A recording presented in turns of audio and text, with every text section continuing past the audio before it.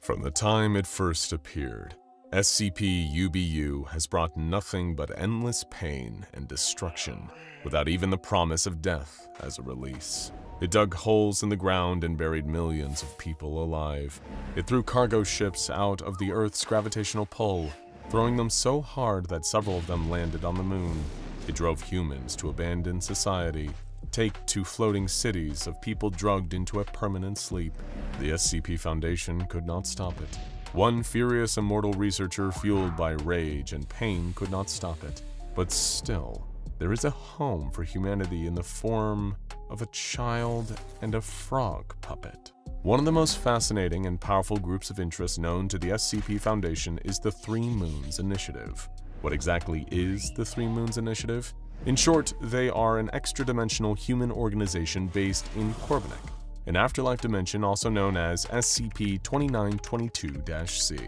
The initiative was first founded approximately 14,000 years ago, with the express purpose of establishing human colonies in the afterlife. The initiative judges the sins of deceased humans and selects their associated punishments and rewards via a two-thirds majority vote of the Perdition Committee.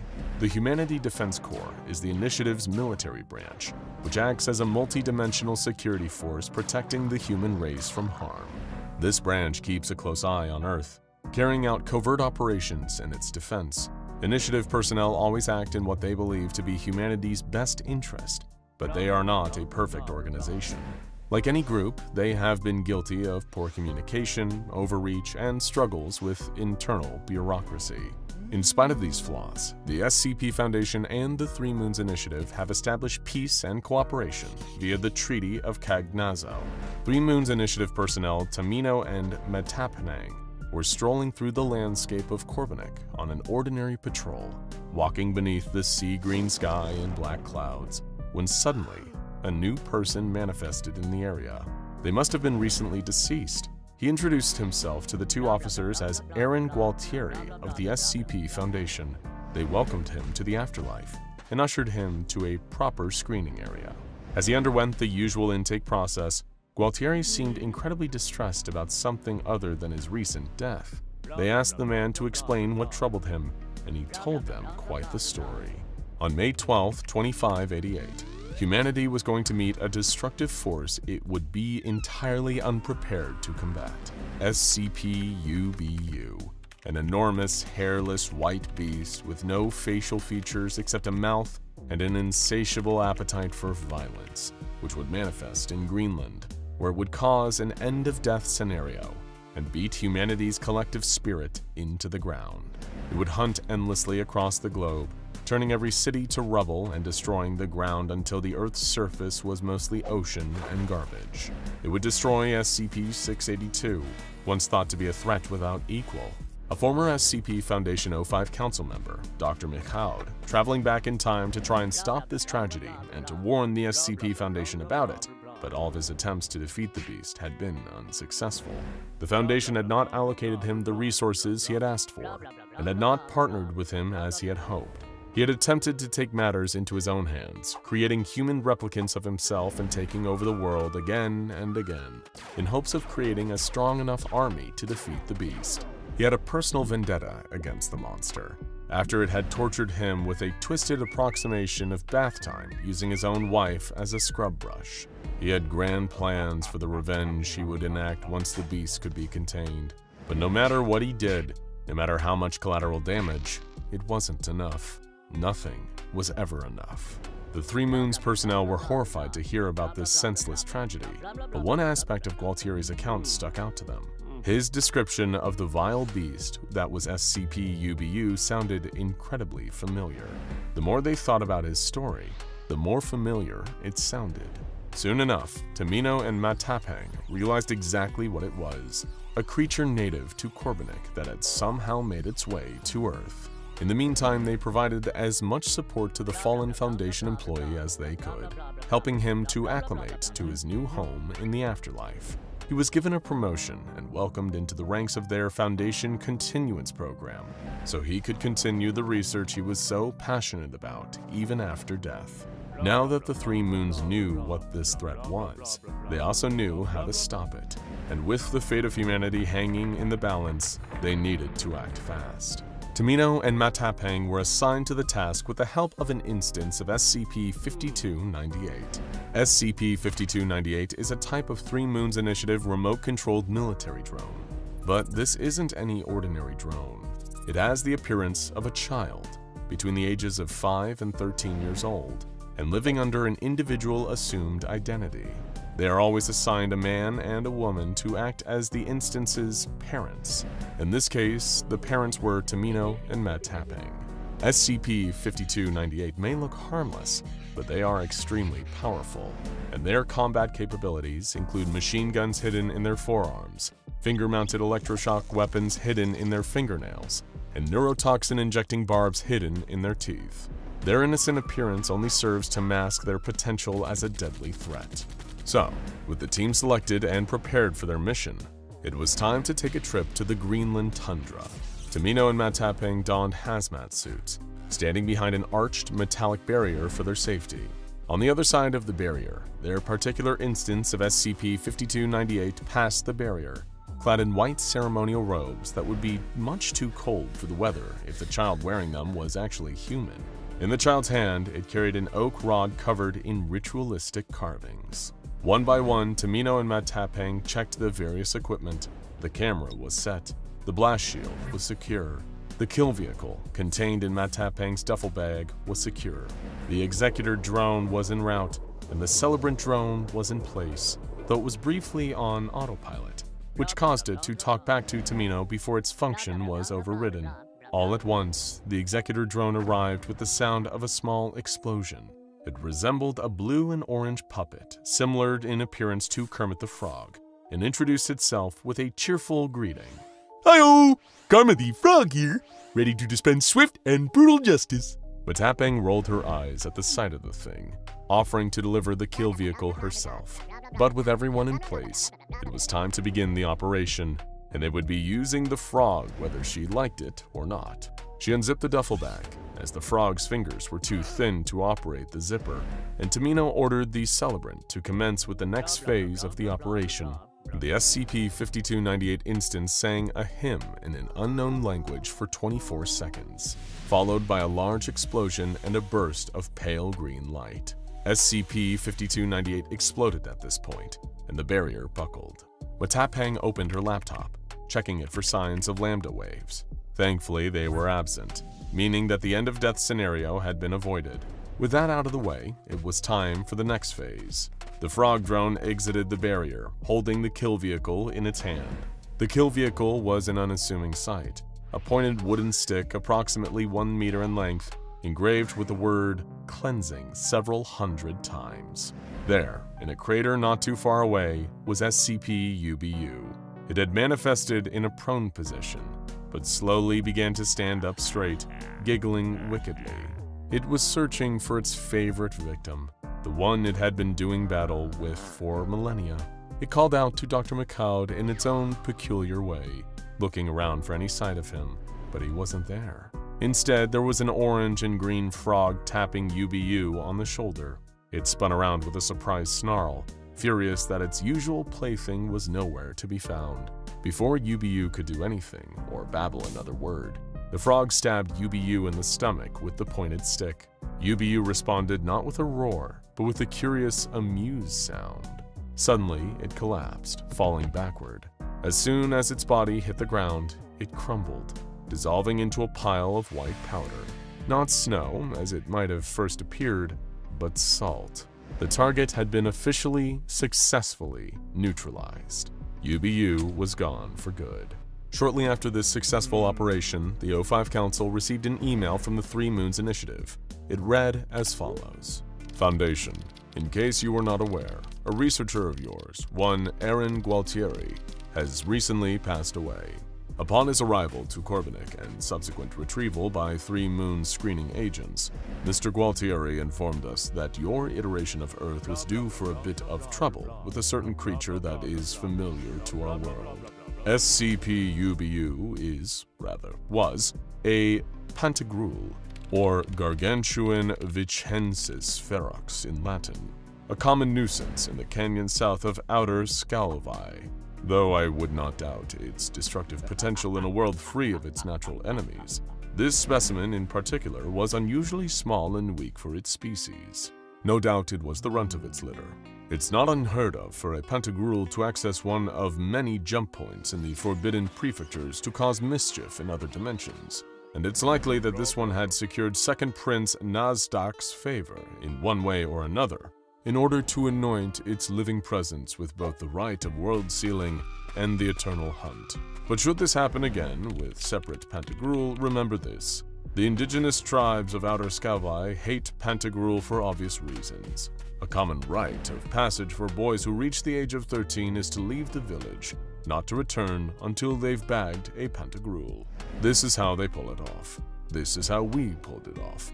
And moving forward, this is how you should pull it off. Grab a length of wood and sharpen it to a point. Carve the word cleansing in any language into it for a minimum of 200 times.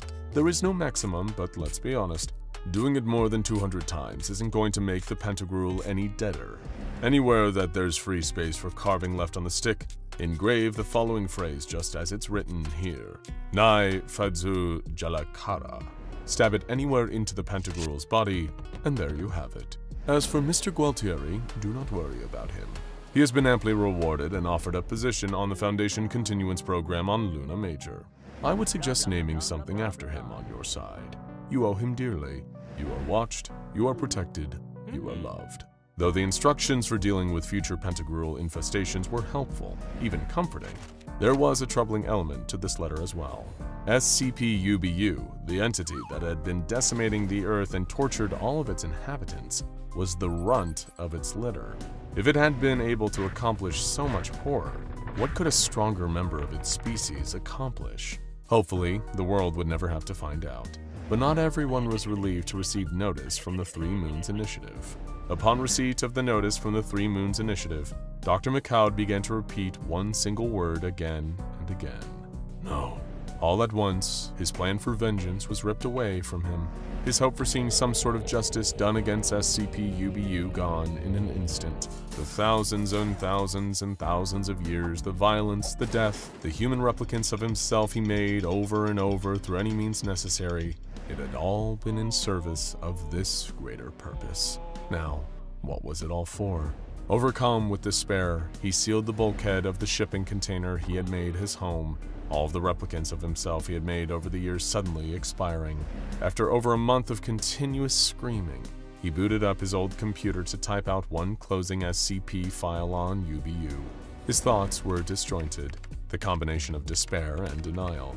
He acknowledged that his plan had almost certainly failed, the plan put in motion just under 10 million years ago. But perhaps there was still a chance he could find closure. Perhaps he could do it.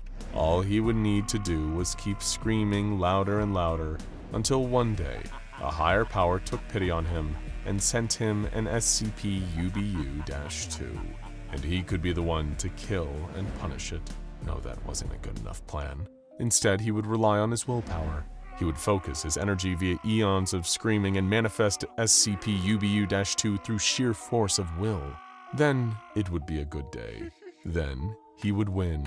Then he wouldn't have to scream anymore. Until that day, he would carry boundless hatred with nowhere to put it. No joy, only struggle without killing, torture without satisfaction, conflict without resolution. There was no one left for McCloud to hate but himself. The laboratory was cold. He wished someone was there to cover him with a blanket, but no one was. So instead, he searched for a distraction. He remembered then that the computer contained a morale-boosting video game, one that had attempted to get him to play it in the past. He had never wanted to play it before, but now maybe it was just what he needed. He saved his file, and the familiar prompt popped up on screen. Its text a garish, cheerful pink. Hey, user! File untitled1.txt. Display evidence of severe down in the dumpstitude. Prometheus Labs cares about your mental health. Why not take a break and play a video game? Just type run underscore Stwinky to join. The hunt for Mr. Stwinky. After all, Len needs you to catch that sneaky Mr. Swinky before he misses Princess Planky's birthday party. With a resigned sigh, the being that had once been an ordinary human man named Dr. McCowd typed run underscore Swinky into the console. Why not? After all he's been through, he might as well give it a shot. Additional text scrolled across the console. Please enter the 16-digit code found on the back of the provided Stwinkage kit to prove that this is a legitimate copy of The Hunt for Mr. Swinky. There was no kit that he could find. Nothing. Anywhere in the shipping container. If there had ever been one here, it was likely lost a millennia ago. Again, he screamed once more, a sound that has persisted to this day. Maybe, one day, the universe will bring Dr. McCowd a new outlet for his endless rage. But for now, he has nothing left to do but scream until his voice gives out, mourning the loss of an enemy the rest of the world has forgotten. The suffering he had felt belonged to another timeline, one that would never come to pass, leaving McCowd without a place in this one. So all that was left to do was scream. Boom! On May 12, 2588, the town of Kangastok, Greenland was destroyed by a devastating 4 kiloton explosion accompanied by a massive electromagnetic pulse. The few survivors that made it through the incident alive described seeing a pale green light in the area at the time of the explosion. Shortly after, an OM-K-A class scenario, or end-of-death scenario, began, in which all multicellular life on Earth began to experience a regenerative effect regardless of injury or illness. In other words, nobody could die anymore. This resulted in intense worldwide panic in the face of the inexplicable occurrence. As the panic mounted, the O5 Council of the SCP Foundation held an emergency meeting in order to address the possibilities at hand. Meanwhile, civilians began reporting sightings of a gigantic, pale white humanoid monster rampaging through their cities and communities, wreaking havoc and violently attacking anyone and anything in its path. As the situation progressed and worsened, and the reality of the end-of-death scenario began to set in, the SCP Foundation made the difficult decision to lift its veil of secrecy and reveal itself to the world. O5-1 made a statement to the UN regarding the reality of the worldwide anomaly, advising citizens to remain calm and await further instructions. Five days after the world learned the truth of the SCP Foundation, the Pale Monster arrived in St. John's, Newfoundland, where it was met by Mobile Task Force Nu 7 Hammerdown for what they hoped would be a quick fight and neutralization. Instead, two years of devastating, bloody combat ensued. By July 4, 2590, 90% of the task force personnel had been killed and regenerated an average of five times. At this point, MTF Nu 7 abandoned the city of St. John, citing anomalously poor working conditions. After being held in place for two years, the monster was able to break through the defensive line and continue its rampage. On October 10, 2590, the SCP Foundation and the Global Occult Coalition came together in an act of unprecedented cooperation to found Project Beluga, dedicated to the goal of neutralizing the monster, designated SCP-UBU, and stopping its reign of terror. But Project Beluga was unable to neutralize the entity before it reached Columbus, Ohio on December 29, 2590. Once it arrived in the city, SCP-UBU began dedicating its time to a gruesome personal project. First, it dug a 2-kilometer deep hole in the city's center. Next, it gathered a total of 2.9 million civilians, throwing them into the hole. After the hole was full, the entity leaped into the upper stratosphere, over and over again, stomping into the hole each time. When the people inside were pulverized, the entity destroyed a large fountain, which it used as a cup and drank the resulting juices from the hole. This entire process took roughly one year, and when it was finished, the entity appeared to grow bored with Columbus and moved to Lake Erie. Upon reaching Lake Erie, SCP-UBU trudged out into the water and began assaulting the cargo ship docked there. It began lifting ships up and throwing them out of the water, some flying high enough to exit Earth's gravitational pull altogether. Two of the ships were later spotted on the surface of the moon. This chaos and destruction continued for years and years, until June 10, 2670, when SCP-UBU was contained at SCP Foundation Site-59. However, this containment only lasted for two minutes, at which point the entity escaped and made its way to New York City, where it was found howling and attempted to defile the Statue of Liberty. Several countries used their nuclear arsenals to attack SCP-UBU over the course of its rampage, until the Schenectady Agreement was signed on February 10, 2674, cementing an agreement between NATO powers, the Russian Federation, the People's Republic of China, and the Global Occult Coalition. All signatories agreed that due to concerns around the environment, any additional nuclear strikes against the entity would be prohibited. After the signing was finished, SCP-UBU crashed the ceremony, grabbing several lengths of rebar and 15 foreign dignitaries, which it used to construct itself a bead necklace. The next notable incident occurred when SCP-UBU showed up at Site-19, interrupting a round of testing with SCP-AFF, a woman capable of turning matter into stone by speaking to it. SCP-UBU broke through the ceiling, crushing AFF beneath its weight. SCP-682, which was also present, approached the entity curiously, and SCP-UBU responded by angrily defecating and shouting at SCP-682 in gibberish. SCP-682 seemed to understand this vocalization and attacked SCP-UBU, demanding that it take back the insult. At this point, SCP-UBU slapped 682's cheek, causing 682 to let out a horrific scream. The slap left behind a glowing green mark, which spread over the entity of 682's body before breaking the bonds of its cells all at once, dissolving the reptile into a pool of toxic fluid. SCP-UBU then spent five minutes bathing in this fluid while giggling.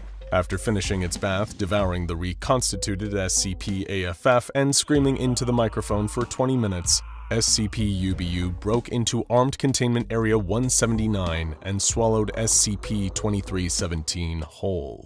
On March 5, 2686, SCP-UBU conducted an assault on Thaumiel-class SCP-2000, rendering it neutralized. Again, years of hell passed as Project Beluga struggled to come up with new methods that had not already been exhausted. Meanwhile, civilians did their best to find ways to cope with the state of the world. On March 25, 2750, former film star Nash DeGroot published The Zonk Manifesto, a book based around a simple principle Life on Earth was no longer worth living consciously, and the only way formed was to enter an eternal coma through the combination of chemicals and guided meditation. This kickstarted the social movement, the International Zonk. On June 24, 2790, Project Beluga forces managed to drive SCP-UBU into the Bay of Bengal, where it remained for three years, causing very little trouble aside from underwater seismic events. Meanwhile, the International Zonk continued to grow, and one mass of adherents known as Cuddletopia reached its goal of 5 million residents. On June 10, 2793, SCP-UBU flung SCP-3000 out of the ocean, leaving it beached on the soil of India. Several cities were destroyed in this process. The entity then spent a week pointing and laughing at the beached sea monster, before grabbing it by the tip of its tail and beginning to drag it across Asia. SCP-UBU continued carving a path through Asia, the wriggling SCP-3000 in tow, until it reached the Bering Strait. Then it began to cross the strait into Alaska, returning to North American territory once more. But it didn't stop there, instead advancing toward South America until it and SCP-3000 arrived on the eastern coast of Brazil on August 29, 2793. There, it dragged its unfortunate charge back into the ocean once more, disappearing from sight. On August 30th, 2793, SCP-169 or the Leviathan emerged from the depths of the ocean.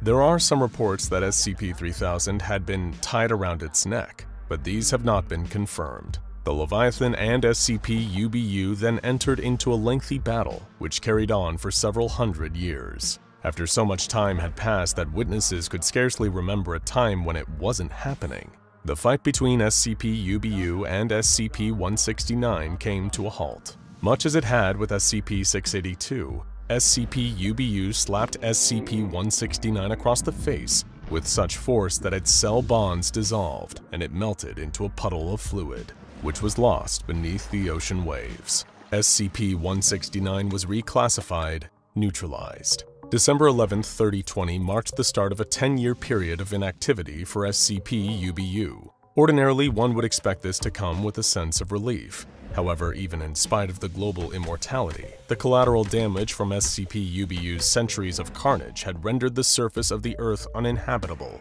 with all land now underwater. The remains of human civilization persist on a single archipelago of floating cities constructed from ships and debris. Meanwhile, the international Zonk movement has persisted, gaining more and more traction and popularity as conscious life became less and less bearable. An enormous floating Zonk pile consisting of international Zonk followers using anomalous methods to achieve the perfect Zonk began to form. Eventually, this pile earned the nickname New Zonkland. By May 28, 3028, the archipelago was abandoned, and the 140 remaining conscious humans retreated to the SCP Foundation's SCPS Naismith. There they lived in relative safety for several months, until SCP-UBU was spotted in the water off the port bow of the Naismith on January 14, 3030. It emitted several sounds that witnesses described as mocking before swimming off towards New Zonkland, In response to this reappearance after 10 years of inactivity, the O5 Council called an emergency meeting. The transcript for this meeting reads as follows. We haven't exhausted all of our anomalous options for neutralizing UBU. Where's the corn corncrake? We've been over since Lawrence. Throwing the corncrake in this mess is only going to- It is anchored 57 clicks due southeast. For why the hell did you tell him that? Well, friends, it seems the Omega K has had us up and about so long that our personalities have run out of fuel we were given from birth. In all likelihood, we'd see better professionalism and teamwork in New Zonkland. As a matter of fact, that's a good segue into what I was about to propose. And frankly, I hope you find the nicest, cleanest spots in the mass grave. Where are you going? That depends. Which way is southeast? At this point, 05-11 left the room, presumably to track down the Corncrake, leaving the remains of the O5 Council there, and leaving the remains of Project Beluga with the question of how to handle SCP-UBU. According to its official SCP Foundation file, SCP-UBU is an extremely violent and hostile humanoid entity of unknown origin, which appeared in Greenland on May 12, 2588. It displays anomalous physical strength and speed, as well as reality-bending capabilities and the emission of regenerative lambda waves linked to the ongoing end-of-death scenario. The appearance of SCP-UBU and the start of the end-of-death scenario coincided with several additional phenomenon. There was a mass loss of function for all the objects operated by the Three Moons Initiative. The Three Moons Initiative was an extra-dimensional human organization based in SCP-2922-C, or the afterlife known as Korvanik. This organization was founded 14,000 years ago with the purpose of establishing a human colony in the afterlife, and has long maintained a peace treaty with the SCP Foundation. SCP-2922, a method of communication that allowed a human mind to make calls to any pre-established phone number, ceased all functions. Next, the extra-dimensional space known as the Wanderer's Library, a magical archive of all the knowledge from all known worlds, and every book that has ever been written, will be written, and several that have not and will not exist, was severed from Earth. When the SCP Foundation pressed the Serpent's hand for answers, a representative answered that irreconcilable security concerns regarding Earth had come up and forced them to make this decision. A representative of Marshall Carter and Dark Limited somehow gained access to the personal contact information of the O5 Council's members and used this information to reach out to them with a business offer. The company is ordinarily on unfriendly terms with the SCP Foundation due to their conflicting interests, namely Marshall Carter and Dark's interests in acquiring and selling anomalous items, entities, and experiences to the highest bidder. However, in this case, the company's representative approached O5 Council members with a mixture of politeness and desperation, begging the SCP Foundation to purchase large amounts of the company's stock. The forest known as SCP-4000 lost all of its anomalous properties all at once. Investigation revealed only a small parchment note in the area's entryway, which read, Good luck. One of the most perplexing and disconcerting phenomenon that occurred concurrently with SCP-UBU's first appearance was what happened to SCP-3008, the Infinite IKEA. Though this sort of thing should have been impossible, the Infinite IKEA was anomalously purchased by some unknown entity. The IKEA branding was stricken from the building, and it was converted into an emergency shelter. All of these occurrences combined to serve as a warning. Something big is coming. And indeed, it was. SCP-UBU. It appears to be impervious to most forms of damage, including blunt force trauma, heavy caliber machine gun fire, temperatures up to 1600 degrees Kelvin, artillery fire, and direct energy discharge from other anomalies. It did express some discomfort when exposed to severe simultaneous direct nuclear strikes, but it was not affected beyond that. The only recorded instance of lasting damage to SCP-UBU was on August 14, 2784, in which the entity bit its left thumb, seemingly for no reason other than curiosity. After biting its thumb, the entity screamed for seven days straight, then entered into a month-long crying fit. 30 years and 14 days later, the thumb had completely healed. SCP-UBU stands at a height of 4.3 meters. While an exact measure of its weight is unknown, attempts at measurement during its brief time in containment showed that its weight is at least 15,399 kilograms. Its exact anatomical composition is unknown, but a superficial examination of the entity indicates that its body shape resembles that of a large androgynous humanoid, covered in hairless white skin similar in texture to that of a dolphin or small whale. The entity has no eyes, ears, or nostrils, but seems to still possess the ability to see, hear, and smell. Its only visible sensory organ, aside from its skin, is its 0.5 meter wide mouth, humanoid in nature, with a prehensile tongue of unknown length. On its lower body it has no apparent features, aside from a cloaca that it uses to dispose of waste. SCP-UBU is prone to vocalizations, mainly screaming, laughing, and babbling, but it does not appear to understand speech in any known language, nor does it seem to be attempting to communicate with anyone it encounters. Its primary interest appears to be destruction and causing as much of it as possible. It will attack anything that it can get its hands on, but seems to show a particular preference for attacking and consuming human beings in large populous areas, such as cities. Its demeanor is both sadistic and childlike, and it has been seen playing with its victims for hours before moving on to a new target. Due to its regenerative effect present in SCP-UBU's vicinity, it is incapable of causing permanent damage to any living thing, and seems to have no greater motivation beyond causing fear and pain. SCP-UBU is classified as Tiamat, meaning that it cannot be reasonably contained at this time with the resources that the Foundation has. Therefore, the focus has shifted from containment to neutralization, which is ongoing via Project Beluga, any and all non-critical resources will be funneled into Project Beluga as neutralization of SCP-UBU is a top priority. Additional information on neutralization efforts is restricted and may only be accessed by members of Project Beluga. But in the end, it won't be Project Beluga that defeats this monstrous creature. It'll be the staunch efforts of one extremely dedicated researcher. On May 12, 2588, the entity known as SCP-UBU manifested in Kangastok, Greenland, like something out of the most nightmarish kaiju movie never made. Soon after, there was no more death, but the world was filled with such chaos and despair that humanity longed for that eternal release. From its enormous stomping feet to its cloaca, to its face, featureless save for a gaping, grinning, devouring mouth, the entity was pure malice with all the time in the world. UBU decimated the planet, breaking the spirit of mankind and razing every city to the ground. In the earlier days of UBU's invasion, when there was still dry land and people still wanted to talk to each other rather than joining floating islands of eternal chemically induced slumber, they would commiserate about the shared misery of the state of things. Oh, UBU? My daughter hasn't spoken to me ever since that monster shoved my whole body down her throat, someone would say. Another would pipe up, trying to one-up the first man in sort of a trauma Olympics.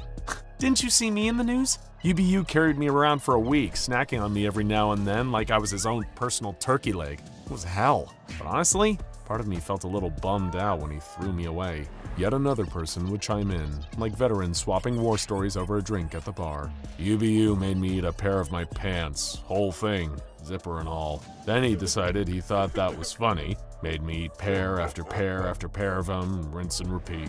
By the time he got bored, I'd eaten probably around 20 pairs. I sort of got a taste for them after that. Everyone on the planet had good reason to despise SCP-UBU, but no one held more hate in his heart for the pale, wicked creature than Dr. Lawrence McCloud. Before the world was turned upside down, sometimes literally, Dr. McCloud was a member of the mysterious O5 Council at the SCP Foundation. To be specific, he was O5-11. But that prestigious position at the Foundation couldn't protect him or his loved ones from the wrath of UBU. When Dr. McLeod was off duty, UBU attacked him and his wife. First, it impaled his wife on a broom handle. Next, it threw Dr. McLeod into an open pool of sewage in the street. Then, it bathed him in the filthy water, using his screaming wife as a scrubbing brush, all the while whistling a horrible little bathtub song. Centuries after that awful experience, as Dr. McLeod watched most of his colleagues give up and choose the closest thing to death in this broken world, he became even more determined to do something about it. On January 14, 3030, Dr. McLeod abandoned the SCPS Naismith and his fellow O5 council members in search of the SCPS Corncrake, an abandoned craft to the southeast. It wasn't an easy journey, rowing all the way there in a lifeboat, never knowing when the great white beast would emerge from the water and choose him as its next unfortunate plaything. He could see the SCPS Corncrake still floating there, untouched. But before he could row any closer, something collided with the lifeboat from below, snapping it in half. Dr. McLeod's stomach dropped at the sight of pale flesh, but it was soon replaced with relief when he saw that the thing that had broken his lifeboat was not, in fact, UBU. It was an injured narwhal, behaving erratically due to its wounds. The culprit was almost certainly UBU. It wasn't content to just torment humans, but instead must have been targeting any life form that could feel pain and fear. In his own words, Dr. McLeod had put it, at least a mass extinction wouldn't have made it that personal. After the lifeboat broke apart, McLeod swam to the Corncrake, exhaustion and cold straining his muscles. It took him two hours to reach the abandoned cargo barge and containment site, but eventually he managed to climb up over the side and get on board. There was one very special thing about the Corncrake the thing that made it worth crossing the ocean in a fragile little lifeboat to find. Every anomaly that made the Ganymede list, the list of anomalies considered too dangerous to abandon, even in an apocalyptic scenario, was contained on the Corncrake. If there was anything left that the Foundation, or anyone else, hadn't tried to use to defeat UBU, it would be on that ship. After taking a little while to recover, Dr. McLeod embarked on an initial exploration of the craft. All the staff were gone, as he had expected. Thankfully, he still had his O5 ID card, and it still worked like a charm, unlocking all of the automated security systems on board. A lot of what he found was in ruins, but some things had survived. He found 10 hominid replicators from SCP-2000 in perfect working order. There was a cage containing the remains of SCP-2845 the deer, though UBU had done significant damage to it. SCP-319, a curious device, was there, contained in a space-locked vacuum chamber. This one was notable for its potential ability to destroy the universe. He found a couple of safe-class anomalies, such as SCP-YEZ, crowd control for the Practical Optimist, and SCP-FNA, the Portable Warehouse. The latter of the two was a portable door frame to a pocket dimension. He also stumbled upon SCP-001, Last Ride of the Day, an old Prometheus Labs prototype of a time machine. And possibly, most importantly, he found SCP-076. The coffin was open, but Abel didn't attack Dr. McLeod. He wasn't consumed with murderous rage and bloodlust, the way he always was before. Instead, he was just sitting on the edge of the ship, silently staring at the sea. When he spotted McLeod, he gave him a small wave and did nothing else. The centuries of a world without death a world without killing, without victory in battle, had taken its toll on him. For possibly the first time in his eternal life, Abel was depressed. Nine days after he first inspected the corncrake, McLeod began to formulate a plan. He loaded all of the hominid replicators into SCP-FNA, using a thankfully still working forklift.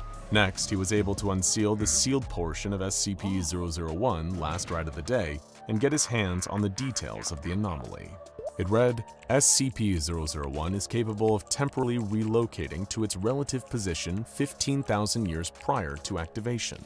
This temporal displacement is divergent paradox irrelevant. In other words, a separate timeline is created as a landing point.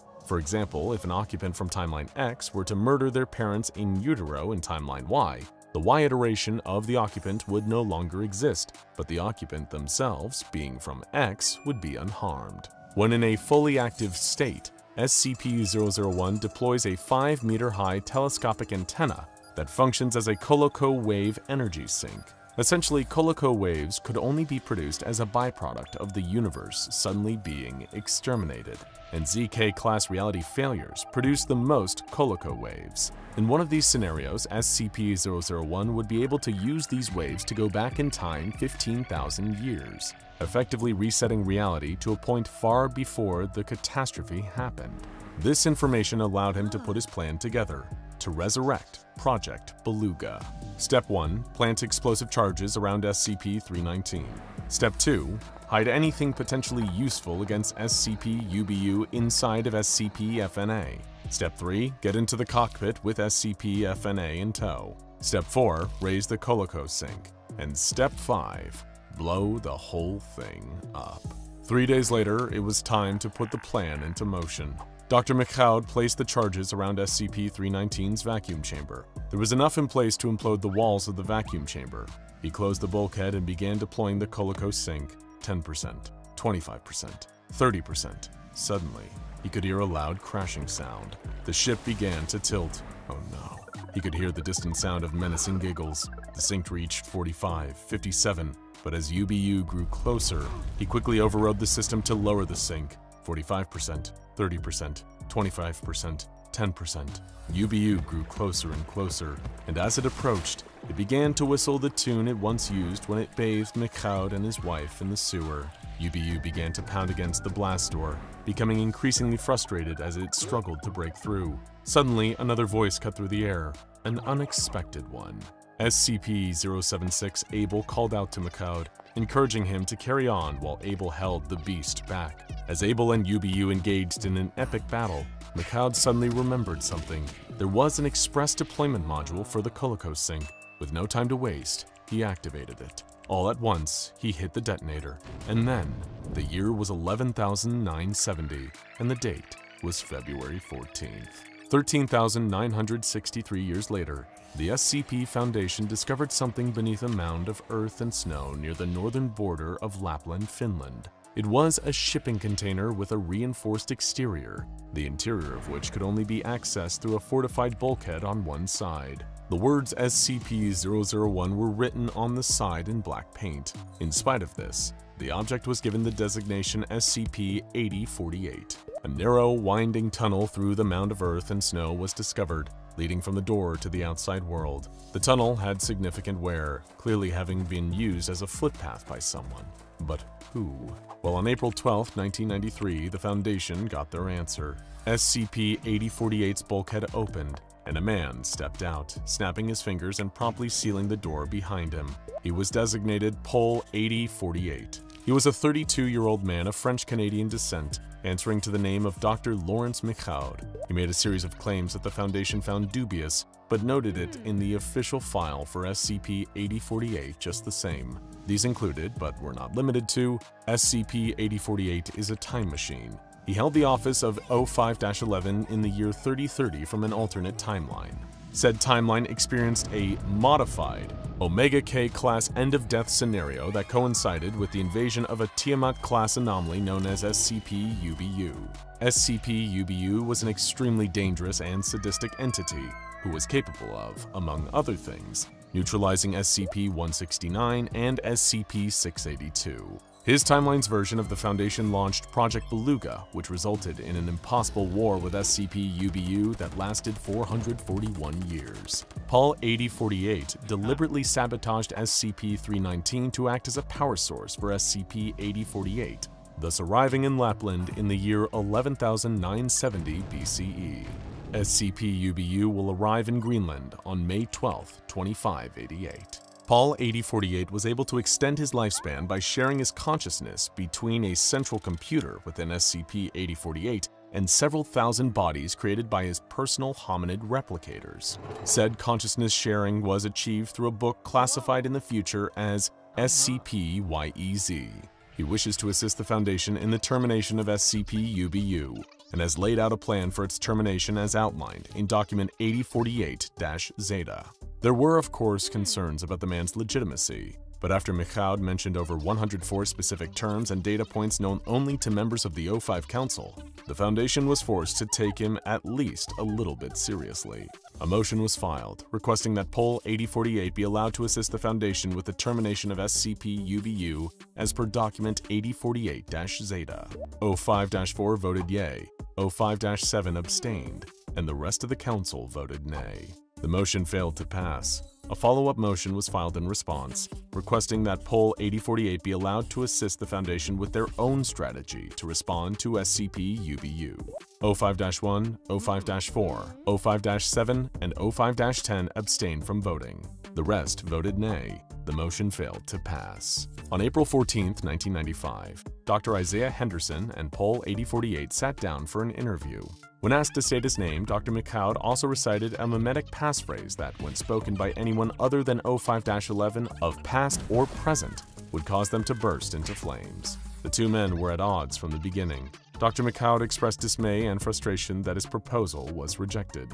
Meanwhile, Dr. Henderson countered with the insistence that McCloud's proposed plan was rejected for posing an unnecessary risk to the civilian public. They debated for a moment before Dr. Henderson announced the Foundation's next plan of action. Dr. McCloud was to be terminated. The Foundation would proceed with its plans without him. At that point, Dr. Henderson terminated McCloud as ordered. He didn't count on one thing, though. McCloud was no longer an ordinary man, bound to one body. He hopped into the body of a guard, then into the body of O5-4 to deliver a vital message. He had started this plan alone and was ready to bring it to a close alone. Project Beluga would continue with or without the Foundation's support. Dr. McCloud returned to the bulkhead, climbing back inside and sealing it behind him. He had hoped to have the Foundation behind him. He had hoped they would be allies in the fight against the greatest evil mankind ever encountered, but they disappointed him. He had waited thousands of years, only for the organization he devoted his life to to try and kill him. Well, he wasn't going to go down without a fight. This was bigger than the Foundation, bigger than anyone, and no living person was as equipped to handle UBU as he was. So he resumed Project Beluga as a one-man operation. He issued a mission statement, which read as follows. On May 12, 2588, the entity known as SCP-UBU invaded and pillaged human civilization for no other motivation than cruelty and selfish gratification. Shortly thereafter, Project Beluga was founded as a joint effort between the Global Occult Coalition and the SCP Foundation for the purposes of UBU's destruction. UBU is not merely a threat to human safety, is an affront to every positive and loving concept in the human consciousness. Rather than our lives, he seeks to destroy our quality of life to sate his own sick desires. Think about it. The taste of ice cream, playing with your dog, the way you felt after your first kiss, that is UBU's sworn enemy. No fate is too cruel for him, no hatred is strong enough. When Project Beluga's charter was signed, 592 GOC officers and Foundation staff were present at the ceremony. Our troops numbered in the hundreds of thousands. I, Dr. Lawrence Michaud, am the only surviving member, and always will be. What I lack in numbers is compensated thousandfold by my weapons, my mind, my replicated bodies, and eons of experience. The following record serves one purpose alone, that once justice has been brought to UBU, humans in the shining and golden UBU-free future will understand that one person can accomplish through the power of hard science and raw emotion entwined in a perfect and indestructible braid. And while we are at it, you are very welcome. Over the next several hundred years, McCloud worked to secure ownership of Kangastock, Greenland through a Project Beluga civilian front. He evacuated the civilian population from the area, then spent a century constructing a superweapon. With 100 high-yield nuclear weapons, heat amplification runes, a targeting beacon for SCP-DAG, and five antimatter gathering pods from SCP-HNM in place, he was finally ready for UBU to manifest again. Dr. McCloud, former member of the SCP Foundation's O5 Council, had one sworn enemy. One being that he despised more than anything else in the entire universe. The being known as SCP-UBU, the monster that had eliminated death and destroyed the world. The vengeful doctor was able to successfully go back in time to the days before SCP-UBU first manifested, desperate to prevent the horrors he witnessed during UBU's centuries-long rampage. After the SCP Foundation failed to help him with his plan, Dr. McCloud spent thousands of years re-establishing Project Beluga in this new timeline. The project secured ownership of Kangstad, Greenland, evacuated the civilian population, and constructed Beluga 1 in the epicenter of UBU's manifestation point. It was outfitted with 100 high-yield nuclear weapons, heat amplification runes copied from SCP-NSF, a targeting beacon for SCP-DAG, and five antimatter gathering pods from SCP-HNM. The trap was set, and it was time to wait for SCP-UBU to appear. When it did and the trap was sprung, SCP-UBU managed to escape unharmed, rampaging through the world much like it did the first time. That attempt failed, but it was not the only one. Dr. McCloud was not about to give up now. He restarted the cycle again, using replicates in order to gain a greater amount of control over both the SCP Foundation and the Global Occult Coalition. 25 years before SCP-UBU's scheduled arrival, Dr. McCloud opened email-based communications with SCP-2803-A, P. Hudson Gok, a giant tumorous blob of flesh in an abandoned anomalous office building with the genius mind of a former CEO regarding the threat. He informed Gok that in 25 years' time, something was going to destroy the entire global economy, particularly the consumer electronics market. This massively distressed SCP-2803-A. At this point, Dr. McCloud asked if the anomaly might have a skill set that could help prevent UBU from destroying the economy, and, of course, the rest of the world. SCP-2803-A, as it turns out, did indeed have a strategy in mind. One year before UBU's arrival, 2803-A attacked, parasitized, and fused with SCP-169, the Leviathan. This fusion resulted in a creature 1.5 times the original size of SCP-169, with several heads. The resulting collateral damage was catastrophic, killing billions of civilians. When the creature came face to face, or faces, with UBU, it lasted centuries before UBU made the killing blow. McCloud repeated the cycle again, and again, and again, and again. In some cycles, he tweaked his plans by the tiniest of degrees. Other cycles were dramatically different from the ones that came before. During Cycle 273, he increased the aperture from the Beluga 94 project, teleporting the entire continent of Greenland into another dimension after UBU first appeared. Both Greenland and UBU vanished on 5-12-25-88. However, only five minutes later, a second UBU materialization event occurred. The rampage continued on from there. Dr. McCloud was becoming discouraged and considered modifying his central consciousness containment unit to forcibly redirect any negativity he felt away from himself and his abilities, and toward UBU. During Cycle 530, McCloud established Site Assembly in Cyprus in the year 10485 BCE. The Beluga X unit was constructed over the course of 3,000 years there. This feat was achieved via the infiltration of the Church of the Broken God, which was converted into the false pretense labor division of Project Beluga. Sarkic cult activity spread through Europe as a result, but this was an acceptable amount of collateral damage. What mattered most was the Beluga X, a heavily armed construct based around the design of SCP-2406, the Colossus. Replicate 5818, one of the many McCloud replicates, was selected for the role of majority consciousness holder. Then, 10 minutes after UBU manifested, Beluga X was deployed. Beluga X confronted SCP-UBU and declared the intent to stop its invasion. At the sound of McCloud's voice, UBU responded with the call, Yes, Monsieur? It promptly began to whistle the bath time song, the same one it had whistled so very, very long ago while tormenting Dr. McCloud. Somehow, this UBU was the original one from the very first timeline. How did it survive? How long had it been following Dr. McCloud?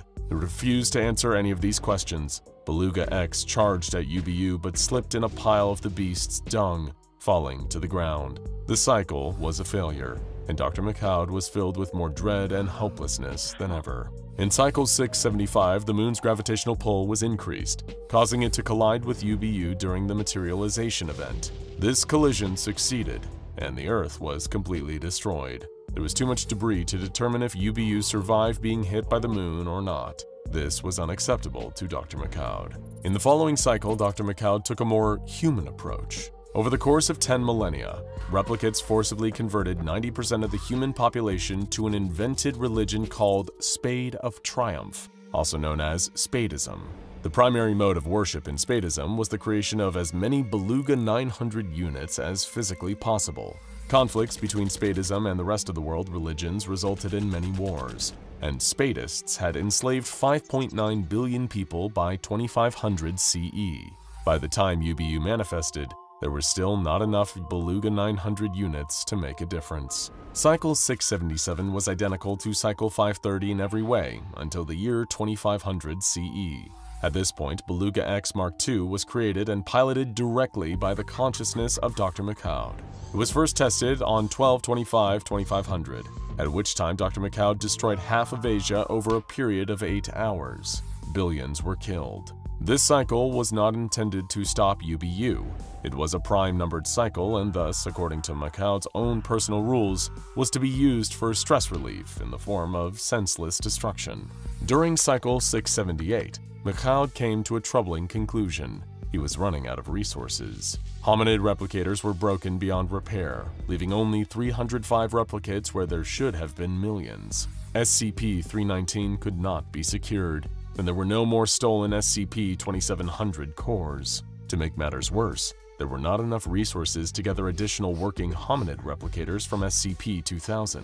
He would have to make contact with the SCP Foundation again, and the goal of Project Beluga would have to be modified from termination to containment. He drafted containment procedures to be implemented the moment the opportunity presented itself. These containment procedures were unlike any penned by the Foundation before. They were not simply a containment method, they were a punishment. They were a vengeance. To ensure the internal agony that Dr. McCloud believed SCP-UBU empirically deserved, Area UBU was constructed within Site Beluga's metaspatial mainframe. Area UBU is a pocket dimension where Dr. McCloud is God. It consists of one square kilometer of wide, open nothing. Dr. McCloud's will was capable of causing the area to repeat ad infinitum, depending on where SCP-UBU moved. This essentially meant that there was no escape, no edge, only infinite emptiness. In McCloud's words, no one to run from him, no one to fight him, no one to hurt. There would be no death in this space, and it would be equipped with an indestructible floor. Dr. McCloud's plan illustrated how this millennia-long battle had taken a toll on his own sanity. By his plan, UBU would be kept in this uncaring solitude for as long as it would take for the futility of his situation to set in. His laughter would become confusion. His confusion would become anger. His anger would become whimpering. His whimpering would become begging. His begging would become sobbing, and his sobbing would become wailing. This process would continue until UBU began to eventually adjust to its surroundings. Once it began to feel comfortable and began to experience the smallest glimmer of hope, McCloud would implement the next stage of his containment procedure.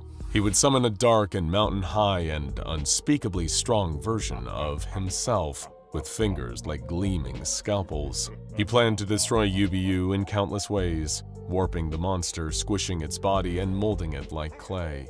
Then, it would only get worse for the beast, as Dr. McCloud's plans for revenge made him just as horrific a monster as his enemy. According to McCloud's plans, he would clone UBU a companion, a wife, the first real friend he has ever had, and McCloud will harden her heart and make her despise him. She will reject him cruelly and viciously. She will curse the day she ever met something so objectively hideous as SCP-UBU, and if that doesn't drive the point home enough, she would offer her heart to McCloud himself, effectively cuckolding his worst enemy. At this point, McCloud planned to destroy the fabricated wife in front of UBU. These procedures were only the beginning of the intake proceedings. After that, McCloud would move on to one of 148 Level 2 subroutines. While writing these containment procedures, Dr. McCloud smiled for the first time in over 1 million years. In the description section of the file, he wrote only one thing, reap what you sow. Then, it was time to try a new cycle, to begin anew.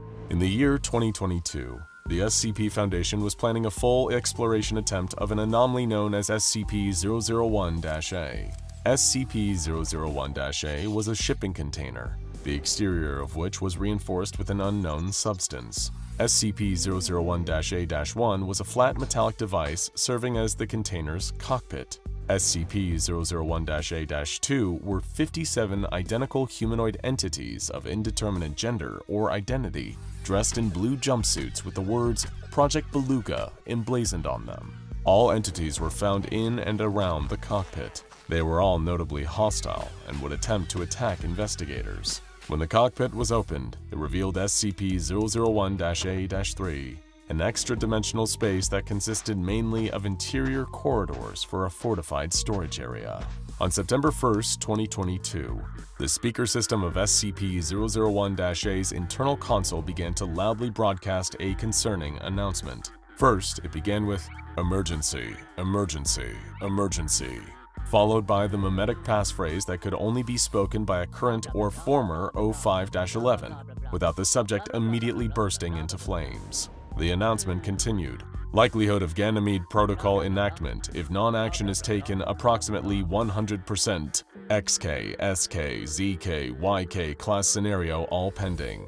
I am stranded on the 50th basement level of SCP-001-A-3. There are possibly several children down here with me. This message will repeat until my demands are met. Help me. Emergency, emergency, emergency.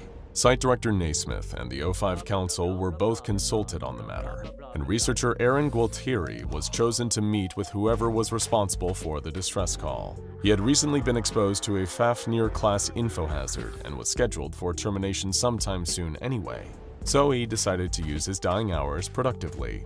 He was equipped with a hidden microphone and sent to speak with the broadcaster. Gualtieri entered SCP-001-A-3, descending to level B-15. He took 15 steps into the spacious area, calling out for an answer from whoever called for help. At first, there was no response. Gualtieri began to grow impatient, saying, Look, no one upstairs believes this broadcast of yours, but we all agreed it's too weird to not come down and at least hear you out. So what the hell do you want? Again, no response. Irritated, Gualtieri turned to leave, but as he did, the blast doors slammed shut, trapping him inside. He could hear the sound of heavy machinery moving toward him. He was suddenly confronted by the sight of an autonomous weapon, a massive mechanized structure equipped with drills and saws. He screamed at the sight. Hello, it spoke. My name is Dr. Lawrence McLeod. You are going to follow my demands. Scream if you agree. The drills whirred close to Gualtieri's face. He screamed. This monster, apparently what remained of Dr. McLeod, demanded to know his name. Gualtieri demanded to know what the entity wanted from him. McLeod repeated the request for his name. Gualtieri relented, introducing himself. Before asking why he was called down here, McLeod had a question of his own response. Have you ever hated someone non-stop for 9,492,687 years? Like most human beings would in that scenario, Gualtieri answered no. McLeod snapped. If not, you have nothing to say to me, barring responses to queries and demands because we are not in the same headspace and only similar minds are worthy of my friendship and tea time. Now then, on to business. I need a minimum of 20 hominid replicators from SCP-2000 and a carte blanche access to SCP-319. This is for the sake of humanity's future in the year 2588. If these demands are not met, then in T-minus 60 seconds, you are going to bang on the gates of hell and beg the stewards of eternal damnation to give you sanctuary. Gualtieri offered a bargain. I, I just want to know why you're doing this. This is too weird to be left open. Call it a scientist's instinct, just tell me that, and I'll pull all my strings topside and get you whatever you want, I swear, cross my heart. McLeod agreed to these terms and used SCP-YEZ to briefly share consciousness with Gualtieri. Everything McLeod experienced with UBU, everything about Project Beluga, all of those millennia of suffering were transferred into Gualtieri's head like a vivid dream. He saw the initial manifestation of UBU in Greenland, the waking nightmare that followed, McLeod's own harrowing encounter with the beast, its twisted bath time song, his discovery of potential salvation, only to have his hopes dashed by failed cycle after failed cycle. It was all the answers he could have ever wanted, and plenty he never, ever would have wished to know. But before Gualtieri could hold up his side of the bargain, he promptly dropped to the ground, dead. McLeod made a note of this unfavorable result. Running logic subroutines confirm there is a non-zero chance that this delivery is the indirect work of UBU formulating additional castation procedures to minimize mental duress. After his death, Gualtieri arrived in Korvanik, the plane of existence that acts as a form of afterlife, and as a home of the Three Moons Initiative. There he was retrieved by several agents of the initiative, who spoke with him about his experience just before his death. Shaken up, he told the agents what he learned about SCP-UBU and the impending doom that the Earth was facing. Much to his surprise, they were not fazed by his descriptions of the beast, of its appetite for violence and unnatural abilities. In fact, they had seen beasts like it before. They knew exactly what SCP-UBU was, and they knew exactly how to stop it for good. Oh boy, here we go again. SCP-001. Over 30 different bizarre anomalies claim this number one spot in the database, and in a sense, they're all right. Or are they?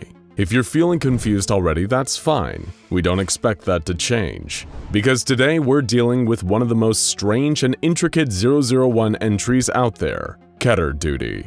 Just pray you never get assigned to it. You see, when you work around weirdness, you sometimes get a little weird yourself. And nobody deals with more weirdness than employees of the SCP Foundation. They regularly rub elbows with everything from godlike cicadas to hyper-infectious supernatural viruses. And as the famous Tom Jones song goes, it's not unusual to suddenly take on anomalous traits after consistently working with anomalies for years. That's how the lyrics go, right? Anyway, one of the Foundation's most iconic researchers, Dr. Jack Bright, is technically just an anomalous necklace himself. But outside of some famous exceptions, the SCP Foundation is in the business of containing anomalous entities, not hiring them on and giving them a paycheck and retirement plan. That's why if you suddenly start displaying anomalous traits while on the Foundation payroll, you might receive a company memo assigning you to the dreaded Keter duty. But what is Keter duty, and what kind of anomalous traits can get you assigned to it?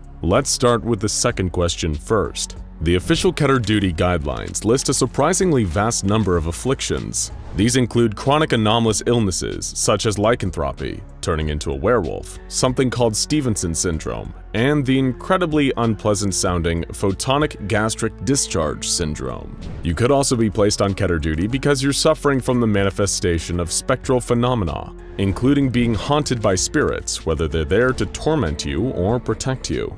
The sudden expression of anomalous traits in your DNA, which is unsettlingly vague, will also land you on Keter duty, as will the awakening of powerful magical or psionic abilities, especially ones which could be used in a potentially offensive manner. The Keter duty assignment, which involves being relocated and forced to work in a different highly secretive location that will be discussed soon, is framed as a punishment for the people involved. That way, it discourages Foundation employees from ever trying to develop anomalous powers on purpose. So what exactly is Keter duty and where does it happen? To reinforce that punishment element method, the Foundation has spread lies among their own personnel about where the job takes place, often involving being posted in some of the least desirable Foundation areas imaginable.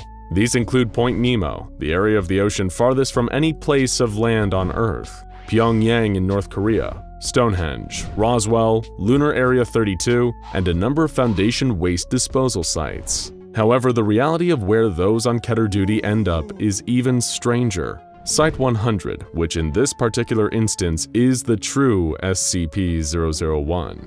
This Thaumiel-class anomaly is perhaps the most unique of all multi-anomaly Foundation containment sites, a bizarre labyrinth of non-Euclidean geometry that defies true explanation, but we'll do the best we can.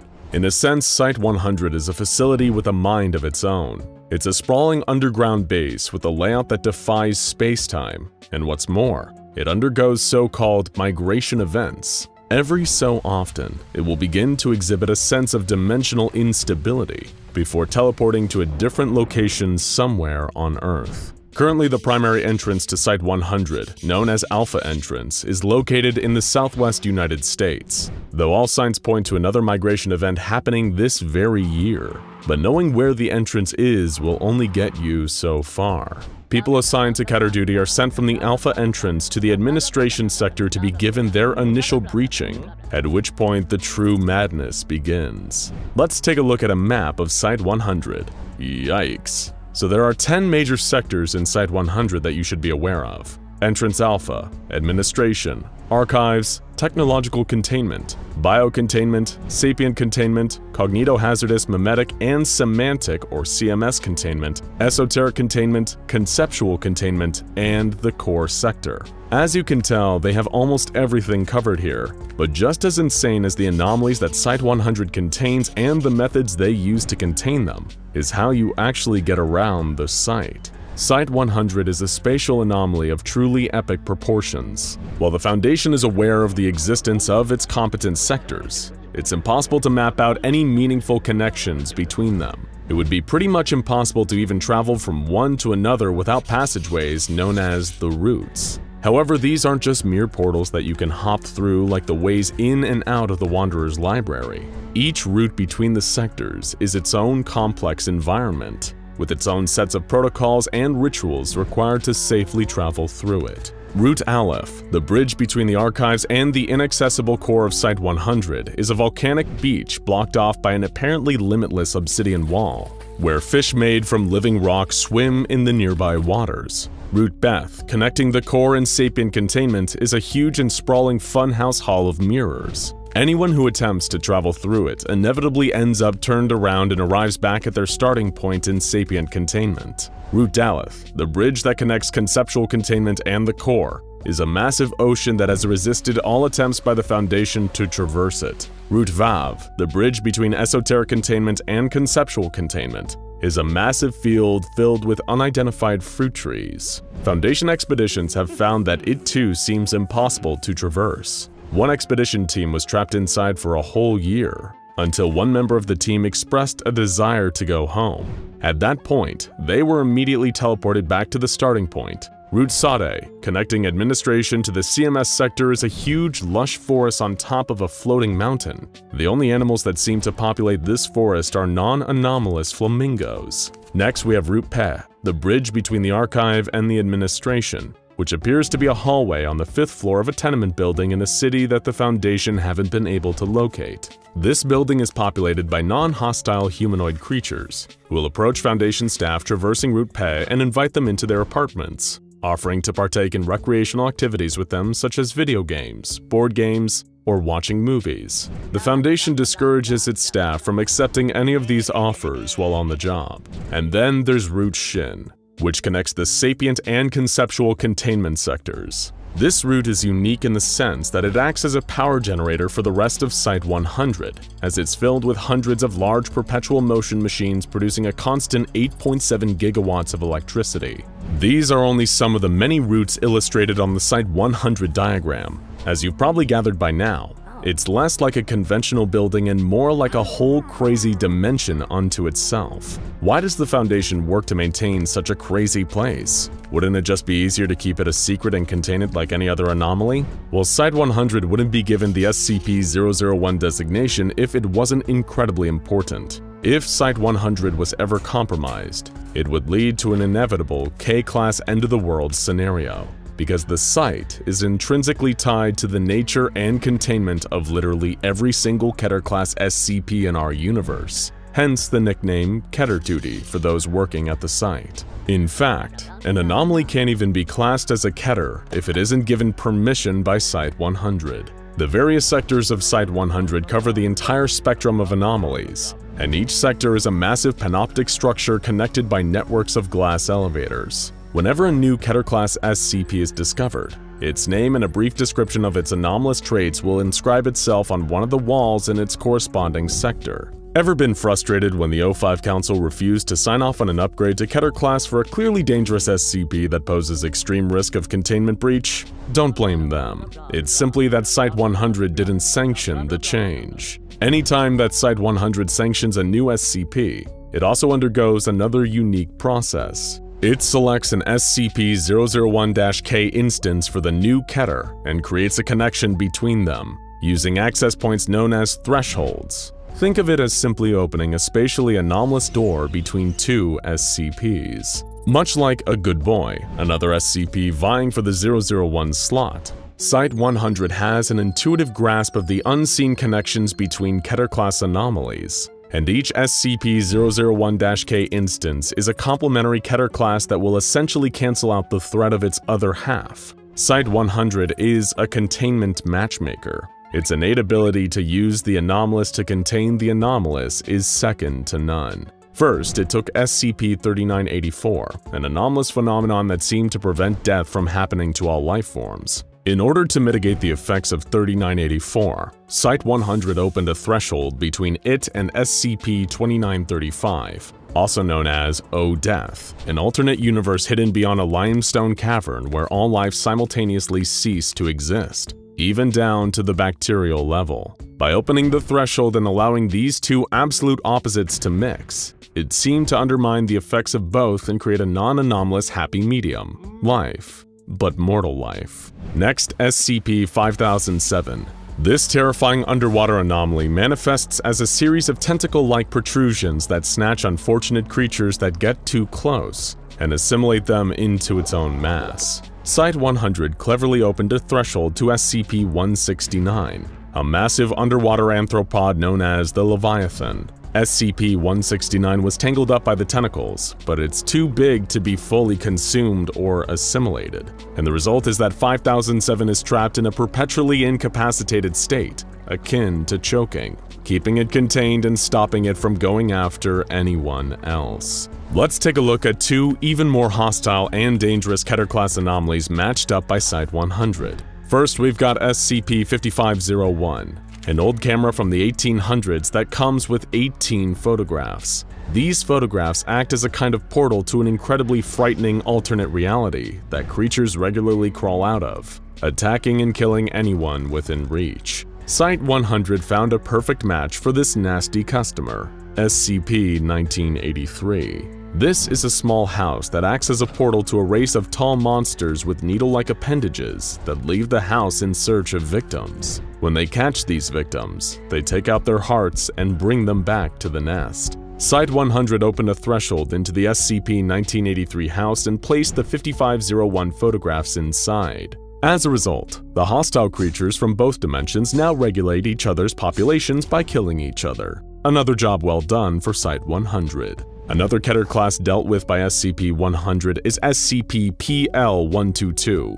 This is a deadly plot of land in Poland which decays and corrodes all matter, organic or inorganic, placed within its confines. This would be bad enough, but as you'll often find with anomalous plots of deadly land, its area of influence is growing. Even knowing about it can cause it to become more powerful, but Site-100 found its perfect Keter class counterpart, SCP-1262. This is a massive mass of plant matter that grows at a truly astonishing rate, expanding by around 7 kilometers an hour. Much like absolute death and absolute life, by putting 1262 into SCP-PL-122, a healthy medium was found somewhere in between. And finally, perhaps the strangest and most creative match Site-100 has ever pulled off, SCP-3852 and SCP-2547. 3852 is an anonymous corpse that manifests in small towns, sowing fear and suspicion. Eventually, a local person is believed to be responsible for this murder, and is lynched in a rage by the townspeople as a form of vigilante justice. The corpse then moves on to the next town.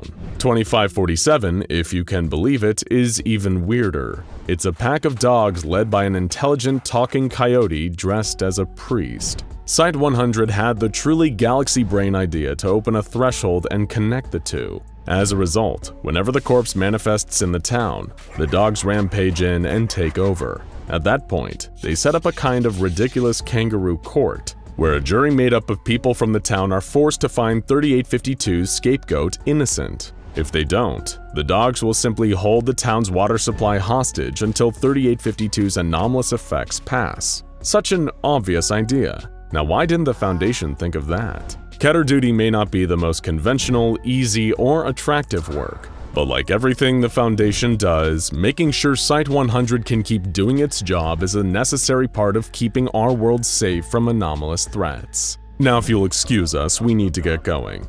Hmm. Do you know which is the right route out of here? If you're familiar with the SCP Foundation, then you already know the exact reason why there are multiple SCP-001s. You may even think you know which of them is the real SCP-001. But for those of you who are new here, or who just need a little reminder, the designation of SCP-001 doesn't refer to a single creature, object, or entity, but rather a collection of various anomalies that are apparently kept in containment by the SCP Foundation. At present, it is unclear why there are multiple files collected under the shared designation of SCP-001. Some believe it is because these anomalies are some of the earliest ever contained by the Foundation. This would mean that they share the designation of SCP-001, as they were likely encountered before the SCP Foundation introduced their current numbering system. However, there also exists a theory that this is nothing more than intentional misdirection. Perhaps the multiple SCP-001 files are an attempt by the Foundation to conceal information about the true SCP-001. After all, it wouldn't be the first time this hyper-secretive organization deceived us. Anomalies sharing the name SCP-001 include the infamous Scarlet King, the massive Gate Guardian, and the world-ending event known as When Day Breaks. But today we'll be using SCP-001 to refer not to an entity or an event, but to a location. A location codenamed God's Blind Spot. Located in an unassuming corner of the world is a site that the SCP Foundation constructed and designated as Facility T. According to their archive, it's a largely unremarkable place, situated at a spot on the Sinai Peninsula, which is a part of Egypt that forms a bridge between the continents of Africa and Asia. In the 18th century, archaeologists excavating the area uncovered the remains of a stone structure believed to be an inn that dates back to the second millennium BC. However, since the construction of Facility T, any trace of this structure has since disappeared. So, what makes this unremarkable site so important to the SCP Foundation? Why establish a facility if there was nothing anomalous about its nature? What distinguishes this SCP-001 site in the eyes of the Foundation is the area's profound lack of any ambient Akiva radiation. But what is Akiva radiation? Well, according to the Foundation's researchers, it's a form of cosmic background radiation, one that's not overtly harmful to human beings. If you grew up in a strict church-going household, then it's highly likely you would have been exposed to a lot of this non-electromagnetic radiation and never even realized it. You see, the thing with Akiva radiation is that it is directly correlated with the amount of religious faith a person has. Regardless of which religion someone follows, Akiva radiation will form around them. It tends to be harmless to humans, However, certain anomalous entities and SCPs considered to be demonic in nature can be repelled and even fought off with high levels of Akiva radiation. The presence of other powerful anomalies, those considered more benign or even holy, can also create an increase in this radiation. SCP-001 has earned the nickname God's Blind Spot for a number of reasons, one being that it is the only place on Earth with a natural absence of this Akiva radiation.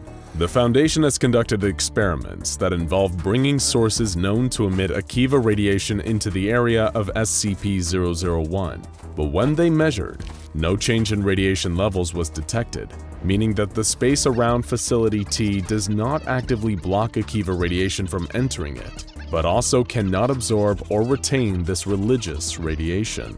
It might be more accurate to say that the location destroys any trace of residual Akiva without damaging the source. A lack of faith field radiation is far from the only anomalous property of SCP-001 though. During a number of tests involving D-Class personnel, the Foundation witnessed that, while in the area, it also becomes impossible for the death of any human being to occur, a discovery that obviously needed to be researched further.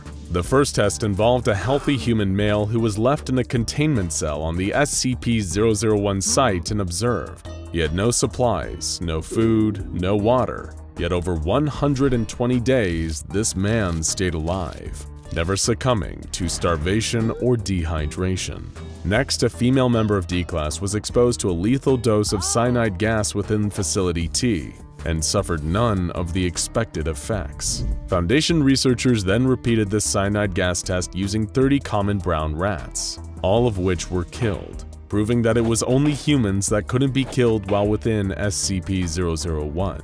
God's blind spot seems to also be able to slow or halt the effects of terminal illnesses, as proven when a D-Class with stage 4 cancer was brought into SCP-001. Despite her prognosis stating that she would be dead imminently, the woman survived in the area for almost 800 days. Her cancer symptoms never advanced, and she only died after finally leaving the area of SCP-001. There are limitations to this anomalous effect though. One test involved cremating a healthy male D-Class while he was still alive. The man's body caught fire just as you would expect it to, and he was burned to death. According to the findings of that test and similar variations, Foundation researchers have learned that the life-preserving qualities of SCP-001 don't prevent death by extreme external damage. One of the final tests to take place with an SCP-001 involved a pair of 24-year-old identical D-Class twins. One of the twins, designated Twin A, was held at Facility T, while the other, Twin B, was imprisoned in a cell at a different Foundation site. After observing them for over 26 years, Twin B aged naturally to the age of 50. His twin, however, did not appear to age at all over the course of two and a half decades. It was only when moved to another facility that Twin A began to show signs of aging. The aging process for Twin A was rapid too, and eventually he caught up with his brother. Being a benign, non-threatening anomaly, the Foundation has been more than happy to use God's blind spot to their own advantage. Facility T was specifically established on this site to house the headquarters of the O5 Council, the overseers of the entire SCP Foundation. It's hardly surprising that the Overseer Council would want to set up shop here. After all, it's the one spot on planet Earth where no human being can ever die of natural causes, and will not age for the duration of their stay.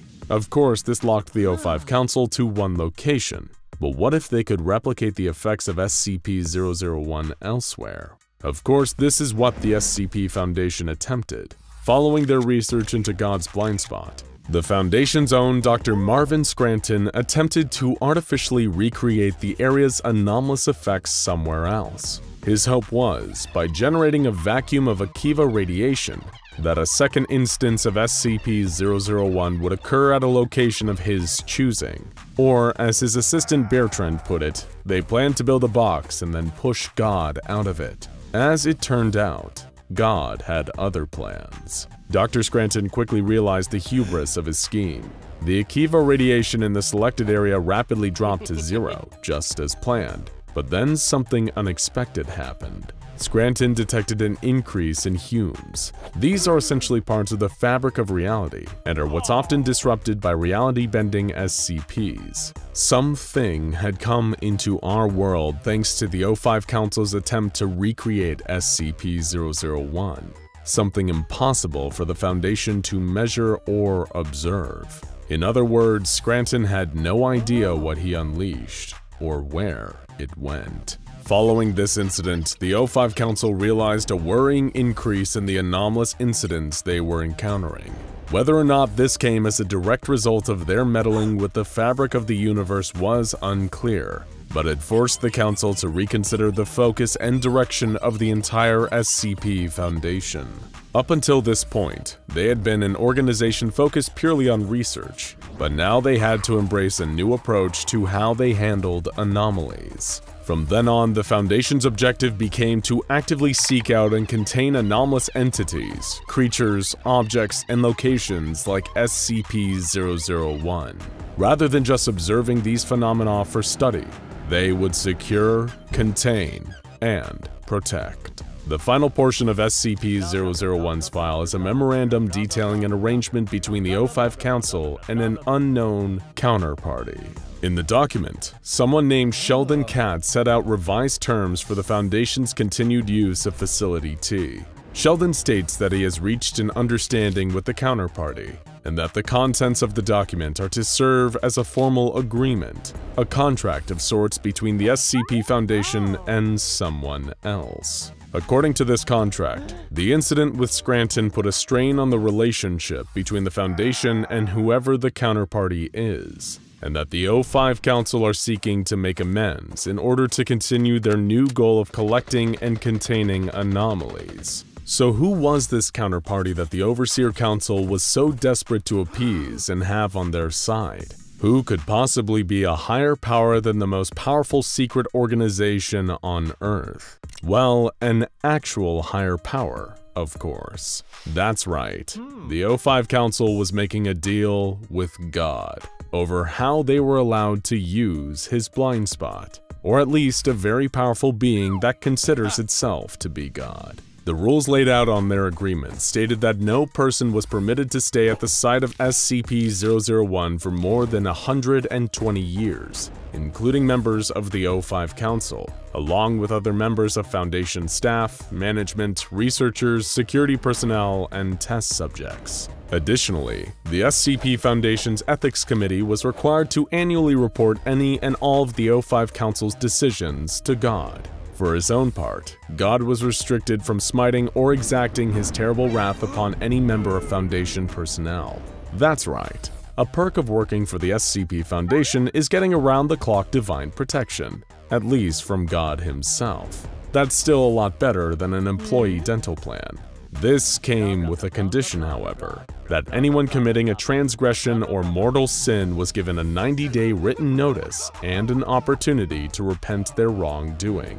In return, God demanded that members of the Foundation only worshipped Him and no other divine entities. I, the Lord, am a jealous God, visiting the iniquity of the fathers upon the children unto the third and fourth generation of them that hate me, was written in the contract. Finally, the agreement between the O5 Council and God was that they would work together. The Foundation and the Counterparty would be equal partners when it came to the containment of SCPs and anomalies. Of all the strange and unexplained phenomena that the SCP Foundation encounters on a regular basis, it hardly comes as much of a surprise that they've got a direct line to the big guy upstairs, or at least one who purports to be. Still, the fact that the O5 Council have a business arrangement with an ultra-powerful deity-like being and express written permission to use his blind spot where no person can die or age is hardly a comforting thought. At least the SCP Foundation only ever uses its power for good, right? The Scarlet King is a really bad guy. He's a giant interdimensional nightmare god, intent on breaching our reality and wreaking terrible havoc on everything we know and love. He's been responsible for untold suffering and chaos across countless worlds, timelines, and layers of reality. To many, he's even somewhat of a final boss to the SCP Foundation.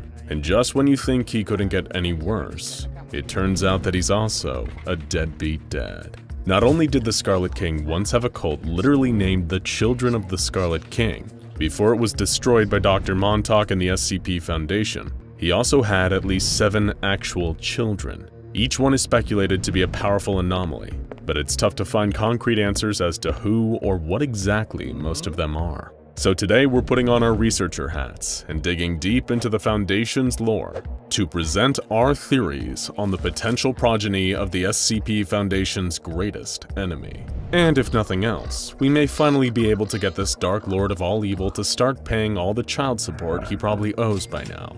First, if you're not well versed in Scarlet King lore, you may be wondering, how exactly does an evil Chaos God have kids? Is there a Scarlet Queen out there who prefers to stay out of the limelight? The answer isn't quite that simple, and it has everything to do with SCP-231 and Big Red's most devoted cult, the non-biological children of the Scarlet King.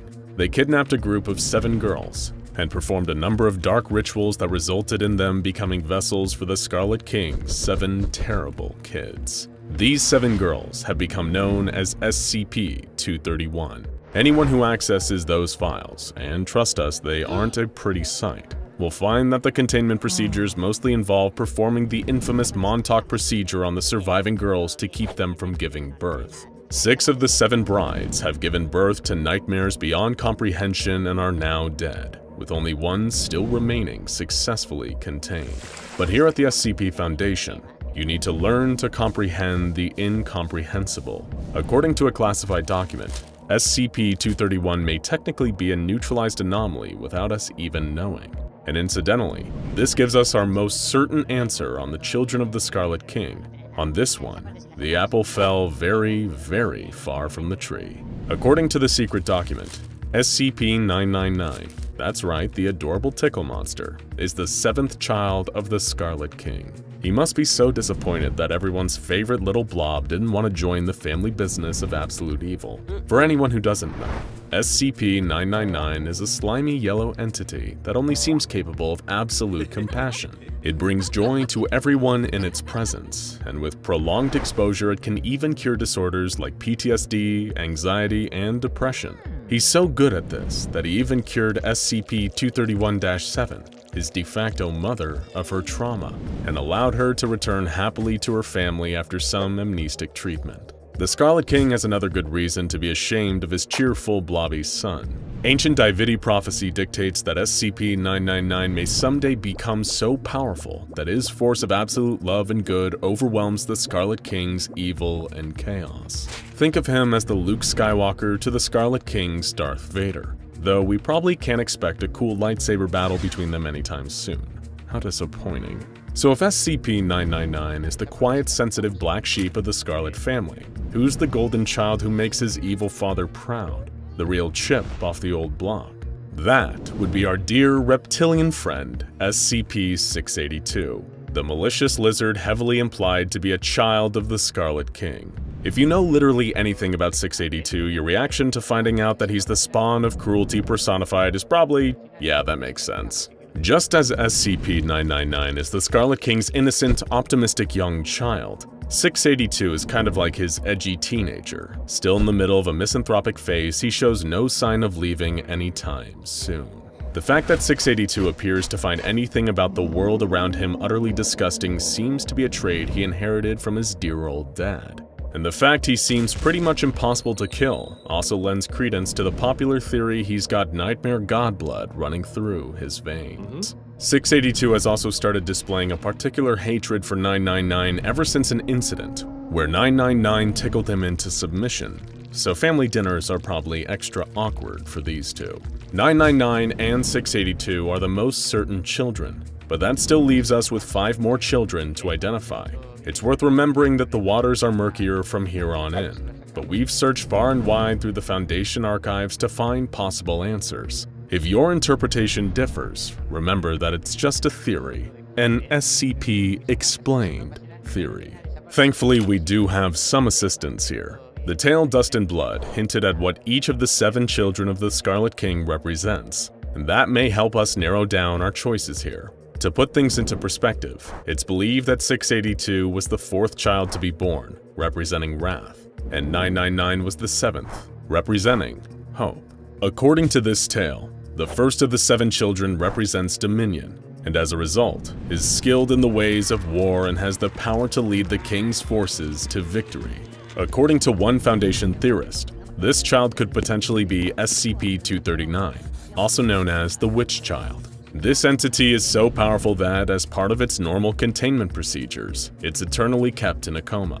Why? Because this seemingly normal child has dominion over reality and can change it to her whims. Her thoughts are so powerful that just her brainwaves can damage physical matter, and she can make things disappear or manifest in an instant. She's also impossible to kill, with skin that's almost totally impenetrable. Much like SCP-682, She's also frighteningly strong in both the offense and defense department.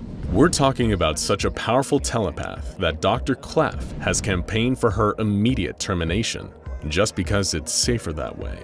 This is certainly a frightening wonderkin that the Scarlet King would be proud to call his daughter. Next, the second child. According to the prophecy, this child represents longing, the child has the power to bring forth armies, which will help the Scarlet King in his conquest. For this, we actually have a pretty unconventional theory. SCP-029, also known as the Daughter of Darkness, If the name alone wasn't enough to suggest that she's got an extremely sinister father, she also fits the profile of being very aggressive and incredibly hard to kill. But even more damning is her connections to the symbology of longing. One of her most dangerous powers is causing men to fall into almost trance-like devotion to her. After spending time around her, they're suddenly willing to murder in her honor, strangling their victims in hopes of raising Kali, the Hindu god of destruction, whom has many similarities to the Scarlet King. She certainly fits the bill of someone capable of raising armies in the Dark Lord's name.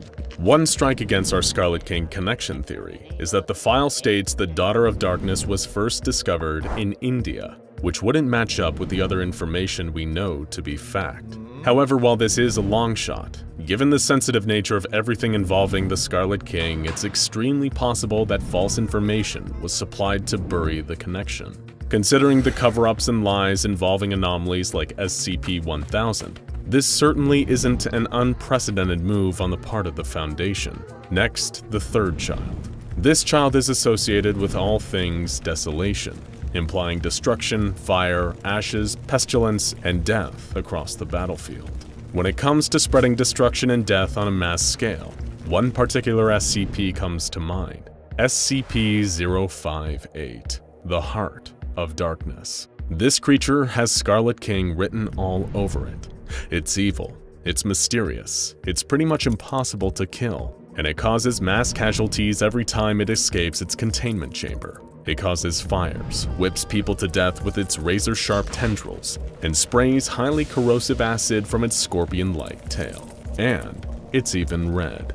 Given that we know for a fact this entity suddenly emerged out of something that's now been expunged from the records in an undisclosed site, it's extremely possible that the entity 058 came from was SCP-231-3. This is a child that the Scarlet King would definitely be proud of, given that it's impossible to reason with and feels solely motivated by causing destruction, misery, and chaos. We can't think of an entity that better suits the Desolation moniker than SCP-058. Next, skipping past SCP-682 at number 4, the fifth child of the Scarlet King is associated with the loose concept of lack. The prophecy then goes into more detail, saying that this child is powerful in the ways of magic, and is able to use their abilities to cause great destruction. Here we have another unconventional proposal.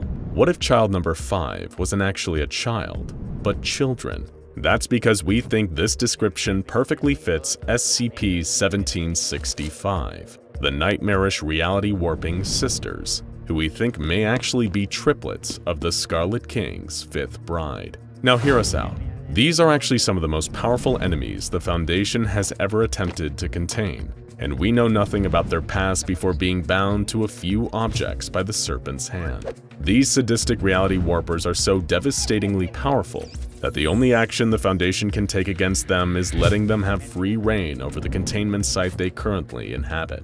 All the Foundation can do is hope they never get bored of tormenting the people inside. As we all know, the Scarlet King despises science, progress, and order, so perhaps a perfect punishment for the Foundation in his many eyes is giving them a taste of their own medicine. The Sisters, though particularly their ringleader, are a perverse shadow of the Foundation's love of the scientific method. They take these methods and use them for an activity that the Scarlet King finds much more enjoyable tormenting and killing people. Whenever these crafty triplets set their mind to it, their horrifically powerful magic is able to cause massive devastation, just like the prophecy for the fifth bride's offspring dictates. And finally, the sixth child of the Scarlet King. The concept associated with this one is hidden, meaning it can change its face and walk unnoticed through creation. It's also said to have the responsibility of opening the ways between worlds and allowing the war to end all wars to first begin. There have been a huge number of guesses for this spot, with some even suggesting SCP-055, the anti-meme. But since we're having fun here, we also want to make an even wilder suggestion. We posit that the sixth child of the Scarlet King is Allison Chow, also known as LS and the Black Queen, the most powerful member of the Serpent's Hand. We get it, we have a lot of explaining to do, but hear us out. Allison Chow is a member of the Serpent's Hand, or technically many members. Multiple versions of her exist across parallel dimensions in the SCP multiverse. They're mostly all estranged daughters of Foundation researcher Dr. Charles Gears. This estrangement leads them to collaborate in the Wanderer's Library, the secret base of the Serpent's Hand, to conduct raids on the Foundation in revenge. But what if the leader of these alternate Allisons had an ulterior motive? Because in the infinite number of possibilities offered by the multiverse, this one was not the daughter of Charles Gears, but the Scarlet King. She's merely using the pain of her counterparts to manipulate them into accomplishing her true father's goal, undermining the SCP Foundation. Let's break it down. The hidden child is prophesied to walk unnoticed through creation. Not only does Allison Chow appear human, the use of SCP-268, a newsboy cap that causes the wearer to become unnoticed, allows her to walk anywhere through creation without being detected. But most importantly of all, the hidden child is said to be the one who opens the way for the Scarlet King's entrance into our dimension. And Allison Chow has access to the Wanderer's library, an unfettered access point between dimensions. If one of the infinite Allisons was the secret daughter of the Scarlet King, would the Wanderer's library not be a perfect way for him to leave his own dimension and enter ours? She could be the final piece he needs, hidden under the nose of the Foundation and the Serpent's Hand, making all the secret power plays to allow for the Scarlet King's eventual bloody revenge on our world. Unless, of course, SCP-999, the family disappointment, stops him first. We realize that some of these theories may seem surprising, but when it comes to the anomalous, especially the Scarlet King, the only thing you can ever expect is the unexpected. Do you agree with our theories? If not, who do you think are the children of the Scarlet King? Let us know down in the comments. One thing is for certain. We hope we never meet any of the terrible tyrant's nasty children. Except the Tickle Monster, of course. He can hang with us anytime. The SCP Foundation is no stranger to pure evil. Whether it's a reptile that wants to end all life, a sadistic old man with his own tortured dimension, or the personification of death itself lurking beyond a limestone cavern. But what if there was something even worse out there? The embodiment of chaos and cruelty, existing across multiple realities and dimensions. And what if it was coming for us? This is the Scarlet King, believed by many to be the ultimate evil behind much of the trouble the Foundation has faced, and some even speculate that fighting him was the reason the Foundation was created in the first place. But what exactly is the Scarlet King? He's known by many names, almost always including some allusion to the color red, and then a reference to royalty or power. Harak, Kaharak, the Red Shah, the Crimson Khan, PTE 616 Mendez Ex Machina, the Laha Raja, and, of course, SCP-001, to name a few. And like many of the Foundation's mysterious enemies, stories about his true nature and origins abound and are often contradictory. According to the official SCP-001 files of Tufto's proposal, symbology of the Scarlet King has existed in multiple cultures throughout history, with the king often depicted the same way, as a huge red demonic figure, often wearing a gold crown or other headdress indicating royalty. He shows up looking similarly within different cultures' mythologies, despite existing at different points in history or them not having the means to communicate with one another. A number of entities that the SCP Foundation is familiar with are believed to be somehow connected to the Scarlet King, including SCP-2317, a wooden door leading to the realm of a being known as the Devourer, who's expected to escape and cause an apocalyptic event in the next 30 years. But really, there's no way of knowing just how many SCPs are directly connected to the Scarlet King. Strangely, the Foundation's official file on the Scarlet King once designated his containment class as Keter, but that has since been downgraded to Safe. According to the file, any attempt to change this designation is likely to lead to horrifying results. It is widely known that the Scarlet King still has considerable influence over a number of groups, individuals, and anomalies in our universe. And if ever he made his way into our universe, it would likely lead to the irreversible damage of reality itself. So then why safe? And why are the O5 Council so adamant that it remain that way? Getting to the bottom of this mystery is exactly why we're here today. But to fully grasp the true nature of the Scarlet hmm. King, we must first understand the man whose life and fate have always been tied to it, Dr. Robert Montauk. If that name feels oddly familiar to you, it's because of its association with one of the Scarlet King's most recent attempts to enter our reality, SCP-231. This SCP, often referred to as the Brides of the Scarlet King, was formed of seven women. Seven, by the way, being an extremely significant number for the king, all kidnapped by the most recent in a long line of the king's devoted cults known as the Children of the Scarlet King.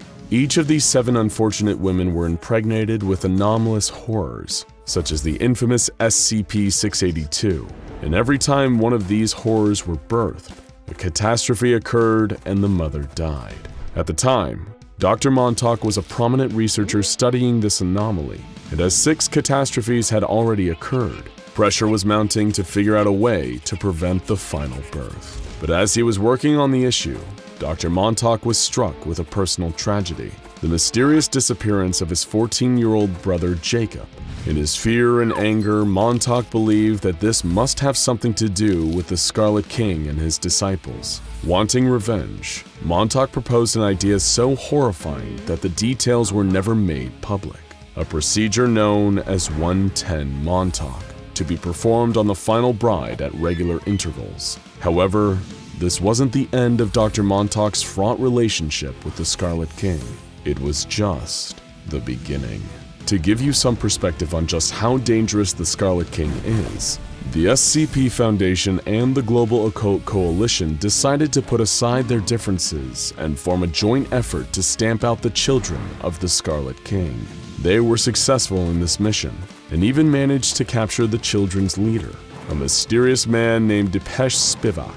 Dr. Montauk, who became the lead researcher on 231 and 2317, was naturally the first choice for interviewing Depeche about the true nature of the children and of the Scarlet King. Dr. Montauk could never be the impartial interviewer that the SCP Foundation wanted, though. The suspicion that the Scarlet King or the children had something to do with the loss of his younger brother still lingered just beneath the surface. Like a lot of cult leaders, Depeche was extremely cryptic in his answers to Dr. Montauk's questioning. He'd already heard of the doctor from the reputation of the horrifying Montauk procedure and was surprised to see him so calm and courteous in person.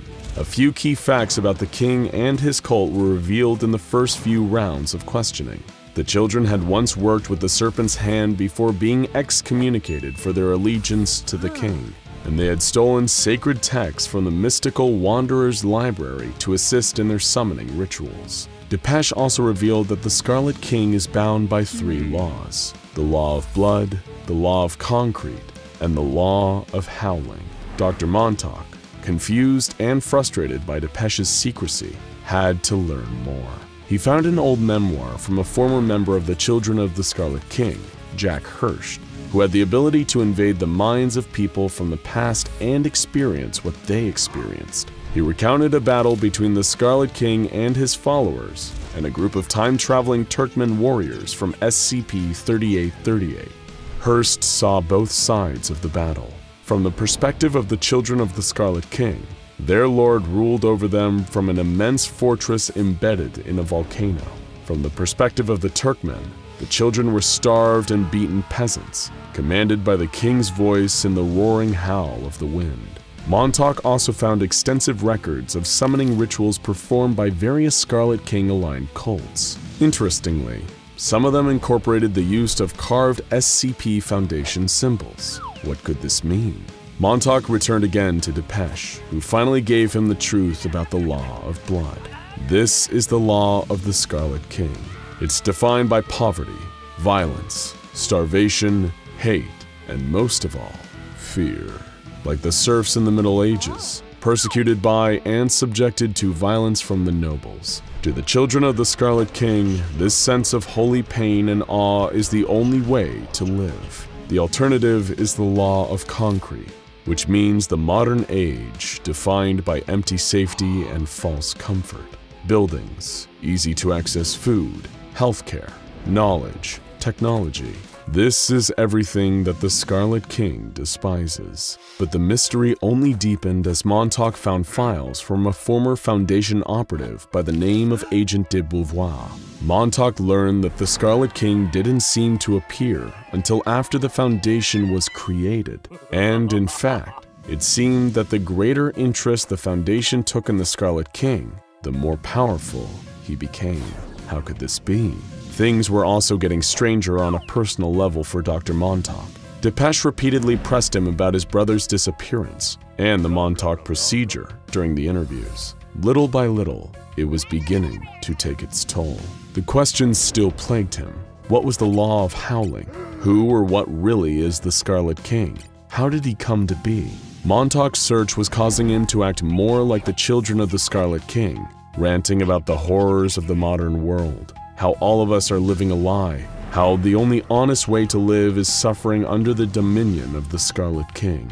This philosophy is summed up in the words of one cultist named Ariadne Cartwright, who said, We must learn what it is to die, to be enslaved, truly, brutally enslaved, with no compassion or compunction from our masters. We must learn what it is to be taken towards a single purpose, to know and truly understand our lack of agency. We must be beholden to the words of gods and darkness, the tempest tossed refuse of a race of fools. We must kill modernity, postmodernity, with all its analysis and sneering observation. There is only one rule the rule of chaos for humanity, for life, for the Scarlet King.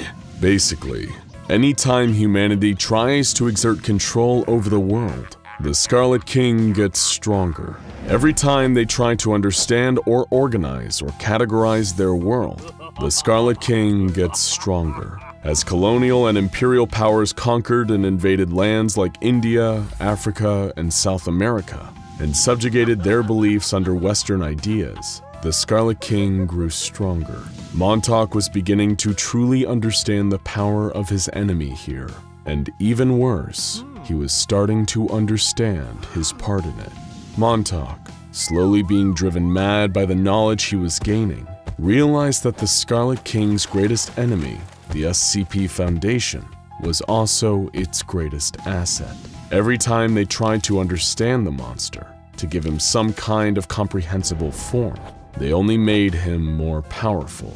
Just in time with Montauk's new revelation, a red crack appeared in the wall of Depeche Spivak's containment cell, a portal to the realm of the Scarlet King.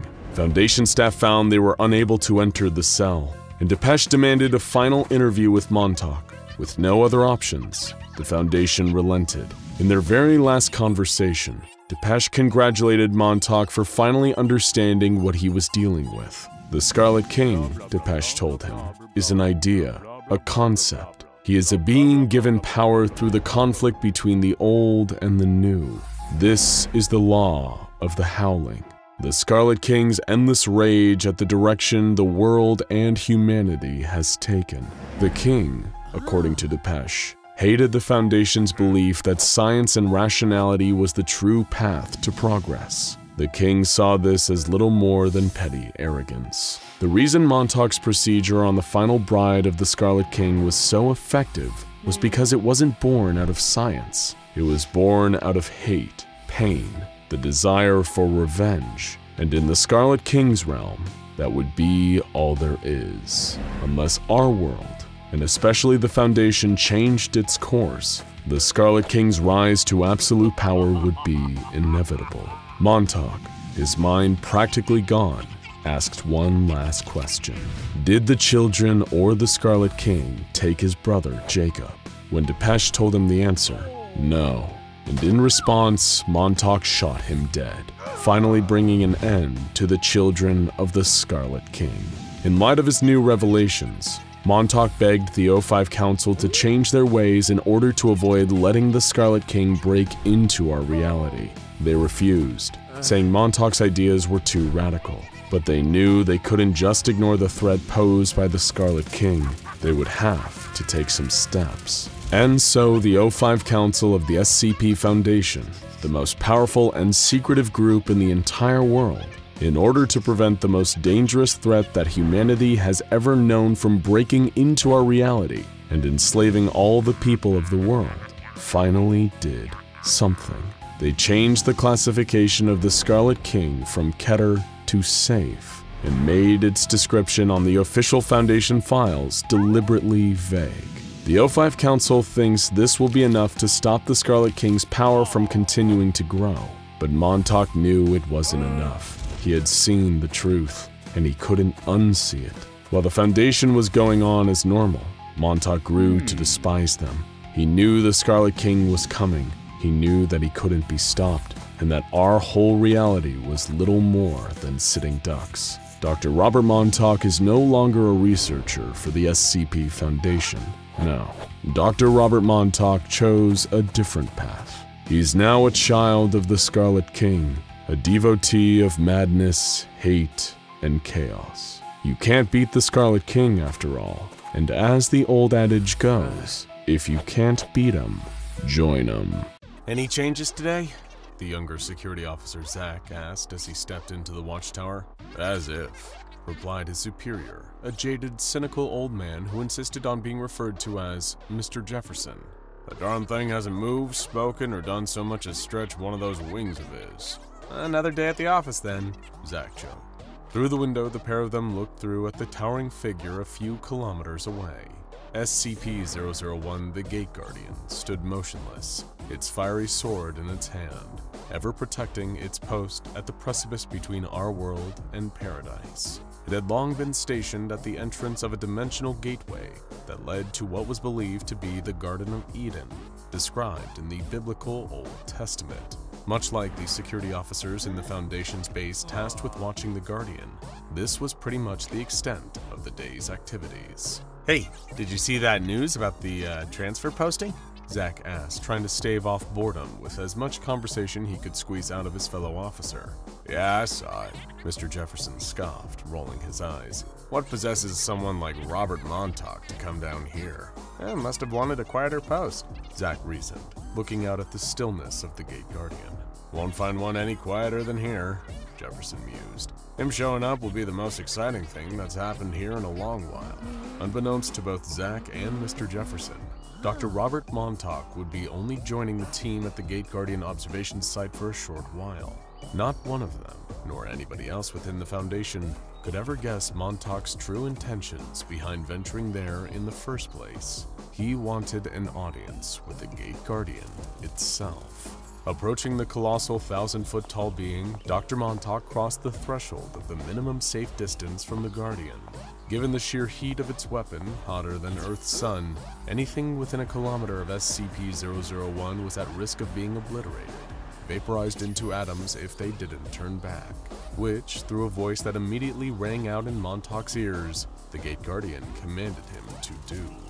Leave! Its psychic message boomed. Wait, wait! Dr. Montauk urged, holding up his hands in what would have been a futile defense against the Guardian sword. I know what you do when people don't listen to your commands, but please, just give me a minute. There was silence. SCP-001 didn't reply. There was nobody else close enough to hear Montauk speak to it. So, he continued. You are impossibly old. We know that much about. And because of that, you must have seen things that we can't even begin to imagine, much less fully comprehend. But I've come a very long way to request that you impart some information to me, if you can. He paused again, as if waiting for a reply that never came. The Gate Guardian merely stood in the same defensive, unwavering stance. Tell me, please, how much do you know about the Scarlet King? By this point in time, although the Foundation was yet to realize, Dr. Robert Montauk was slowly going insane. His investigations into an anomalous entity known as the Scarlet King were gradually corrupting him, as he tried relentlessly to quantify exactly what this entity was and how great of a threat it posed. Little did Montauk realize that, in trying so hard to define and comprehend the being, he was inadvertently fueling its power. The Scarlet King was an interdimensional warmonger, an embodiment of hatred and chaos, and Dr. Robert Montauk was slowly falling under the King's influence. Upon hearing the tiny human figure utter his question, the immense Gate Guardian rebooted with another single-word psychic command, one it had never been recorded giving before. Witness! As if his increasing instability and the creeping influence of the Scarlet King hadn't made Montauk feel bad enough, he instantly felt sick. There was a searing pain behind his eyes, like he was staring directly at the sun, accompanied by a nausea that made his head spin. It took a moment of enduring the horrific sensation before he realized what was happening. The Guardian was trying to show him something. Rather than give any information on the Scarlet King verbally, SCP-001 was imparting a psychic vision onto Montauk, a memory of events long past, the answers he sought, a warning, or perhaps all three. The vision showed Montauk a time so long ago that it couldn't ever be forgotten, for there was barely anyone alive to remember it in the first place. It was eons in the past, long before the comparatively recent dawn of humanity, a time only spoken of in the Dust and Blood Tablet an artifact of the Davite civilization, some of the earliest worshippers of the Scarlet King himself. And there, marching up to the entrance of Eden, was the crimson-clad Eldritch Abomination and a horde of horrors with him. According to the story recorded in the Dust and Blood tablet, this would have been much earlier in the life of the Scarlet King, perhaps even before he assumed his now infamous title. Back then, he would most likely have been known as his original name of Kanhrak, one of multiple siblings born when the Tree of Life was planted, and thus created all life in the multiverse. But, being the only one of his siblings cursed with awareness, knowing the pain his existence brought him, Kanhrak would eventually set out on his lifelong mission to destroy all of existence across every dimension. And he started by killing his siblings, consuming them to claim their power for himself. Around this time in prehistory, the being that would one day become known as Scarlet King didn't quite possess the power that he would several millennia later. Although that's not to say he was an unformidable force of destruction, fueled by his singular hatred for existence. His vow to destroy extended to the Tree of Life that had caused him to be, along with the tree's creator and all of their creation. In other words, everything in the multiverse, all of creation, if you will. So what was the Scarlet King doing there so long ago, at the dimensional doorway protected by the Gate Guardian? Well beyond the boundary, between it and the rest of the infinite multiverse, lay the supposed Garden of Eden. While it is unknown if it is in fact the same Eden referred to in the Book of Genesis is up for debate, especially among the Foundation. But at a glance, even through the gate, it certainly does look like a paradise. The space is filled with lush vegetation of astronomical size, populated by a number of beings that seem to resemble the Gate Guardian itself. And there, protected by its watchful caretaker, are two trees. One is thought to be the Tree of Knowledge, that Eve was tricked into eating an apple from during the Book of Genesis. The other, however, bears an unknown type of fruit, and is widely believed to be the Tree of Life. Now back in the modern age, there's never been a conclusive link between the Tree of Life mentioned by the Davites and their barbaric civilization's legends regarding the creation of the Scarlet King. But the fact that so long ago he and his most feared generals were bearing down on the Gate Guardian's position, defending a garden where there was known to be a tree of that description, well, it all seems rather conclusive now. Alongside Kahraak were six of his seven daughters, each one of them a fearsome abomination much like their destructive father. As they approached, not one needed to exchange any words with their angelic protector of Eden. The Gate Guardian knew what these monsters were here for. They would stop at nothing to pass through his gate and uproot the Tree of Life, the progenitor of all living beings in all of existence. Even though it was early in Kantrak's career as the rampaging interdimensional warlord he so is, he was as steadfast as ever in his goal to annihilate every corner of creation, every dimension, every parallel plane of reality, every single pocket of existence across infinity. They'd all come undone if he burned the Tree of Life, pulled it out at the roots, and splintered it until nothing remained. To the once and future Scarlet King, that the same tree had led to his own tortured existence. It was the source of his suffering, and it had to be destroyed. The only thing standing in his way was a figure as colossal as Kantrak himself, wielding a flaming sword. Leave! Boomed the psychic voice of the Gate Guardian. It was like a doorman standing before a group of rowdy teenagers trying to force their way into a movie theater. Except these rowdy teens were the Scarlet King, his horrifying daughters, and the forces he had already amassed since his creation. The Horde stood ready, waiting for the commands of their king, who they thought would gladly lead the charge as they marched on the Garden of Eden to begin the destruction of existence. But that's not what happened. Usually, the Scarlet King would never shy away from a fight, preferring to lead the charge when it came to a slaughter. Instead, he commanded his first daughter, Ativik, to commence the first attack on the protector who stood in their path. On her foul father's word, Ativik took her horde and charged at the Guardian. What she and her forces lacked in numerical advantage, Ativik more than made up for in her knowledge of war. She hungered for it, sought dominion. That was her seal, after all. And yet, in the face of this impending onslaught, the Gate Guardian remained still, rooted to the same spot it had as always, and would always be standing in.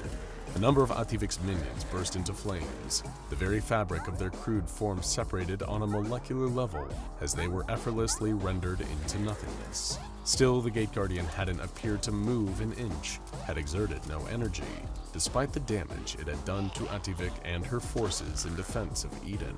As his first daughter screeched and howled in despair at the decimation of her horde, her children, the Scarlet King decided he needed to better understand his opponent. With a wave of his clawed crimson hand, the king commanded his next daughter, Aghor, to send forth her own army. In a tidal wave of nightmarish creatures, Aghor sent her horrific children into battle. She possessed a far greater quantity to do battle on her father's behalf, Perhaps Aghor even believed that was the Scarlet King's plan. With a greater number of her forces over her sisters, maybe she would be able to overwhelm the Guardian. But even as her own children began to be vaporized the closer that they got to the gate, Aghor had no idea she was little more than a pawn, being sacrificed so that Kantrak could learn more about his imposing angelic enemy. Another of the Scarlet King's daughters, a being known as Anhuit, was the next called up to contribute to the unfolding battle.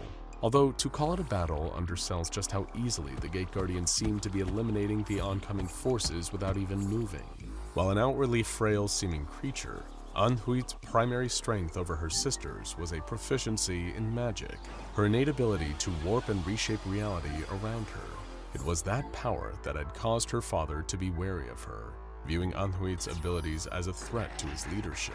And so Kantrak had her crippled and all her children, leaving them unable to overthrow him, but still loyal to their king. Obeying her father's command, perhaps out of the same loyalty or fear that he would harm her and her children further if she disobeyed, Anhuit unfurled her magic. She reshaped the world around them, making it so that the passage of time moves so much slower. And that was what revealed to the Scarlet King his enemy's greatest strength in combat. The Gate Guardian had so far been able to obliterate both Ativik and now Aghor's forces without seeming to move, but it wasn't by standing still. It was moving, just much faster than the blink of Scarlet King's multiple eyes. Now that Anhuit's magic had slowed the passage of time, the Gate Guardian could be seen doing battle. As Aghor's atrocities spilled towards the angel to try and overwhelm it, it effortlessly blocked the oncoming attacks with its sword. Everything the flaming blade connected with instantly evaporated, bursting into atoms as they were practically cleaved out of existence by the Gate Guardian's mighty weapon. Even with time slowed to a crawl, the towering winged protector of Eden only appeared to be moving at an average speed. But when time flowed normally, without Anhuit manipulating reality, the Guardian was simply too fast to be observed. Resisting the urge to dive headfirst into the fight himself, the Scarlet King knew it would likely lead to his untimely demise. He refused to accept that. It could not happen, but he still had yet to amass the strength he would need as he continued his ascent. So while time was slowed to a crawl and the Gate Guardian was still engaged in combat with Aghor's forces, he turned to another of his remaining daughters, Adistat. If the Scarlet King and his forces couldn't get past the Guardian, they could still try to get to the Tree of Life while the Protector's focus was diverted. Adistat unleashed a wave of pestilence, sickness, and disease spewing from her in a cloud of vapor, heading straight towards the Angelic Garden and Eden's entrance beyond. The Scarlet King knew this latest attack wouldn't phase or weaken the Gate Guardian. He hoped the foul smog would instead pass through the gateway itself into the garden. As Adistat sent forth her power, blood and ash soaked the landscape around them. All the plants outside the entrance to Eden withered and died, shriveling and decomposing as the disgusting fog rolled towards the gate. It washed over the Guardian, whose form only seemed to glow brighter as he repelled the pestilence. It was as if it didn't even need to think about it, still focused on finishing off the rest of the oncoming army.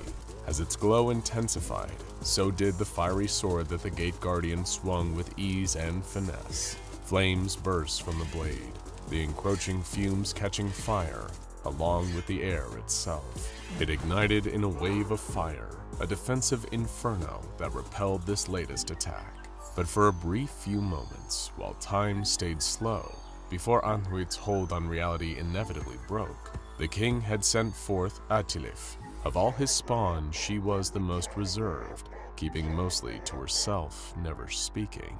She and her children could change their faces and forms, shift into anything or anyone, and walk undetected through the multiverse. And now her father was employing her incredible stealth abilities to slip behind enemy lines, while the Gate Guardian was finishing off the remaining onslaught from Kanhrak's other daughters. It was as Atilif drew near, creeping unseen closer and closer to the entrance, keeping the Scarlet King out of Eden, that the Guardian seemed to pause. It slowly, ominously turned its huge head, tilting until it was looking directly at Atilif. If its expression could be seen, maybe the Gate Guardian would almost be impressed that someone was able to sneak past it. After all, was a feat that no other being in creation could ever hope to accomplish. But then again, with its steadfast conviction and dedication to its protective duty, maybe it would have looked upon Atilif with anger.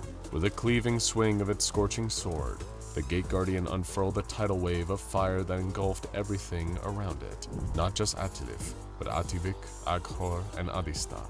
All the king's daughters that had attacked so far, along with every one of their own children, were instantly obliterated. They were all reduced to empty, vacant spaces where they had once been, their atoms separated by the searing swing of the Guardian's weapon. The devastating blow by his adversary did little to deter the Scarlet King from his mission. He was still set on destroying the Tree of Life, and no loss was too great in his pursuit of destroying existence. He barely cared that four of his own daughters had just been unmade by the Guardian. Anhuit was still there, clinging on to time as if it were a thrashing animal. The Scarlet King could simply make her restore her fallen sisters and their forces. He had lost nothing, but had held back for too long, and slowly drew his own weapon out of thin air. Wielding a sword that was as blood-soaked as the Guardian's was hot, the Scarlet King locked blades with the one being standing in their way. Both the ancient angelic defender and the attacking eldritch abomination were evenly matched. Every one of their vicious strikes against the other met with an equally strong parry. A weapon of extreme, all-consuming heat blocked swipes from a sharp, serrated edge that matched the deep red that would be forever synonymous with Kanhrak. The force of their two swords clashing and striking each other was so great that it rippled out from their one-on-one -on -one fight. The landscape around them was flattened, wiped clean of any remaining plant life that hadn't already been destroyed by the forces of the king's daughters. Despite having acquired nowhere near the power he would thousands of years after this fight, the Scarlet King was still a formidable force in single combat, and yet the Gate Guardian seemed incapable of tiring or weakening, still standing strong against the onslaught. Even after wiping multiple armies out with its flaming sword, the Guardian was still able to hold its own against the Scarlet King, who was furious, enraged at being so close to the Tree of Life, yet unable to get past his angelic adversary. He'd need to be stronger, faster, even more ruthless than the warlord he already was. Despite Anhuit slowing down time, the king and the guardian were at a stalemate. Time. That was it. The Scarlet King needed more time. Withdrawing from the fight, he realized that this was a battle that could not be won by sheer brute force alone. His mission to destroy all creation, to get to the Tree of Life, would take cunning, deception, and more time. If he let it, the Gate Guardian could easily kill Kantrak. Its flaming weapon could cleave him out of existence, and that would end the King's torment. But it wouldn't be enough. A death would be unsatisfying knowing that the rest of existence would go on after he was gone. The Scarlet King couldn't accept that. It wasn't enough. So he did the one thing nobody would expect of him. He made a deal with the Gate Guardian. It was an action still fueled by his infinite hatred for all existence, his yearning for total chaos. The Scarlet King knew that one day, an event would arrive where the Guardian and the other beings like it in the Garden of Eden would spill forth and deliver judgment on this world. And when that rapture happened, the Tree of Life would be undefended. The Scarlet King bartered with the Guardian that he would retreat for the time being so he could spend eons amassing more and more power. Then, when the fateful day arrived, the Gate Guardian would allow him into Eden to destroy the Tree of Life, while it and its brethren were busy conducting the Rapture. Halting their fight, the Scarlet King offered a crimson claw to the Gate Guardian's burning hand. Returning to reality from the intense vision, still feeling sick at what he had witnessed, Robert Montauk looked up at the still, silent form of the Gate Guardian. Did you do it? He yelled, desperate to know more through his obsession with the Scarlet King. Did you tell him yes? Did you make a deal? There was no answer from the Guardian, just a single word that echoed through Montauk's fractured mind. Leave. If you've ever read the book of Genesis, which is the part of the Old Testament that details God creating the world and humanity during a particularly busy week, then you might just be already familiar with SCP-001, or at least one of the anomalies that's been proposed for the title of SCP-001. Because of course, SCP-001 doesn't refer to a single creature, object, or entity, but rather a collection of various anomalies contained by the SCP Foundation. Anomalies sharing the name SCP-001 include the infamous Scarlet King, a powerful eldritch being intent on ending all of creation that is thought by Foundation researchers to be one of the most dangerous beings in this and any other universe. But the Scarlet King isn't the only incredibly powerful being categorized as SCP-001. In fact, there are plenty of other anomalies with similar levels of destructive power. And one such being is a creature codenamed the Gate Guardian. Standing at well over a thousand feet tall, the Gate Guardian is impossible to be fully contained by any means that the Foundation possesses. The anomaly itself, despite its colossal size, is humanoid in its shape, sporting wings that protrude from its back. While it usually has four of these, SCP-001 has historically been seen to have any number of wings between 2 and 108, sprouting from various places over its body including its shoulders, ankles, wrists, and even its temples. This gigantic guardian also carries its own weapon, referred to as SCP-001-2. This weapon resembles an enormous knife or sword, capable of emitting plumes of flame.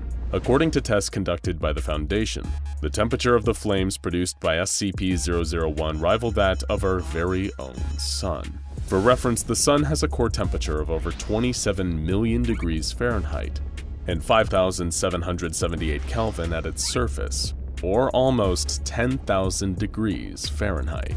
You would expect a flaming sword that burns hotter than the sun to cause a considerable amount of damage, even if it wasn't in use, but the flames emitted by the weapon leave no lasting damage on the surrounding environment. It is capable, though, of annihilating anything that strays too close to SCP-001, burning them so intensely that their atoms literally separate, breaking potential attackers apart on a molecular level. Much as its codename suggests, the Gate Guardian stands solemnly at the threshold of some form of dimensional gateway, which is equally tall as SCP-001 itself. Behind the Guardian is a lush grove, abundant with fruit trees of astronomical size, as well as other beings that share a similar appearance to SCP-001. This grove is thought to be the Garden of Eden, the paradise that God created and that was inhabited by Adam and Eve, the first two humans in existence, according to the book of Genesis. As the tale goes, the pair were created by God himself and permitted to live in the Garden of Eden as long as they followed a single rule. Adam and Eve were instructed not to eat any of the fruit that grew from certain trees that God had specified. Within view just behind the Gate Guardian are two immense trees, one bearing apples and the other bearing different fruit of an unknown type. The one that looks like an apple tree is believed, even by some in the Foundation, to be the biblical tree of knowledge that Eve was convinced to pick a fateful apple from after an encounter with a snake. The other, the one with unidentifiable fruit, is thought to be the tree of life. However, this is all speculation, since it is currently impossible to venture through this gateway and verify if the realm beyond is truly the Bible's own Garden of Eden. This is largely because anything that breaches a kilometer-wide radius of SCP-001 is instantly vaporized. The Gate Guardian attacks with imperceptible speed, using its flaming sword to smite any person that gets too close. The Guardian actually moves so fast that it can hardly be seen with the naked eye. It appears to always remain in its solemn, dutiful stance with its weapon drawn and head bowed, only shifting for a fraction of a nanosecond to attack.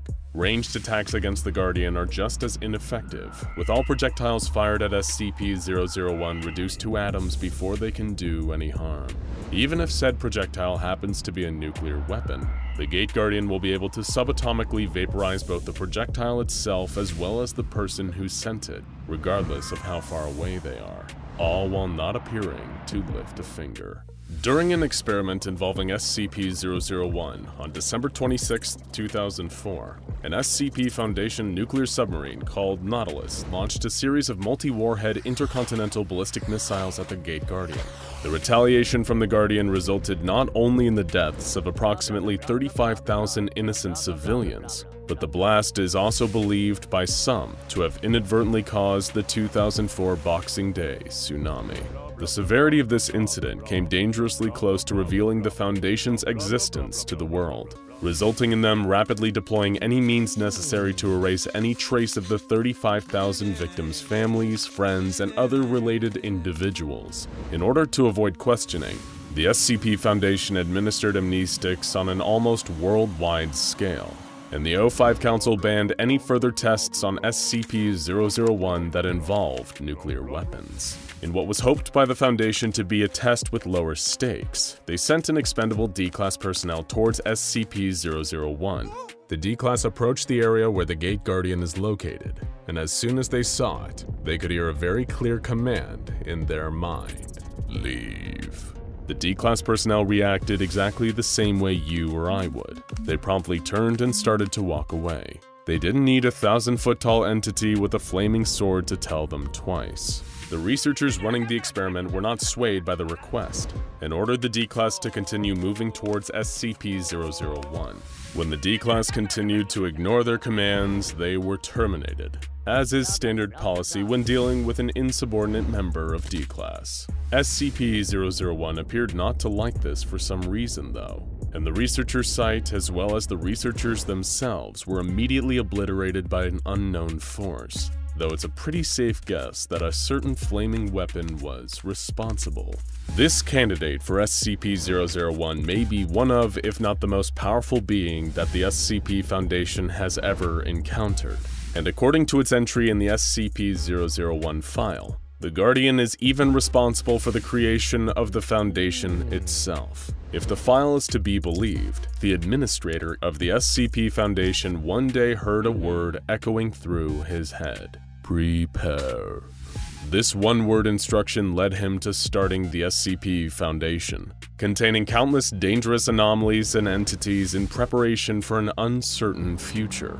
In all that time, since the very beginning of the Foundation, the Gate Guardian has remained standing at its post. While it is not aggressive nor openly hostile towards humanity, the Gate Guardian doesn't seem to care much for us either, at least as individuals. It rarely interacts with human beings when left unprovoked. And venturing too close to the Guardian, however, is not an automatic death sentence. The Guardian first communicates with any living being approaching it via a telepathic message, instructing them to either leave or forget. If whomever has stepped too close to SCP-001 complies with the instructions, they'll be able to freely leave the area, while simultaneously forgetting every detail of the Gate Guardian's existence. Ignore these warnings though, and SCP-001 has no qualms about completely eliminating you from reality.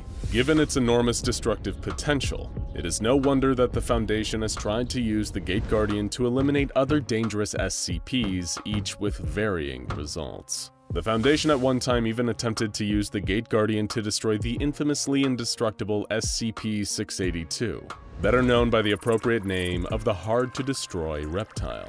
Due to the malicious contempt SCP-682 holds for human beings and all other forms of life, it is perhaps one of the most dangerous anomalies the SCP Foundation has in containment. SCP-682 is also one of the few creatures the Foundation actively wants to terminate, a task made that much harder given that 682 can regenerate its entire form from as little as a single cell. The Gate Guardian had already shown time and time again that it was capable of massive destruction, and researchers working for the Foundation hoped to harness that power to rid the world of SCP-682 for good. 682 was placed on an unmanned vehicle and carried to within one kilometer of the Gate Guardian. The Guardian attacked the vehicle, seriously wounding but not killing 682. It seemed even the mighty SCP-001 couldn't kill the hard-to-destroy reptile. While the researchers were disappointed with this result, it is worth noting that 682 made a very interesting comment to the Guardian. 682 mentioned that the Gate Guardian is not Uriel, but a pretender. Uriel is the archangel that some religious texts describe as the guardian standing at the gate of Eden with a fiery sword. So does this mean that 682 knows that the gate guardian is not actually an angel? Or that the location it is guarding isn't the Garden of Eden at all? Any truth or meaning behind these comments has, as of yet, been undetermined by the SCP Foundation.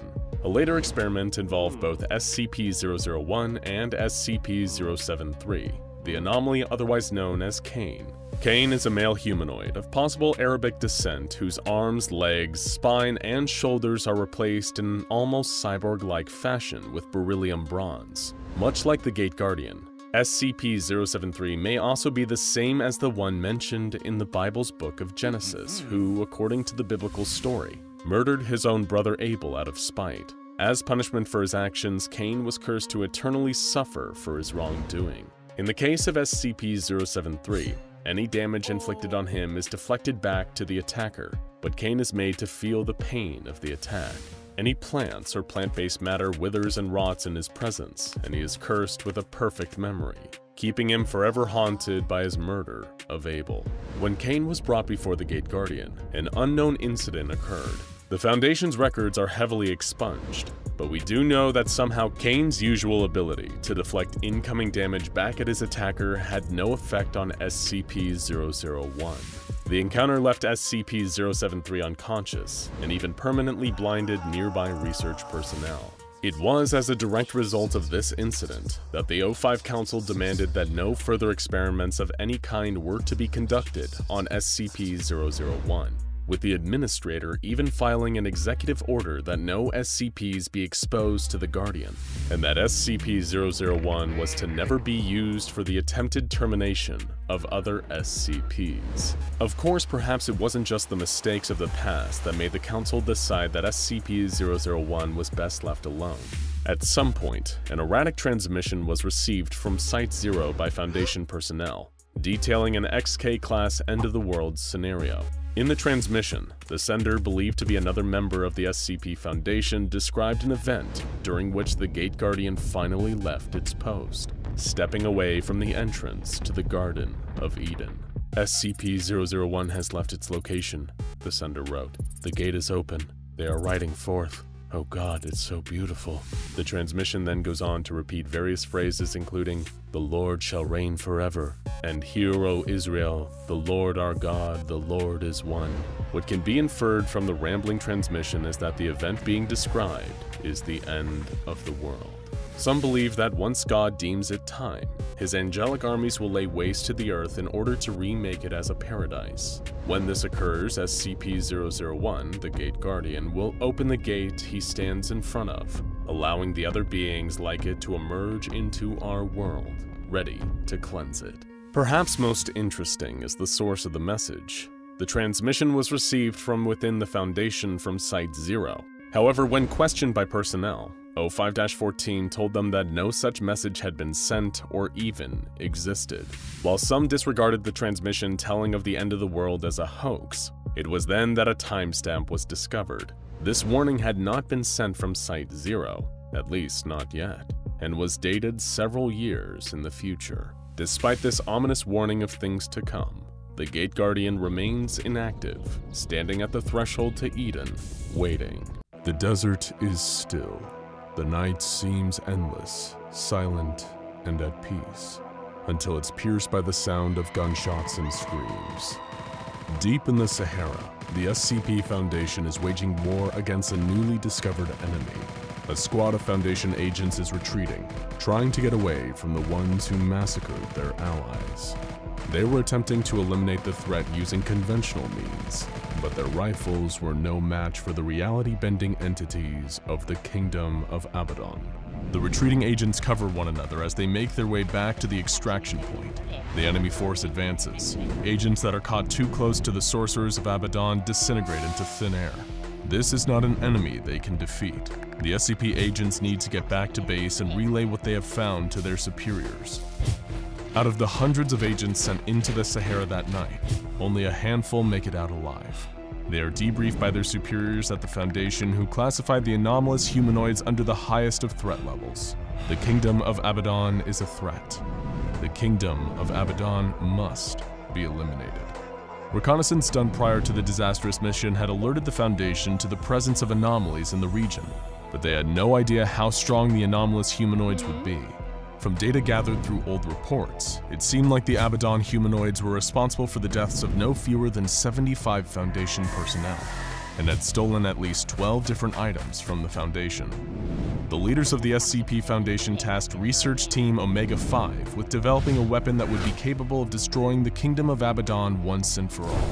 The weapon they are researching must be capable of long-range destruction, because the moment any Foundation agent gets close to the area, they are vaporized by the reality manipulating powers of its inhabitants. The project is given the name Twins of God and is led by a Foundation doctor known only by the designation 051.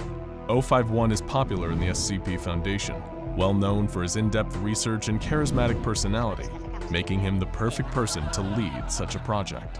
And 051 recently came across an anomaly that he believes holds the solution the Foundation has been looking for to defeat the Kingdom of Abaddon. Item 001. And so the Omega-5 team gets to work. They discover that the anomaly has incredible powers when put inside a host, which they refer to as an Item 001 entity, and set up a series of experiments using different people to harness its energy. The first series of tests all end in tragedy. The anomaly causes the entity it inhabits to become intensely radioactive. Anyone who gets close to it succumbs to immediate radiation sickness, and eventually, death. To stop the radiation problems, the Omega-5 research group intensifies the containment procedures. O51 receives reports from the higher-ups that the Kingdom of Abaddon has attacked another Foundation facility in Sudan. Long-range defense is needed ASAP. The Administrator puts more pressure on Omega-5, and especially its leader O51, to solve the problems of Item 001 and develop a weapon that can save the Foundation. He stays awake for days on end, working tirelessly to create a safe and controllable Item 001 entity. Although there are signs that the weapon will work, it is still unpredictable. When Item 001 is initiated, the host entity becomes paralyzed, suffers severe cerebral hemorrhaging, and soon a new host is needed before testing can begin again. And that's not the only thing that goes wrong. Whenever the anomaly is put into a new host, sudden and random destruction of on-site structures and personnel take place. O51 knows, though, that if this power can be harnessed and controlled in the right way, that it could be the weapon that the Foundation needs to wipe out the Kingdom of Abaddon once and for all. In order to control Item 001, 051 has a mind kill switch implanted in its host's brains. 051 can activate the implant to incapacitate its host and immediately stop the unwanted destruction. Countless hosts are terminated by this mind kill switch in the early trials conducted by the Omega 5 team, but progress continues to be made, and eventually a hypothesis is formulated. Perhaps the disastrous side effects of Item 001 can be offset by spreading the anomaly across multiple subjects. They theorize that the immense mental load of the anomaly can be distributed among several hosts, thus reducing the toil it takes on each and giving them the ability to control its immense power. But 051 and the Omega 5 team need more data, and for that, they need more bodies. They consult with the director of Site 17, and it is concluded that the nearby town of San Marco would be an appropriate place to get the additional test subjects they require. On a quiet Sunday morning, Omega 5, along with support from a squad of armed SCP agents, storm into the San Marcos de la Vida Eterna church during the middle of Mass. They gather up a number of the younger congregants and bring them back to the site where Item 001 is housed. The researchers quickly ran through their new supply of test subjects, though, and Omega 5 would need to get even more if their research was to continue.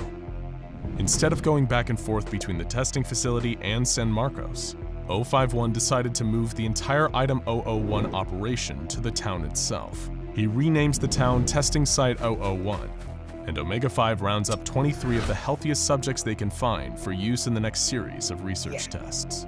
A few weeks after occupying the town of San Marco, Omega 5 makes its most substantial progress yet.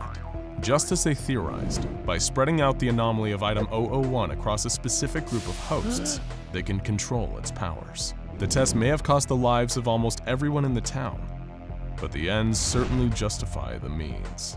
The Kingdom of Abaddon poses an existential threat to the SCP Foundation after all, and thanks to this research, they will soon have a weapon capable of bringing them victory.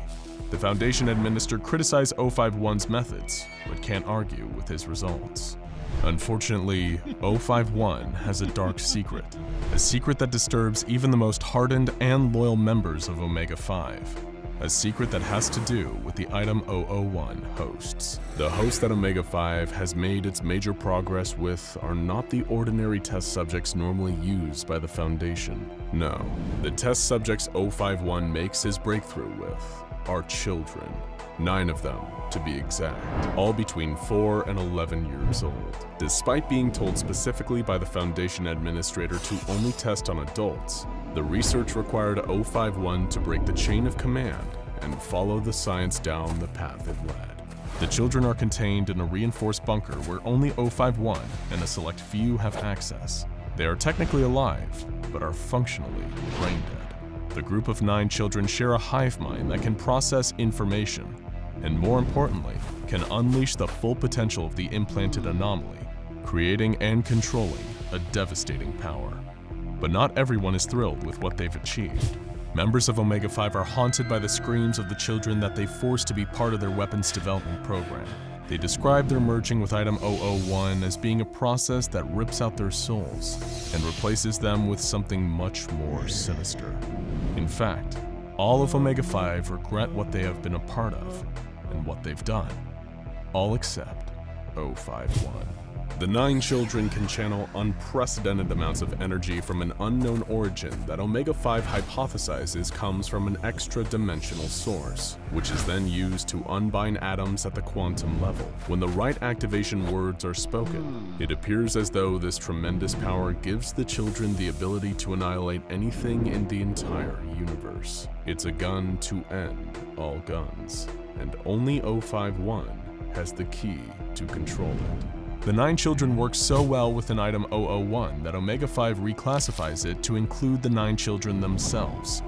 They are not just the entity housing or controlling item 001, they permanently become item 001. Once Omega 5 has a better understanding of item 001, they begin to run tests to find out the full extent of its abilities. First, they test the distance item 001 can reach. The initial test that Omega 5 carries out is on a steel rod placed 5 kilometers away. 051 orders the children to destroy the target. Moments later, the phone next to 051 begins to ring. When he picks it up, the observer tasked with watching the pole is on the other end. He informs 051 that the steel rod has been completely vaporized. 051 is not satisfied though. He has another pole sent out, this time placed 8,000 kilometers away from the nine children. 051 asks the children to destroy that rod. Almost immediately, the phone rings again. The target has been vaporized. 051 smiles. The next series of tests Omega 5 runs on item 001 are to determine the maximum size of an object that can be destroyed. The tests start out with a steel sphere, 3 meters in diameter, placed 1,000 kilometers from item 001. 051 orders the children to destroy the object. It is instantly vaporized. 051 has seen enough small tests. It's time for something big. So he does something that will later be questioned by everyone at the SCP Foundation. He orders the nine children to destroy a Church of the Broken God worship site in Turkey. Not long after the destruction order is given to item 001, reports begin coming in. The worship site has been obliterated with no observable damage to the surrounding area deadly, and precise. 051 closes his eyes and takes a deep breath. He looks as if he's overcome by an immense spiritual experience. He opens his eyes, leans over to the children, and whispers the name of someone. Later that day, 051 finds out that the target he had named has been vaporized. The success of Omega 5 and Item 001 is relayed to the administration of the Foundation. They are so impressed that they make plans to use Item 001 to eliminate the Abaddon threat once and for all. However, one of the heads of the Foundation, Administrator Williams, has major concerns about the way 051 is running the program. The updates that 051 has been sending have become less scientific and more philosophical, more spiritual. Administrator Williams sends a letter to 051 reassuring him that he is doing good work. But once the mission to destroy the Kingdom of Abaddon is completed, 051 will be promoted to Director and reassigned to the newly constructed Site-19. For the good of the Foundation, and maybe the rest of the world, he'll be permanently moved away from Item 001. 051's response is short and to the point. I am fine, Administrator. The project is finished. We will complete our task when you arrive. Administrator Williams arrives at Site-001 a few days later. He is greeted by 051 and the Omega 5 team. Williams can't help but notice that 051 has a strange look in his eyes. It is the look of a crazed man who has been lost in his work, and who has, perhaps, lost himself. Williams puts the thought away though, and walks with 051 and his accompanying agents to the viewing area where the powers of Item 001 will be demonstrated. Administrator Williams and the other agents watch from a protected viewing room as 051 enters the chamber of his new superweapon. It's time to see if their weapon that has had so much time, effort, sweat, tears, and especially blood poured into it will have been worth it. Everyone watches as 051 leans over and says the name of the Abaddon Citadel to the nine children. All at once, they start to glow. No one observing can see what has happened in the far-off kingdom, but they know something big has happened. The administrator is thrilled, but notices something. 051 hesitated a moment while leaning over the children before standing back up. Did he whisper something else to them? And then Administrator Williams vaporizes, pulled apart at an atomic level before he has the chance to scream. What's going on? The agents standing next to where Administrator Williams previously existed begin to yell and pull out their guns. They burst through the door of the observation room and run down the hallway towards where 051 and the nine children are located. The arm agents rush into the room, but 051 is gone. The nine children are still. Over the next few weeks, 051 is reported to be seen several times by SCP agents. However, no one is able to catch him, and it appears as though other members of the SCP Foundation have also gone AWOL as well, perhaps joining him on the run. It is unclear what his plan is, but the reports from the reconnaissance team sent into the Sahara make it obvious what the result of his first command to the children was. There isn't a single humanoid or building left in the kingdom of Abaddon. But even with this victory, the highest levels of the SCP Foundation have an ominous thought lurking in the back of their minds. Where did 051 go? And what is he planning to do next? Following the improper use of Item 001 leading to the untimely death of a high-ranking Foundation staff member, the weapon was deemed too dangerous and containment procedures were implemented. Due to the high amount of radiation they were found to emit, the nine children were placed into lead-lined bags and buried under 50 meters of concrete beneath the church of San Marcos de la Vida Eterna. Though all of the children continued to be functionally brain dead, they still display signs of life despite their containment, and by order of the Overseer Council, have been classified as a thaumiel entity. The smell of fire and oil fills the air. The sound of gears grinding can be heard between the explosions and shrieks of terror. A man runs out of his house, only to have his leg grabbed by a metal arm and dragged back through his front door. SCP-001 leaves a trail of metal fragments and mechanical parts on the ground in the wake of its destruction. Iron chains swing from its form. Cast iron gears whirl within it. A glowing light throbs from the center of its body. SCP-001 is consuming everything in its path. After incorporating the truck chassis into its being, SCP-001 rolls in a lumbering fashion to the next house. It rips the gutters from the side of the building. Residents who live in the area flee their neighborhood, all the while hoping that the mechanical monstrosity skips over their house, so they have something to return to if they make it out alive. A section of SCP-001's undercarriage drops away from the main body. It rolls down the street consuming more and more material. The new entity resembles a human spine and rib cage. It topples over unable to support itself. The rib-like formations extend out to grab anything and everything within reach. The newly incorporated material forms what can only be described as a head. Light from within the eye sockets fixate on nearby civilians. The metallic creature picks up the people and places them inside its exposed steel ribcage. Then it turns and spots a woman helplessly trying to crawl away. The creature reaches out with a spiked tentacle and wraps it around the woman's body. She is placed inside of the chest cavity. Moments later, a severed hand falls out of the entity and onto the ground. The mechanical monster continues to gather bodies and materials, incorporating them into its frame a growth begins to slowly expand on its back.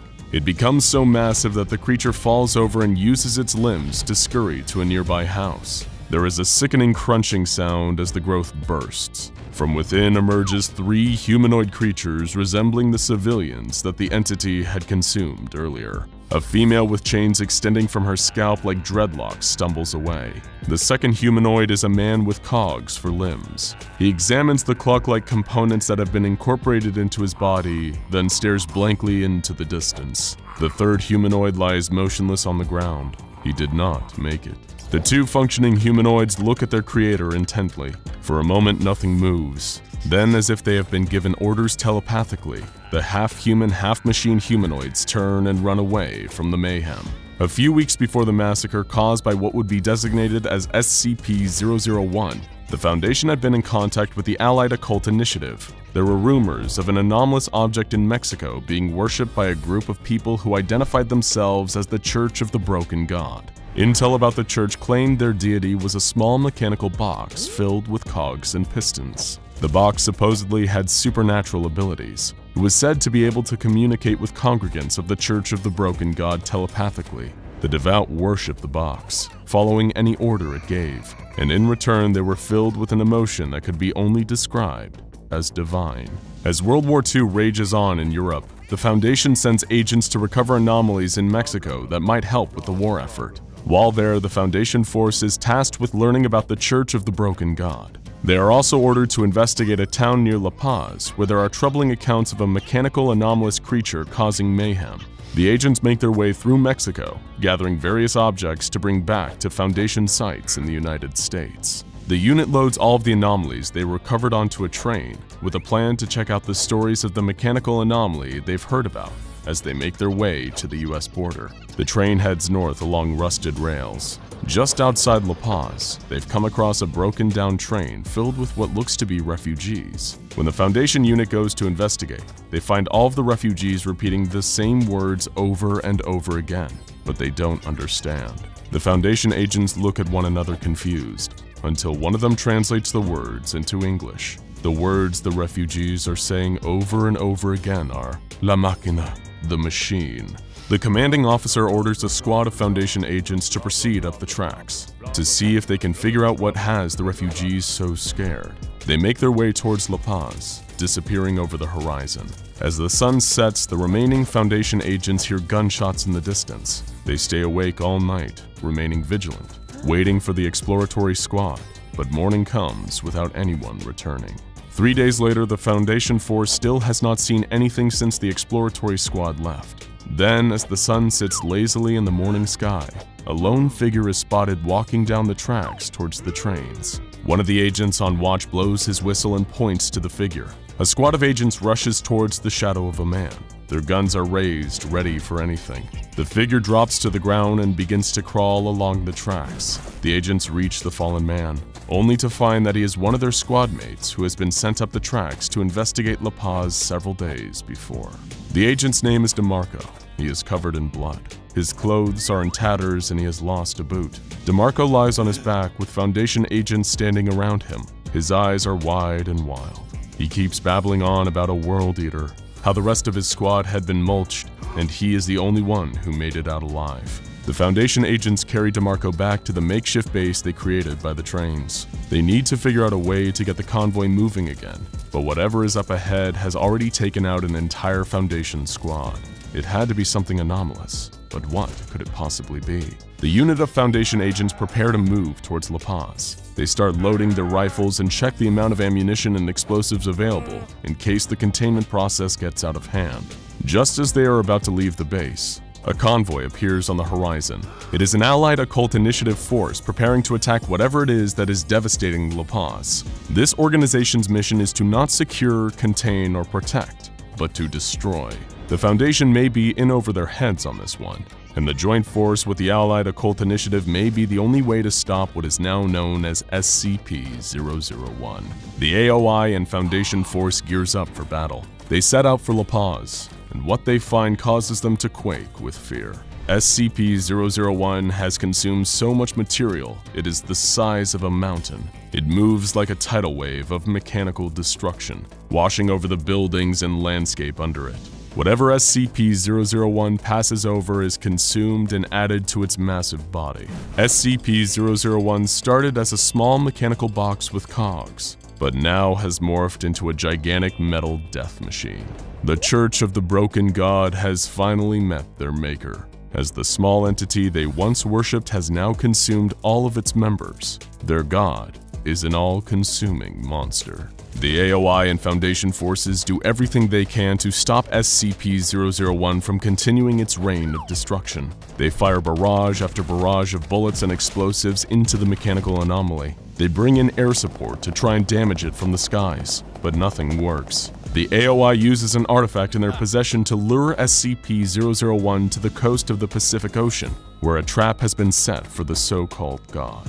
The monstrous mechanical creature moves slowly towards the water. It consumes abandoned cars, buildings, and boats as it approaches the coastline. It even shovels large amounts of earth into its form, causing flames to spurt out from its inner workings. Smoke bellows from openings between different mechanical components, like a volcano before it is about to erupt. Suddenly, seemingly from nowhere, a massive cloud with a reddish tint appears in the sky. Air raid sirens can be heard in the distance. The enormous cloud begins to pulsate. Streaks of lightning shoot through the red mist in the sky. It now sits directly over SCP-001. From within the cloud, part of a ship can be seen. It appears to be slightly damaged. Electricity flows over its hull. The vessel in the giant red cloud is classified as SCP-2399. The underside of the vessel begins to glow aqua blue.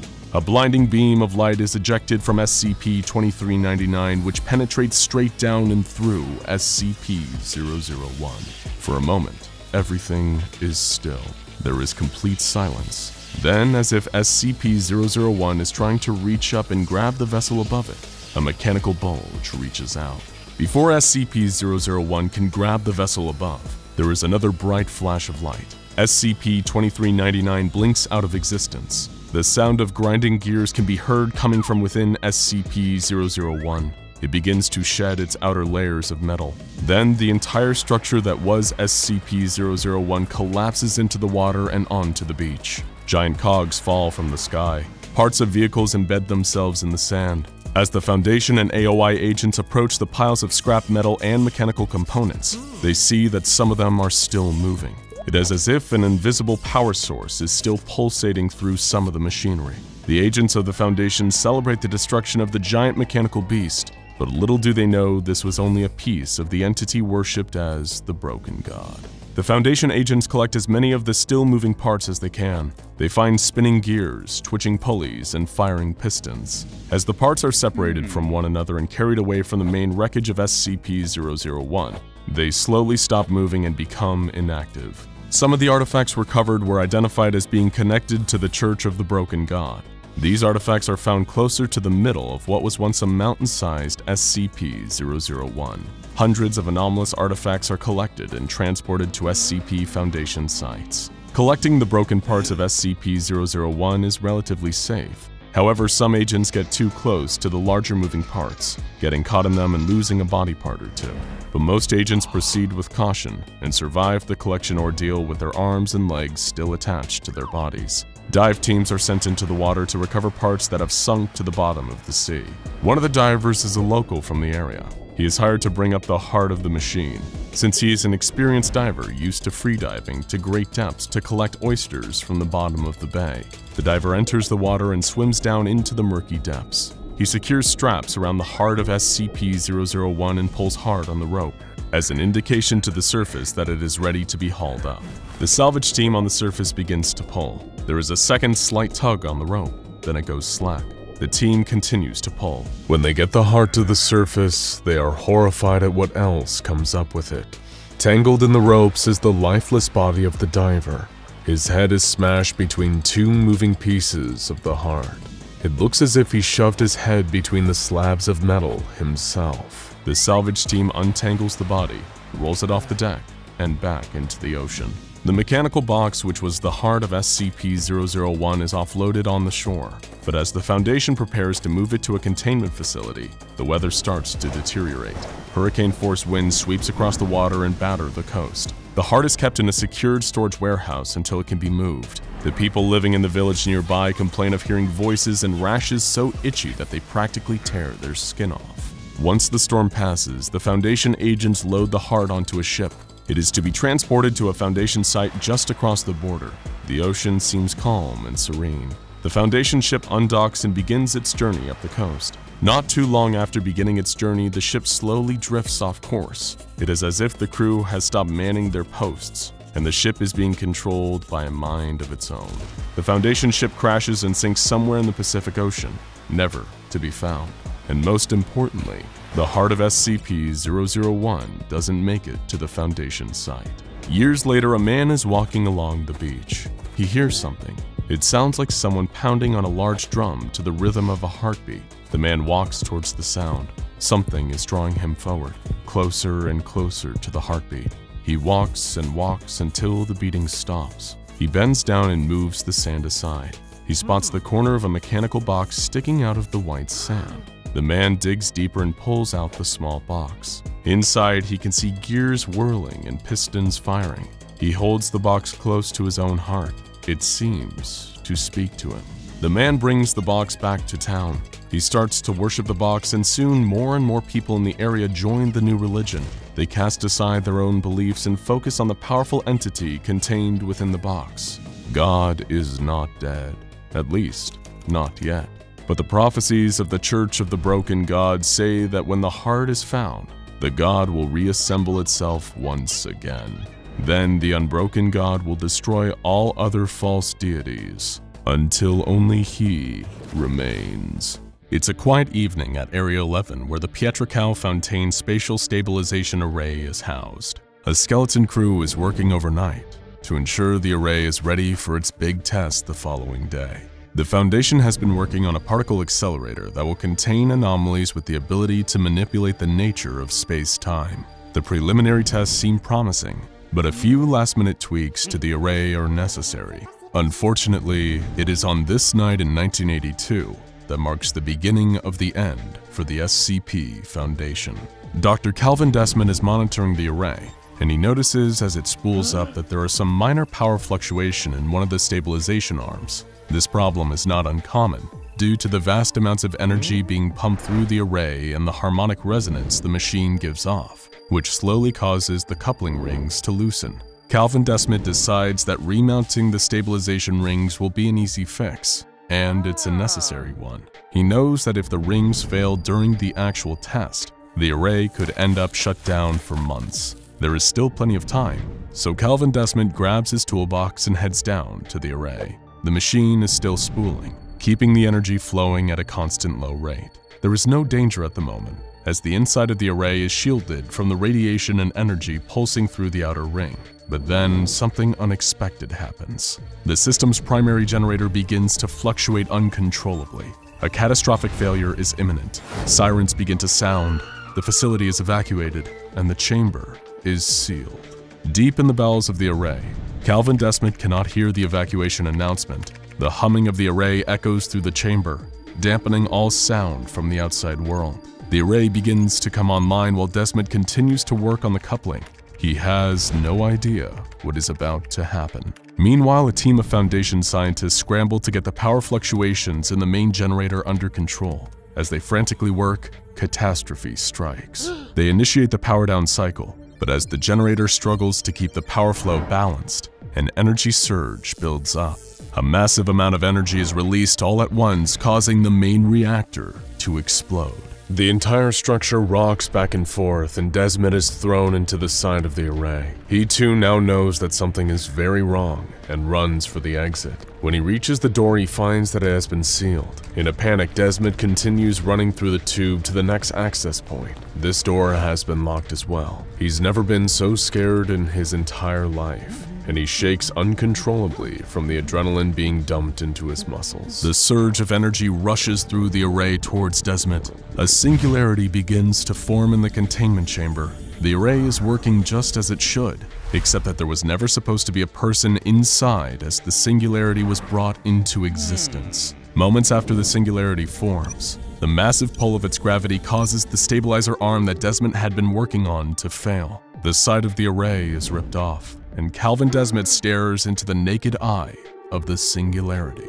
Everything is silent and still for a moment. Then the singularity collapses in on itself, taking the test chamber and much of the research wing with it, along with Dr. Calvin Desmond. Sparking wires hang from the exposed walls and ceiling where the singularity ripped the main structure away. Water flows into the deep hole carved out of the earth where the array once stood. The scientists from Area 11 look into the crater left by the collapsed singularity. The Foundation administration sends agents to collect the staff at the site and document the failings of the project. They conclude that the accident was caused by human error. They order the array to be rebuilt, this time using entirely automated systems to eliminate the chances of another mishap occurring. Several years after the catastrophic events at Area 11, a new array is constructed. An intelligence system called NetZac is put in charge of overseeing its functions. It is a supercomputer that is programmed to follow commands, but can autonomously make decisions in order to prevent any failures in the system. Experiments begin again in May of 2006. The new array soon manifests its first singularity in the containment chamber at Area 11, and what happens next will forever change the Foundation and the multiverse. The singularity is kept stable in the array, it seems as if the Foundation has succeeded in trapping and containing spatial anomalies, but as they run more diagnostics on the anomaly, something unexpected happens. The singularity begins to grow in size. The point of infinite gravity threatens to breach containment as it reaches the boundaries of the array. Just before contact, the singularity's growth slows and then stops. NetZac has made the split-second calculations and adjustments necessary to contain the singularity. The artificial intelligence has saved the facility and the lives of everyone in it. Now, sitting in the array, is a thick rotating cloud of radioactive gas and dust, obscuring the singularity within. As Foundation scientists work rapidly to fix the array, odd events begin to occur. The workers hear noises that sound like painful wailing. Hmm. Over time, the noises evolve into words and then full sentences. They seem to be originating from the singularity. Using equipment able to penetrate the thick cloud of radioactive gas, the Foundation scientists get a glimpse at the singularity. To their surprise, the singularity has taken on the shape of a human. The scientists work frantically to figure out how the singularity could have formed itself into a humanoid shape.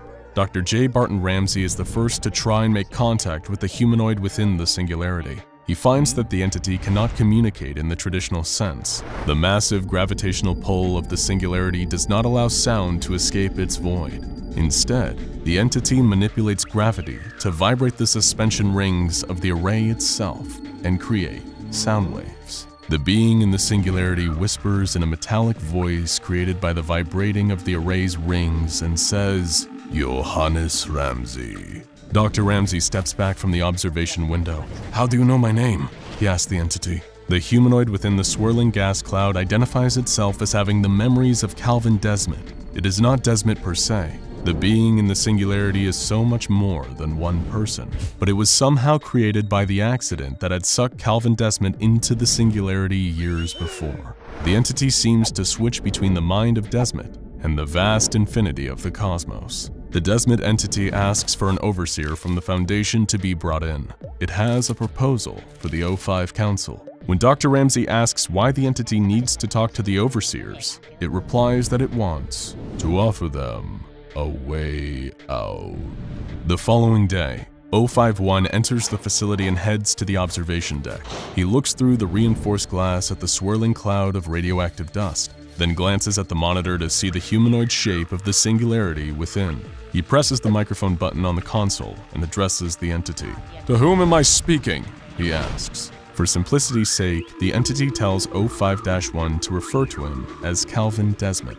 05-1 makes notes of the events unfolding before him and then asks about the way out that Calvin had mentioned. The air is still for a moment. Then, Desmond begins to speak through the vibration of the structure once again. He informs O5-1 that what the SCP Foundation is doing by securing and containing anomalous entities around the world is like putting a small band-aid on a much bigger wound. Desmond wants to propose a final solution to all of the Foundation's problems. O5-1 listens intently as the entity unravels the mysteries of where the SCPs have come from. He explains that the anomalies that the Foundation has worked so hard to secure, contain, and protect the human race from are actually bleeding into their reality from a vast multiverse. The only way to stop the manifestation of anomalies into this universe is to destroy all other realities. The entity that is Calvin Desmond tells 05-1 that he is able to bring about this destruction if they release him from the confines of the array. O5-1 is transfixed by the swirling gas that is promising him and everyone else on Earth salvation. He shakes his head in disbelief. Could this be true? O5 1 turns away from the swirling gas and begins to walk away from the viewing glass. I'll need to think about what you're saying. The structure begins to shake slightly. The voice of Calvin Desmond reverberates off of the array a little louder than before. Choose quickly, Overseer. Although it won't happen for decades, eventually a catastrophic SCP event will wipe out life on this planet. Perhaps not in your lifetime, but it will most certainly happen within the lifetime of your children. We will talk again soon. The vibrations slow and then stop completely. There is an eerie stillness in the observation room as 05-1 walks out. The next day, all staff members located at Area 11 are relocated to other Foundation sites and given amnestics. The O5 Council meets in a large circular room with wood paneling and no windows. O5-1 begins the meeting by telling the others what Calvin Desmond had described about the end of the world. He pauses for what seems like an eternity and tells them of Desmond's offer that he could prevent the end of the world but at the cost of destroying an infinite number of other realities. This would mean that all the humans and creatures of those realities would be destroyed as well. Was murdering countless other beings worth it to protect their own reality? 05-1 begins to shake. He hasn't slept or eaten anything since his talk with Desmond. He's being torn apart from the inside. O5-3 stands up and addresses the council. He informs everyone in the room that independent teams have concluded research into what the Calvin Desmond entity has claimed, and they found it to be true. The world really would come to an end. Furthermore, the research teams determined that the capabilities of Desmond would in fact allow him to dismantle the other realities. O5-3 insists that the Council must vote to allow Desmond to destroy the other realities to ensure that this reality could be saved. They must strike now before the world is overrun. O5-1 continues to shake while O5-3 breathes heavily, sweat pouring down his temples. The rest of the council shifts their gazes from side to side. It is time for a vote. There are eight ayes to allow Desmond to destroy all other realities and four nays against the plan. O5-3 stands up and walks around the room, stopping behind each nay voter and putting a bullet in their head. He stops at the last, O5-9, who pulls out a gun, places it under her own chin, and pulls the trigger. O5-13 abstains from the vote and the measure passes. The remaining overseers will use the Calvin Desmond entity to save their reality at the expense of all others, and they soon head to Area 11 to execute their plan. O5-1, 4, and 12 enter the observation room that looks upon the swirling radioactive gas around Calvin Desmond. O5-1 orders NetZack to begin powering down the array which will allow the entity to prove he can do what he has promised. They have pinpointed the reality that SCP-884 came from, and the shaving mirror itself sits on a table in another room in the facility. O5-3 stands in the room, watching the mirror to see if anything happens. O5-1 asks Calvin Desmond to eliminate the reality that the mirror had come from. The room shakes as the entity uses it to acknowledge the request. Moments later, the phone rings in the observation room. It is O5-3. He informs the others that the mirror has disappeared. Its reality has been destroyed, and therefore, it no longer exists. There is a sigh of relief in the room as the overseers realize that this just might work. O5-1 asks Calvin Desmond to continue and destroy all the realities that are bleeding into their own. This time, the entire facility begins to quake. Suddenly, O5-1 jerks backwards, his eyes wide in confusion and horror. His body seems to be compressing under an unknown force. O5-1 begins to distort. His legs and arms fold into the core of his body.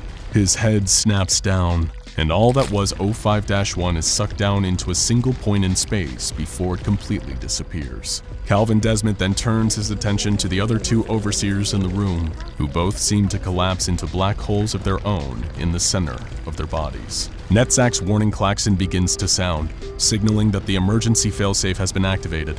Before Calvin Desmond is brought under control, the structural support in the entire facility vibrates with his words. They are in a voice that sounds strangely similar to O51's. Your children are free to live lives that do not end in horror. An end to your perpetual struggle. An end to darkness. The freedom to live in the light. All traces must be removed.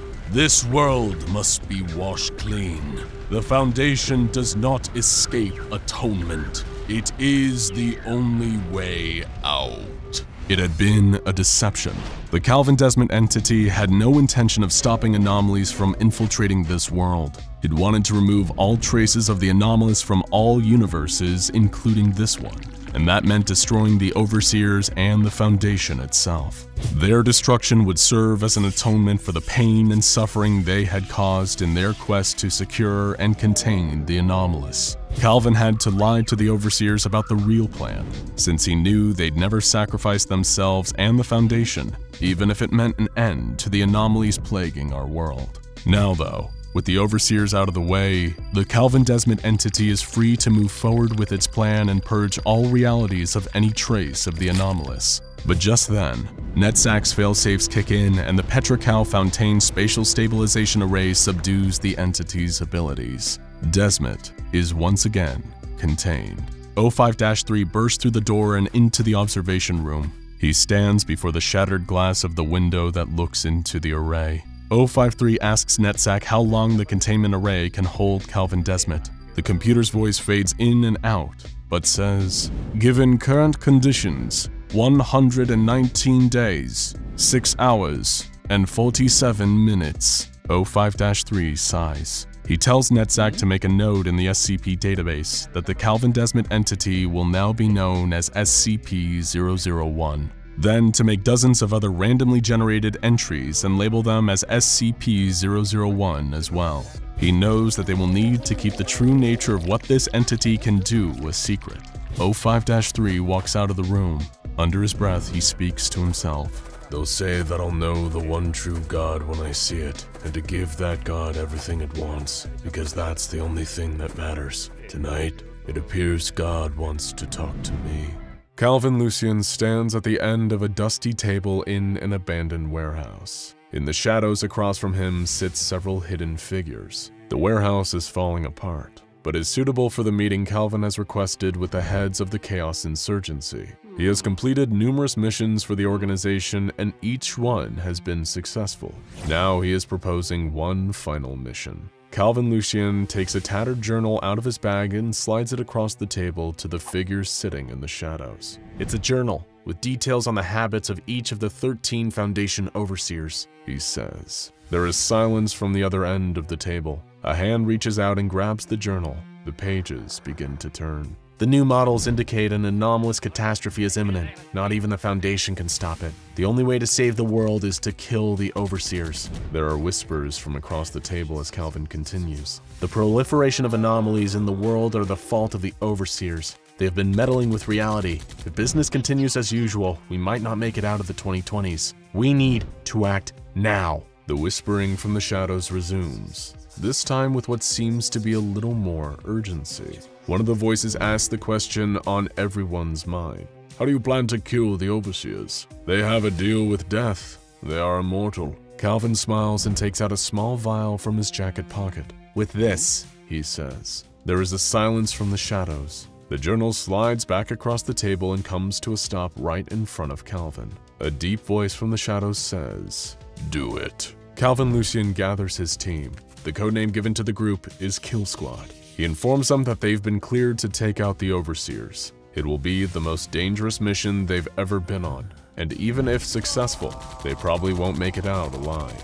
But the team is loyal. They set out to confront the 13th Overseer. This has to be their first stop because without eliminating 05-13, nothing else will matter. It is this Overseer who has a deal with death, a deal that protects all of the Foundation Overseers from dying. If that deal can be broken, then Calvin Lucien and his team will have a shot at eradicating the other overseers. If the deal with death cannot be broken, all is lost. The team boards a ship at the tip of South America and sails towards the frozen waters of Antarctica. The kill squad is made up of Calvin and three others. They sit in the galley preparing for the mission ahead. Anthony Wright is a battle-hardened soldier who sits at one end of the table. His face is covered with scars. No one can remember when he first joined the insurgency, because it was so long ago. Next to him is Olivia Torres. She is an anarchist who was recruited into the insurgency after she was liberated from a Foundation site during a raid. Adam Ivanov sits staring into his computer screen. He is testing different gadgets that might be of use on the mission. He pushes his glasses up the bridge of his nose and strikes the Enter key. A long line of code begins to scroll across the screen. A siren begins to sound, informing the crew to make their way to the main deck. When they surface from the bowels of the ship, they see something in the distance. It is a giant black tower rising from the depths of the ocean like an evil iceberg. Waves crash over the side of the railings, drenching the deck and crew with frigid water. Calvin looks at the jagged rocks along the shore of the tower. There is no way to safely dock. There is only one way onto the island. They know what needs to be done.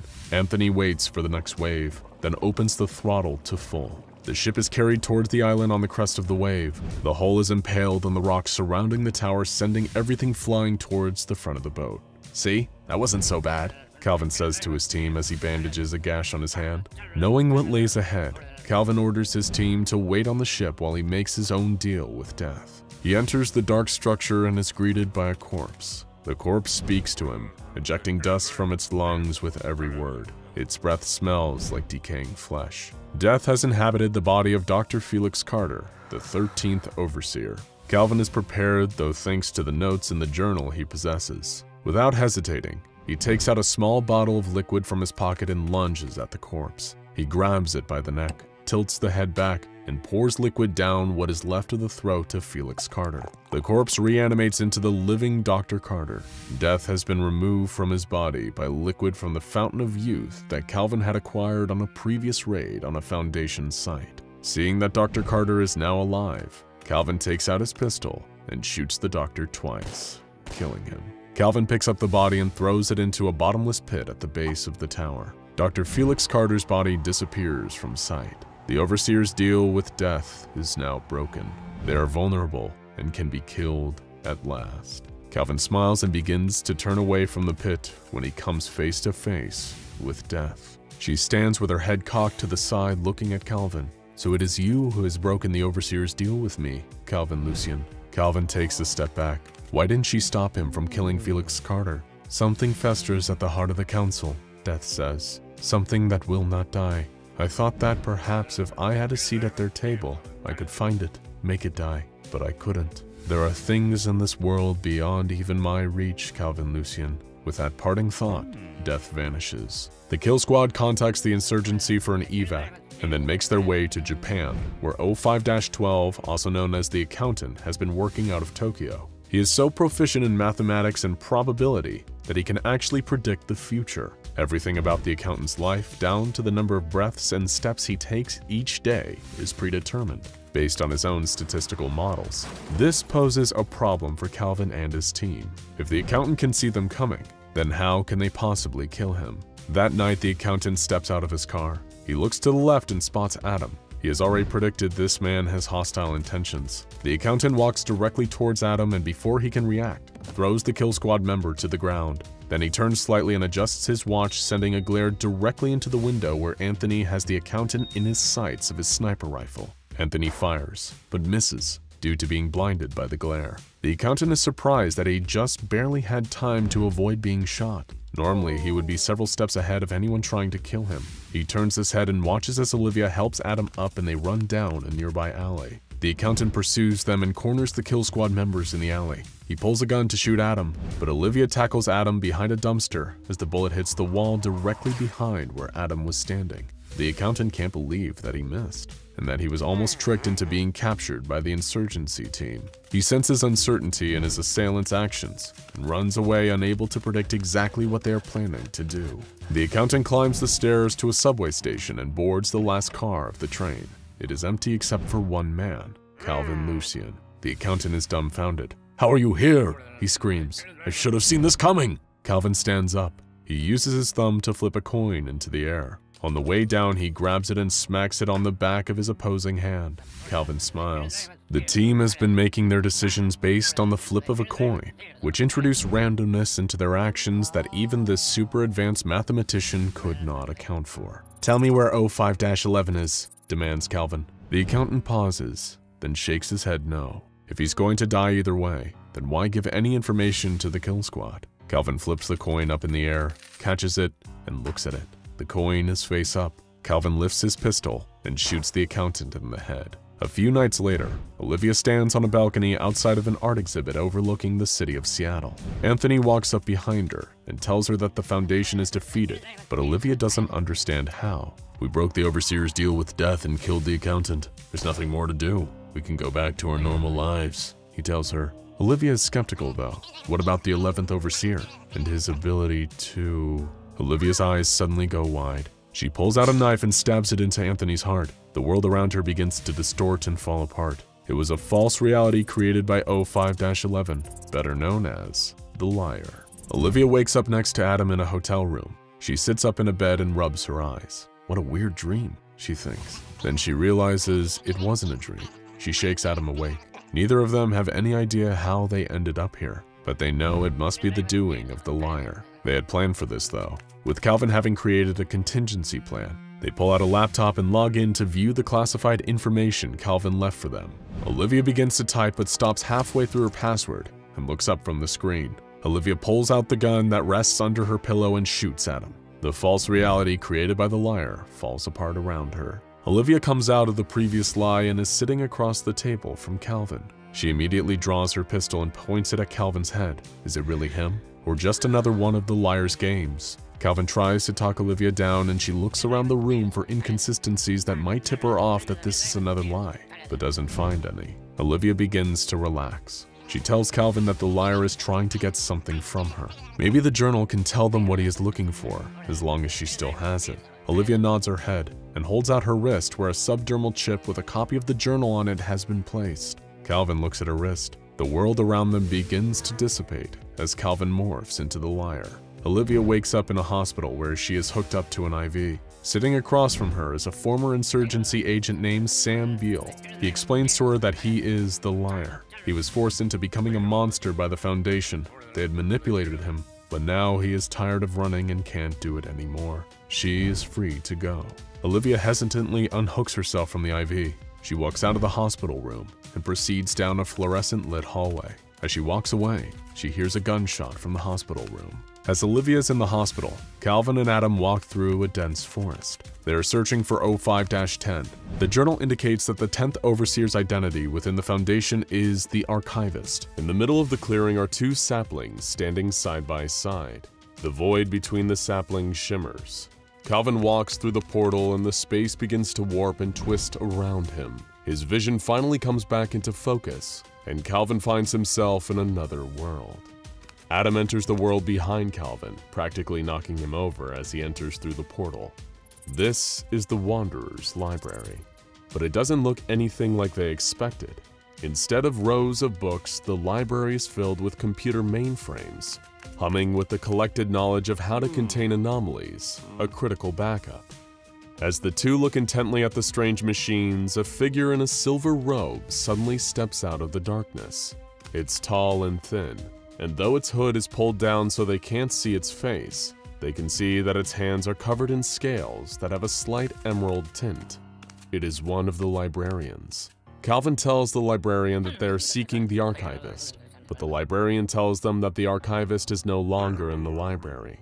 She has broken her pact with the serpent and eaten fruit from the forbidden trees.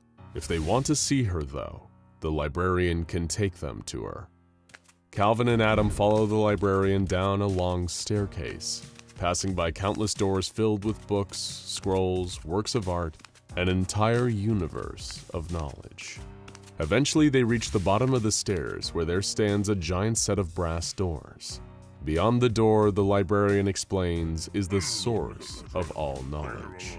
Before Calvin and Adam pass through the doors, though, Calvin turns to the librarian. Before we go in, I'd like to make a withdrawal, he says. The librarian nods and pulls out a silver tube out of its robe. It hands the tube to Adam, and he looks it over in his hands. He looks up to ask what this is, but the librarian has vanished. The door then opens, and the two step through. Calvin and Adam feel as if they walked through the same kind of portal that brought them to the library, and find that they have walked into a lush green valley with two trees. Sitting underneath one of them is a woman in a white dress. She is reading a book and eating a piece of fruit. Are you the archivist? Calvin asks. The woman nods yes, and that's all the confirmation Calvin needs. He raises his pistol and fires, but the bullet passes right through the archivist as if she wasn't there. Do you read? The archivist asks Calvin, seemingly not phased by his attempts to shoot her. I haven't had much time recently, Calvin replied. The archivist explains that she's read every book in the library. The collected knowledge of the universe is in the books, even one on how to allow bullets to pass through your body. She came here to find the secret to immortality. It's her job to document everything that happens in the world, and she can't do that if she's dead.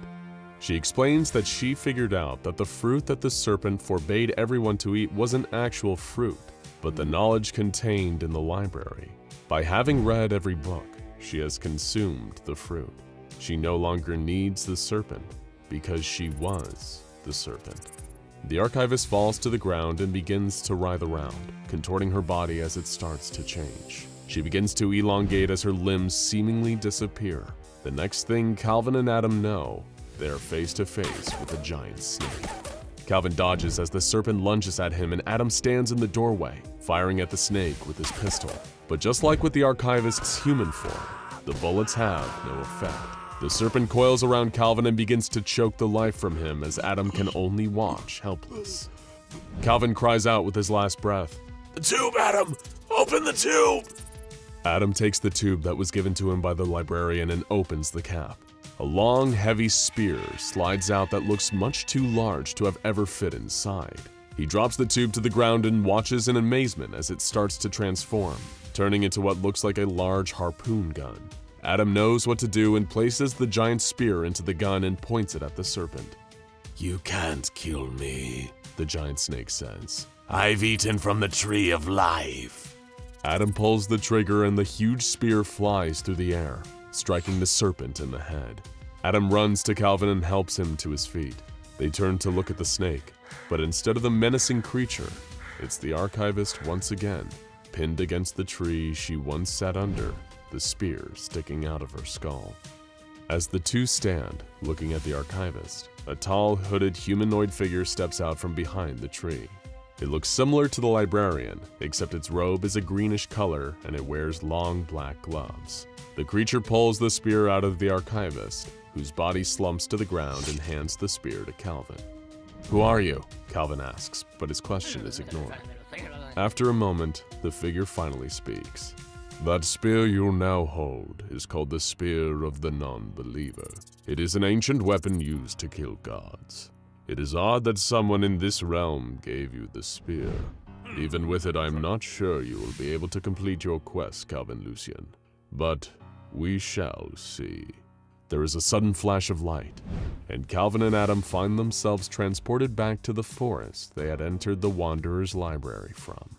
A week later, Calvin and Anthony track down 05-9, who in the council is known as the Outsider. She isn't hard to find, and it seems as if she actually wanted to be found. They find her sitting outside of her burnt-down family home. The journal had listed this as her address, but Calvin doubted that she would be here, and most he hoped to find a clue to her whereabouts. But here she was, sitting in the ashes of her home. Without turning around, the outsider began speaking. The council just used me, you know, she says. They took away my academic career, my friends, and my life. They made me conduct research for them that compromised everything I stood for, and now here I am with nothing. The outsider lets out a sigh. She asks Calvin if he's afraid of death. Calvin shakes his head and responds, No. The outsider slumps forward and Calvin walks around to face her. She is covered in blood. Her eyes move to look up at Calvin. You're lying, she says, as she dies from self-inflicted wounds. Calvin and Anthony cross 05-9 off the list and head back to the car. As they walk, Anthony says what's been on everyone's minds the last few days. The easy part is done. We'll only get harder from here. We know 05-8 is in his castle. I'm sure we'll get in, but I'm not sure if we'll make it out alive. I know, replies Calvin. But if we're going to save the world, we must eliminate the rest of the Overseers, even if it means sacrificing our own lives. They get in the car and drive off into the blood-red sunset to pick up the rest of the Kill Squad team before their next mission. Calvin Lucian leads the Kill Squad team through the mud and freezing rain. In front of them looms the fortress of Baron Lehman Hoadley, the 8th Overseer. The team has already been through a lot, from breaking the Overseer Council's deal with death by eliminating 05-13, to using the Spear of the Non-Believer to kill the godlike Archivist, 05-10. The hunting of Overseers has taken a toll on the kill squad. 05-12 almost killed Adam, and Olivia was stuck in what seemed like an endless mind game with 05-11. The first five Overseers were eliminated, but the words that the ninth Overseer spoke to Calvin Lucian before she died still run through his mind. Are you afraid of death? Now the kill squad is about to infiltrate one of the most heavily guarded facilities in the world to eliminate the 8th Overseer. Upon reaching the castle, the team is surprised to find the structure is in ruin. No one is supposed to know the location of 05-8 though. The fortress was supposed to be practically impregnable. They storm the castle of 05-8 all the same.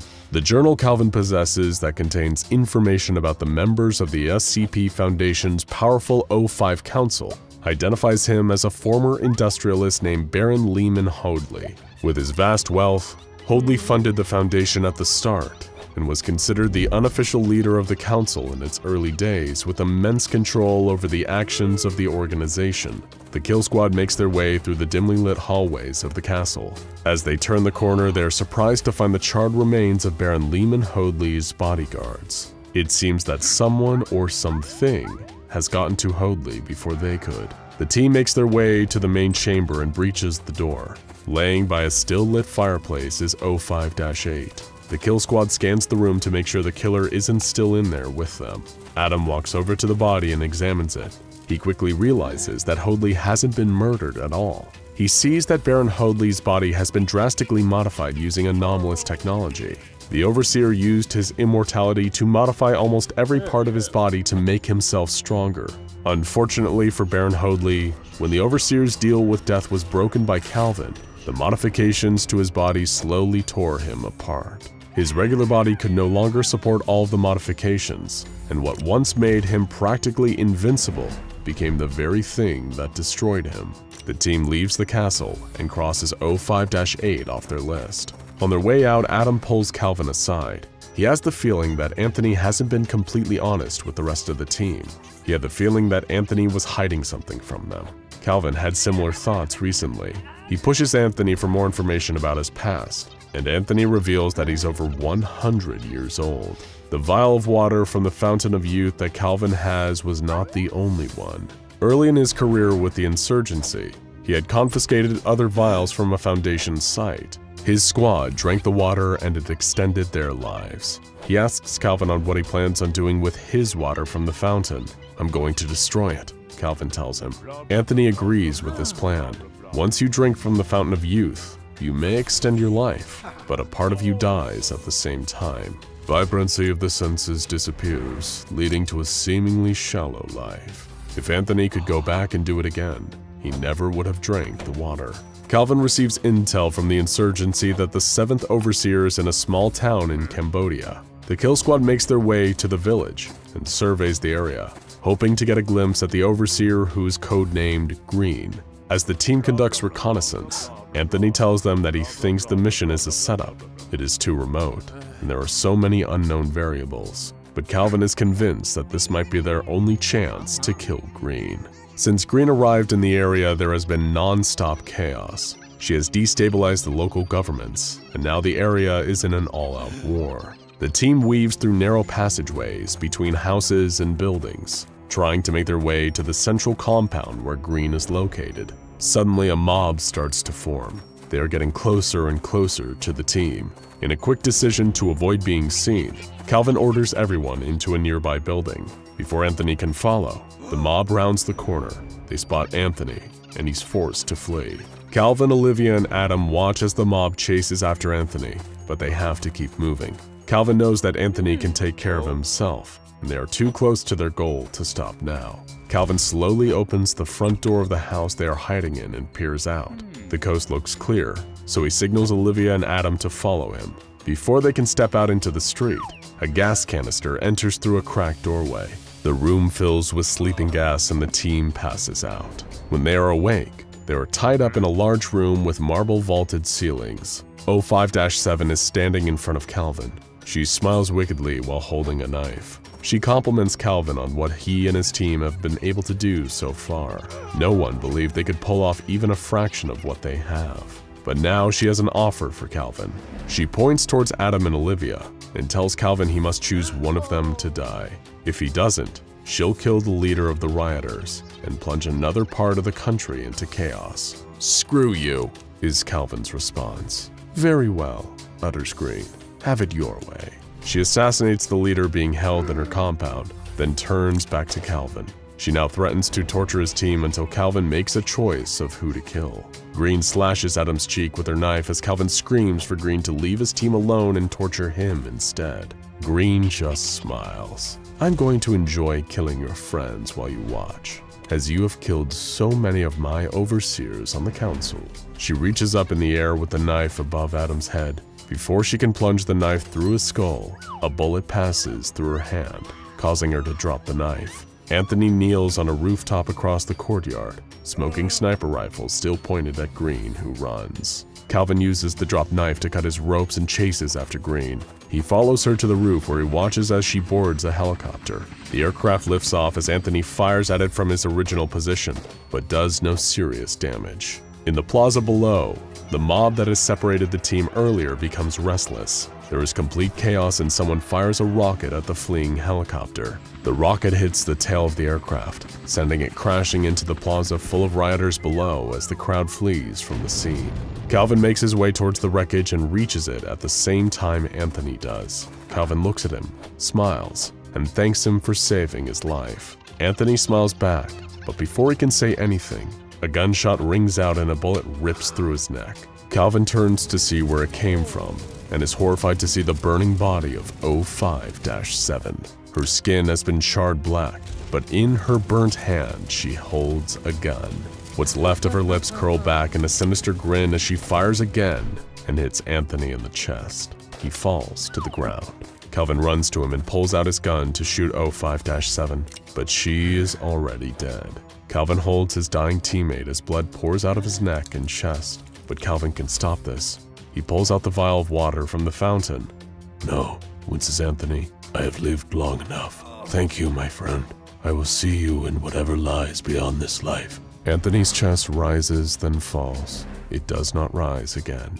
Olivia and Adam round the corner to see Calvin holding the lifeless body of their teammate, tears flowing from his eyes. The team holds a small ceremony and burial for Anthony, but are only halfway through their mission and can't stop now. They fly back to the United States, where an undercover insurgency agent named Kowalski informs them that 05-6 is already aware they're after him. Hmm. This overseer is codenamed the American because he has the power of the entire US military at his fingertips. The kill squad scouts the base where the American is located. Kowalski warns them of a crate that was recently brought to the base from Site-19. The Americans showed great interest in whatever was in the container. The group sets up a camp on a hill overlooking the base. As the sun slowly rises the next day, the kill squad is spotted by a drone and forced to hop in their jeep and try to run.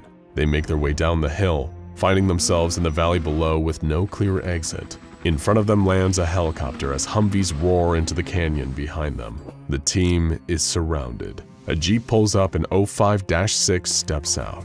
He introduces himself as Rufus King, member of the Overseer Council, but an American citizen first and foremost. All he really wants is to protect the country he loves. Thanks to you, I've lost my immortality and can no longer effectively protect the United States anymore, the American says to Calvin. But I'm willing to make a deal. Your freedom for the spear of the non-believer. Rumor has it that you have the spear in your possession, and you used it to kill the archivist. You give me the spear, I will let you go. No, replies Calvin. I will never give an overseer the means to cause more destruction. The spear stays with us. Very well, the American says with a frown. Then I suppose my only other option is to take it from you, but not without giving you a fair chance. Run, Calvin Lucian. Run as fast as you can. I will be coming for you. The American turns and walks towards the container from Site 19, which is being lowered from a helicopter hovering above them. Calvin sprints back to the Jeep with the other members of his team. As they drive away, they hear a horrible, guttural screech from whatever was inside the container. After a few moments, the army begins to pursue them. Out in front of the military force is 05-6 riding SCP-682. He is using a black whip to urge the creature forward, and they're gaining on the kill squad. Fast. A row of vehicles pulls up beside the American and SCP-682. Then something strange happens. A man appears in front of the oncoming forces led by the American. The man's skin bulges and seems to be moving from within. The skin of the man sloughs from his body. The infection that is SCP-610 erupts out of him and onto the soldiers in the nearby jeep. SCP-610 begins to infect and consume everyone around it. Suddenly, there are thousands of instances of SCP-610 coming from the mountainside, flooding into the valley. They close in and around the army and O5-6. The American begins fighting off the flesh-eating creatures from the back of SCP-682, but he becomes overwhelmed. He can no longer focus on pursuing Calvin and his team. From the back of the Jeep, Olivia pulls out her rifle.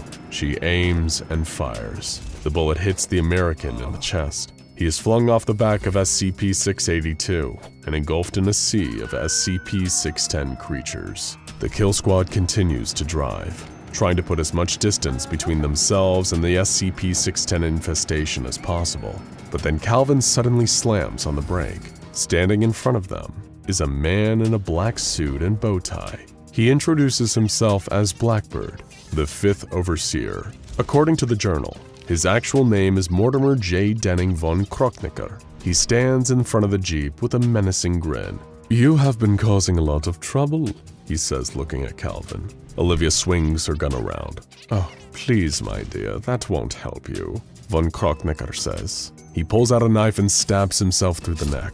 He falls to the ground, apparently dead. There is a gust of wind, a whiff of ozone, and an identical copy and still very much alive von Krocknicker lands next to his own dead body. See what I mean? He says. Olivia lowers her rifle. Come with me, I have something to show you. The blackbird beckons. Seeing no other option, Calvin, Olivia, and Adam exit the Jeep and follow the blackbird. As they walk, the world changes around them. The desert mountains fade away into blackness and find themselves in a near apocalyptic London. Oh, it's good to be home, the blackbird says as they emerge onto a cobblestone street. You cannot stop the overseer's plans. However, I can give you an alternative. Let's see if any of you will take it. In front of each kill squad member appears a door. They have an uncontrollable urge to open their respective door and walk through. The Blackbird stands smiling as he watches Calvin, Olivia, and Adam enter each of their portals. Adam enters his door and looks around. He is in Portland. His parents walk into the room. In this universe, his family has been granted asylum. Adam never has to interact with any SCPs or the Foundation. He is free to live a normal life. From the kitchen comes Calvin wearing an apron. He is holding a steaming pot. Adam locks eyes with Calvin, who smiles at him. The blackbird whispers into Adam's ear. In this reality, both of your parents and siblings are still alive. Also, the man you love loves you back. You and Calvin could be married if you stayed here. Wouldn't that be nice? Olivia enters her door. She is on the deck of a yacht. At the bow sits an easel with art supplies. The man that Olivia once loved walks across the deck towards her. The blackbird looms over her. In this reality, you didn't accidentally kill him.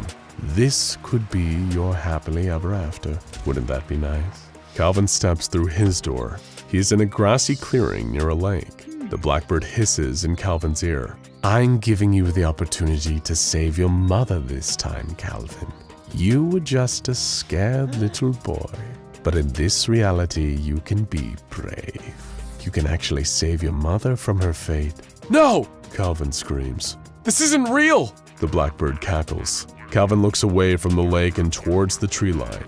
Hidden in the shadows, he can just barely make out a hooded figure. Calvin walks towards it. The blackbird follows. He is screaming at the person in the tree line. I was only trying to help! The hooded figure reaches out and hands Calvin a metal tube. He opens it to find a set of eyeglasses inside. Calvin puts them on and turns to look at the blackbird. He steps back in horror. The glasses have revealed the true form of the blackbird. He is a winged pseudo-avian monstrosity full of rage. The mysterious hooded figure directs Calvin to open the tube again. Inside is an interdimensional fishing line made by Dr. Wondertainment and a white wiffle ball bat. Calvin grabs the fishing line and wraps it around 05-5's leg. The blackbird flies into the air trying to get away from Calvin, but Calvin wraps the other end of the fishing line around his arm. The blackbird begins to jump from dimension to dimension trying to get rid of Calvin. They appear on the deck of SCP-455, in Site-19 where SCP-682 walks freely, in the dead world of SCP-2935. Every time they stop in a new dimension, Calvin takes the opportunity to attack the Blackbird with the bat, and it seems that he is slowly weakening the monster. They finally land at the bottom of a deep well Foundation containment site, where the dark body that is SCP-001 is contained. Standing in front of the containment field is Allison Cho, the Black Queen, whose sole mission is to destroy the Foundation. You! cries the Blackbird. You are the one who has been helping Lucian! The Black Queen nods her head. Yes, I have been helping Calvin Lucian to eliminate you and the other overseers. The Foundation must fall. You are nothing! You cannot stop me! I am the Black King! Screams 05 5. Allison Chow sighs. She pushes a button on the panel next to her, shutting down the array containing the dark body. Out of the cloud of dust appears SCP 001, a massive black creature who seemed to absorb all light. No, stop! shrieks the blackbird. SCP 001 does not move, but the room begins to shake. The blackbird continues to scream as his body folds in on itself until he is reduced to a single superheated point and then blinks out of existence. Allison Chow then reactivates the containment array, sealing 001 away once again. I will return you to your reality along with your friends, says the Black Queen. But perhaps our paths shall cross again, Calvin Lucian. There is a bright flash of light, and Calvin finds himself on a private jet sitting next to Olivia and Adam. They are all shaken, but the Blackbird is oh. dead. 05-5 has been eliminated. The three members of the team sit silently, still pondering what might have been if they stayed in the alternate realities. Suddenly, the phone on the plane begins to ring, breaking the silence. Calvin picks it up. On the other line is the fourth overseer. He has contacted Calvin to discuss surrendering to the insurgency. Unfortunately, things do not always go as planned. Calvin Lucian is about to make the most difficult and dangerous decision of his life. Aaron Siegel, better known to Foundation members as 05-1, descends into the abyss of a deep well site. He exits the elevator and peers into the optical scanner to unlock the reinforced door. Inside the room is Mobile Task Force Tau 5, Samsara. Aaron Siegel refers to these immortal cyborg clones created from the flesh of a dead god as his red right hand. Your mission is to eliminate the traitor 05-4 and to find the insurgents who have been killing the members of the Overseer Council. The cyborgs stand at attention. Now, Aaron Siegel screams. The soldiers of the Red Right Hand march out the door to start their mission. Aaron Siegel pauses for a moment and then slams his fist against the wall in frustration. He has lost nine overseers to Calvin Lucian and his kill squad team. They have been somehow overcoming the odds each time and eliminating each overseer they track down. It wasn't supposed to end this way. Aaron Siegel vows to kill them all. Calvin Lucian, meanwhile, sits on a private jet with Adam and Olivia. He had just hung up the phone after a conversation with 05-4. The overseer known as the ambassador wants to surrender to the insurgency. There's a good chance this is a trap, but Calvin has decided to meet with the ambassador all the same. Calvin drops off Adam and Olivia at an insurgency base. They still haven't fully recovered from the previous mission with 05-5, known as the Blackbird. Before leaving, though, Calvin meets with an insurgency agent named Sylvester Sloan, who is going to join him as support.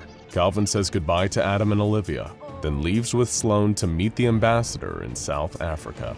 After landing at Johannesburg Airport, Calvin and Sloan disembark and are led to a conference room where the ambassador sits waiting for them. Calvin and Sloan sit across from O5-4 to discuss his surrender. The council is in shambles, says the ambassador. Everything is falling apart. I want to offer my services and information to the insurgency in exchange for protection from O5-1. He has lost his mind. Calvin agrees to the terms and prepares for extraction. But as they get up from the table, gunshots can be heard from down the hall. The ambassador's eyes open wide in terror. It's too late, he whispers. Calvin and Sloan grab the ambassador, who is frozen in fear, and exit the conference room. They make their way towards their plane, but the gunshots are getting closer. Calvin looks over his shoulder to see Samsara pursuing them through the terminal. Calvin shoves the ambassador behind a table as bullets whiz overhead. Calvin and Sloan return fire, but their volley doesn't seem to slow down the assassins. Calvin and Sloan pull the ambassador to his feet, and they burst through an emergency exit onto the sun-baked tarmac, where they make a mad dash for the plane. From behind them, a bullet rips through the chest of Sloan. The red right hand has caught up, but Calvin continues to drag the ambassador towards the plane.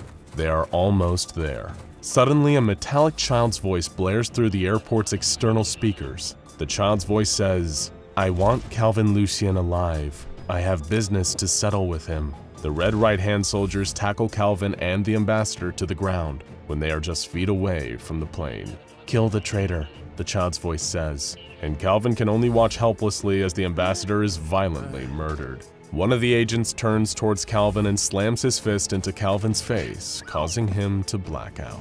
Calvin awakes in a dark room. He is unsure how much time has passed.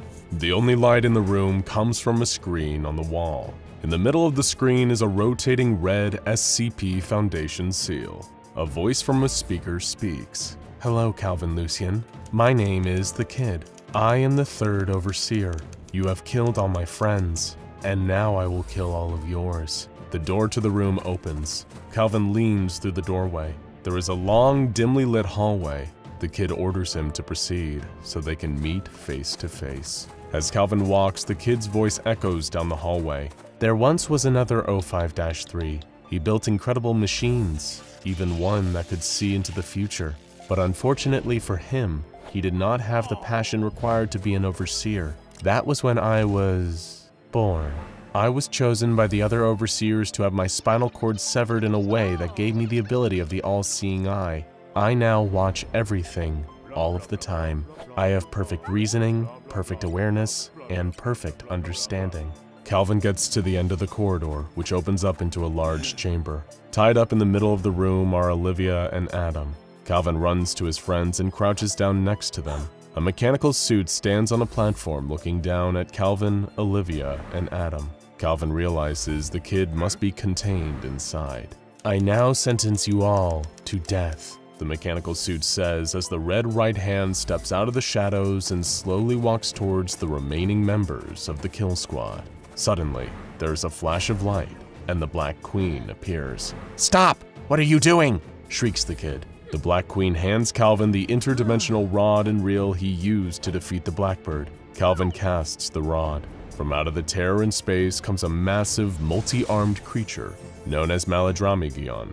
The red right hand engages the monster, trying to force it back into its dimension, but the monster is too powerful. It grabs the cyborg clones and pulls them through the tear in reality. As Samsara battles the Maladramygion, Calvin frees Olivia and Adam. They make a run for the door, but as they flee, one of the walls opens up to reveal a turret. The gun fires, and a bullet hits Olivia directly in the head, killing her instantly.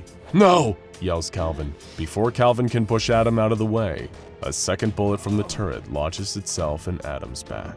Calvin and Adam slide across the floor. The kid in his mechanical suit jumps down from the platform above. I'm going to kill you now, Calvin Lucian, he says in his mechanical voice. There is another flash of light. Calvin watches in front of him as the spear of the non-believer manifests itself before his eyes. Calvin grabs the spear and shoves it into the kid's machine body. It easily penetrates the armor and pins him to the wall. Calvin walks up to the exoskeleton and tears off the outer plating, revealing a tank full of fluid within which floats a malformed human fetus. As Calvin finally looks upon the kid's true form, he hears the sound of mocking mechanical laughter. Calvin breaks the glass and crushes the kid with his bare hands. As Calvin turns from the now silent robotic body of the kid, the room begins to shake, debris raining down from above. Calvin helps Adam up and puts Olivia's lifeless body across his shoulders. What remains of the kill squad makes their way out of the kid's lair. Outside of the Foundation site where they were being held, Calvin helps Adam lie down on the ground before gently setting Olivia's body next to him. Adam grimaces as blood pours out of the wound in his back. Calvin reaches into his pocket and pulls out the vial of water from the Fountain of Youth. There are only a couple of drops left which he pours into Adam's mouth. Adam looks up at Calvin, tears filling his eyes. He whispers, I love you, before he passes out from the pain. The wound in his back begins to heal instantly, and Calvin calls an insurgency evac team to come pick up Adam. With Adam safe, Calvin picks up Olivia and walks alone towards a truck in the lot outside of the Foundation site. He needs to finish this, once and for all. He will kill the last two overseers, or he will die trying. 05-1 Aaron Siegel arrives at where the Tigris and Euphrates rivers meet, the Garden of Eden. He is in a frenzy due to the assassinations of all the other overseers besides himself and the Nazarene, and nothing will stop him. As he approaches the gate to the Garden of Eden, though, he is stopped by the Guardian of the Garden, a massive, powerful, anomalous entity with a flaming sword. But Aaron Siegel has no time or patience for anything to get in his way, even something as powerful as the Gate Guardian. The Guardian swings his burning sword at Adam, who rolls out of the way and, in a flash, takes out a Scranton reality anchor. He slams the anchor into the ground, which causes the world to shimmer and ripple around him. He watches as the flames from the Gate Guardian's sword seem to absorb back into its body before it shrinks down, looking to fold in on itself until all that is left is a charred skeleton. With the Guardian defeated, Aaron sprints into the garden. He searches the garden for 05-2 but can't find her anywhere. He finally comes to the Tree of Life, and that's where he finds her. Laying at the base of the tree in a pool of blood is the Nazarene. She has taken her own life. This is her anomalous power though. She has died many times before, yet death always spared her and brought her back. But somehow, he knows this time is final. Aaron drops to his knees and screams in frustration. For all the power Aaron Siegel possesses, there's nothing he can do now. He sits next to the Nazarene's body for hours, hoping that she might wake up, mm. or that he will, to find that this was all a dream. After sitting next to her cold body for some time, he notices something in her snowy white hand. It's a note. In it, the Nazarene explains that she was the one who gave the vials from the fountain to Calvin Lucian, and that she is the one who made the spear appear before him that he used to kill the kid. She explained that while she died many times and death always brought her back, each time she felt less and less like herself, less and less like Dr. Sophia Light. She hoped that maybe if things ended up like this, it would give Aaron the chance to walk away and live the life that they might have been able to have together. But she knows deep down that Aaron's fate is to meet Calvin and finish things once and for all. Aaron Siegel screams in rage, clutching the node in his hand. He tries to summon death, but no one comes. Aaron Siegel is alone. He stands up and walks deeper into the garden. He walks until he reaches a spot where even God's light does not reach. In this desolate land is an impact crater where Lucifer, star of the morning, had fallen. In the middle of the crater lies Lucifer's sword. Aaron Siegel descends into the hole and picks up the sword. He turns and exits the Garden of Eden. Aaron Siegel has only one mission in life now, to kill Calvin Lucian. Calvin reads the final entry of the journal. In it, the author warns that although he hopes the information contained within the journal is helpful, he hopes the reader does not try to use it.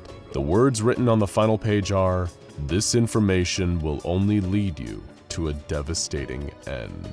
Calvin closes the journal and looks up at the structure in front of him. He has made it to Site 01.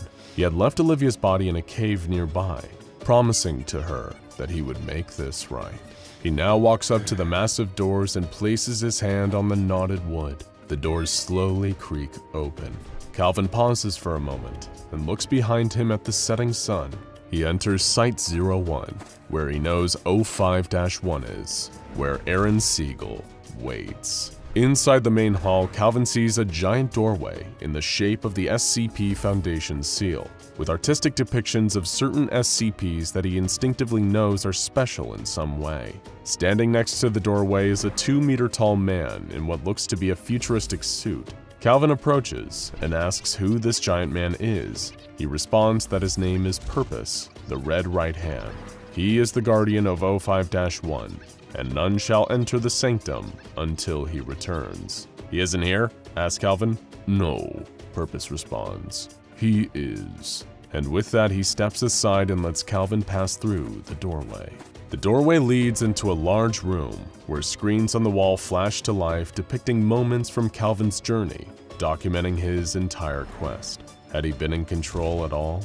Or was this all a setup to lead him to this moment? As he walks forward, he finally sees him. Sitting at a table in the middle of the room is Aaron Siegel. Euro 5-1? Calvin asks. Aaron, the man responds. My name is Aaron. Calvin asks about the location of the second overseer, the Nazarene, but 05-1 doesn't respond. Without needing any more information, Calvin pulls out his sidearm and in a flash fires off five shots. The bullets stopped in the air, inches from Aaron, before hmm. dissolving in a flash of light. Calvin should have known it wouldn't be this easy. Stand up, Aaron Siegel, Calvin calls up as he holsters his gun. Let's finish it. Calvin pulled the spear of the non-believer from his back, but Aaron's only response was to laugh. you don't even know why you're here, Aaron said. Calvin calls back, I'm here to kill you, because when I do, I kill the Foundation. Because when you're gone, the universe can finally heal. You're like me, Calvin Lucian. We are both men driven by our own convictions, regardless of the outcome. It would seem fate has brought us together. Now either your convictions will be broken or you will die, says Aaron Siegel. He then draws Lucifer's flaming sword and lunges towards Calvin Lucian. As the two men clash with one another, their supernatural weapons begin to destroy the room around them. Furniture is shattered, video screens are obliterated, and fire spreads across the walls. Aaron catches Calvin off balance and swings the flaming sword across Calvin's stomach. Calvin slides back from the impact, hunching over from the pain in his midsection. He brings his head up to see Aaron Siegel running towards him with the flaming sword high in the air. Calvin brings up the spear. From his knees, he leans back and launches it towards Aaron Siegel. The spear enters the final overseer's chest, the force from the throw pinning him against the wall. Aaron Siegel drops Lucifer's sword. It shatters as it hits the ground. He clutches the shaft of the spear protruding from his sternum with both hands. O5-1 looks at Calvin unbelievingly. you have no idea what you've done. It was never about the Overseers, Aaron Siegel says, spitting out blood with every word. It was something deeper, something worse. Calvin walks slowly towards Aaron Siegel. He stops just in front of his final enemy, this is the way it ends, Calvin says. Aaron Siegel manages to whisper one final word, Sophia, before his body finally goes limp. Calvin turns to see Purpose standing behind him. He's dead, Calvin says, half to Purpose and half to himself. I killed him. After a moment, he asks Purpose what he really wants to know. There's a room in this facility where someone could unmake the Foundation, right? Take me there. Without any hesitation, Purpose leads Calvin back to the room with depictions of important SCPs. There, Purpose opens the door to an elevator, but stops Calvin before he can get inside. I am duty bound to tell you, Purpose says, that once you step inside this elevator, there is no going back.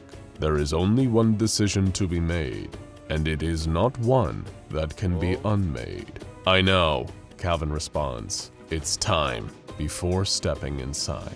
The elevator opens a door to reveal a room filled with bookcases and a huge window offering a beautiful view of the sun setting behind the mountains. On the wall are monitors depicting the ways he had killed all of the overseers, and in the middle of the room is a large desk with a computer. Calvin sits down at the desk and the computer comes to life. The computer prompts him to scan his fingerprint, which it accepts. He's logged in.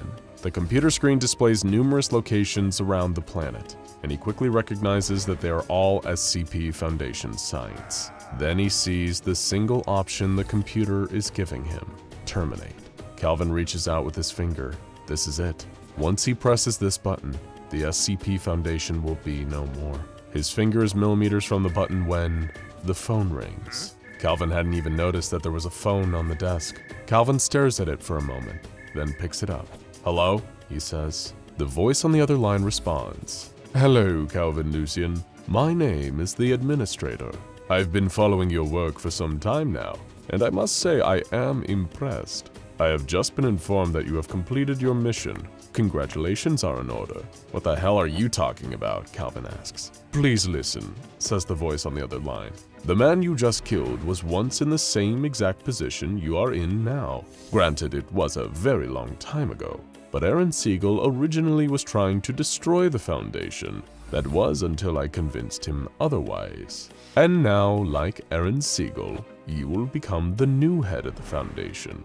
Like hell I will, yells Calvin. I could hang up and walk away right now and be done with all this. You could, continues the administrator, but if no one is in charge of the SCP Foundation, millions of people will die, if not billions, and then nobody would be there to manage what comes after. There is silence from Calvin. That's what I thought, says the administrator. I look forward to working with you, Calvin Lucian. Or should I say, 05-1. The line goes dead.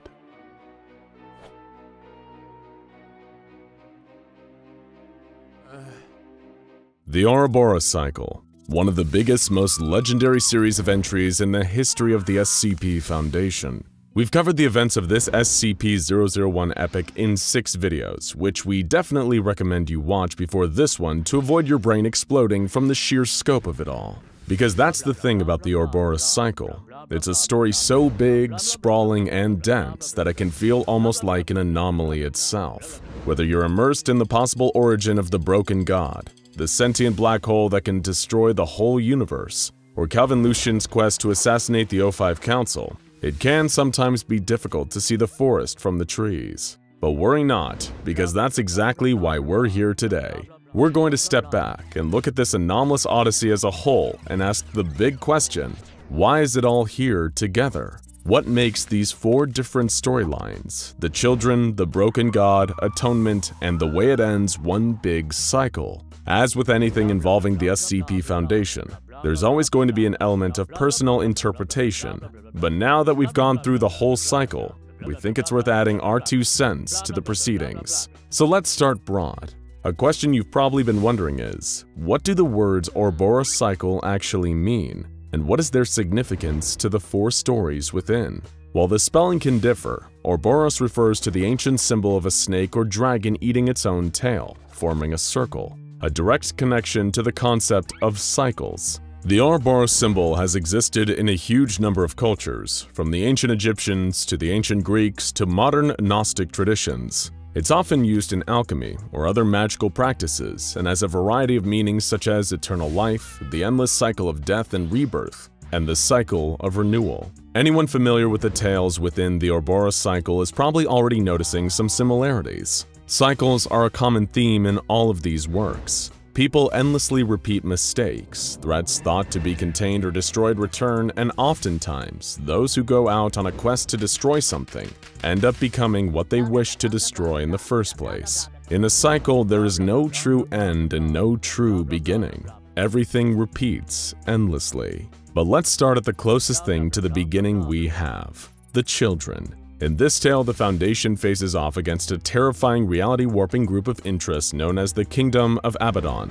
This nasty group, which came from the Sahara Desert, could seemingly take anything the Foundation threw at them, and were able to straight up vaporize anyone who got too close. If the Kingdom was able to amass enough power, it could spell the end of the Foundation, and even the subjugation of the human race. Enter O5-1, a reoccurring character in the Ouroboros cycle. This outside-the-box thinker put all his chips on the Twins of God project, designated SCP-001, like many anomalies before and after it. This project would infuse a human being with godlike powers, but it was a power so great that it seemed to kill anyone who attempted to accept it. Needless to say, this was a major bummer for O5-1, but through relentless human experimentation, even sacrificing the population of entire towns to the project, he eventually came up with a solution.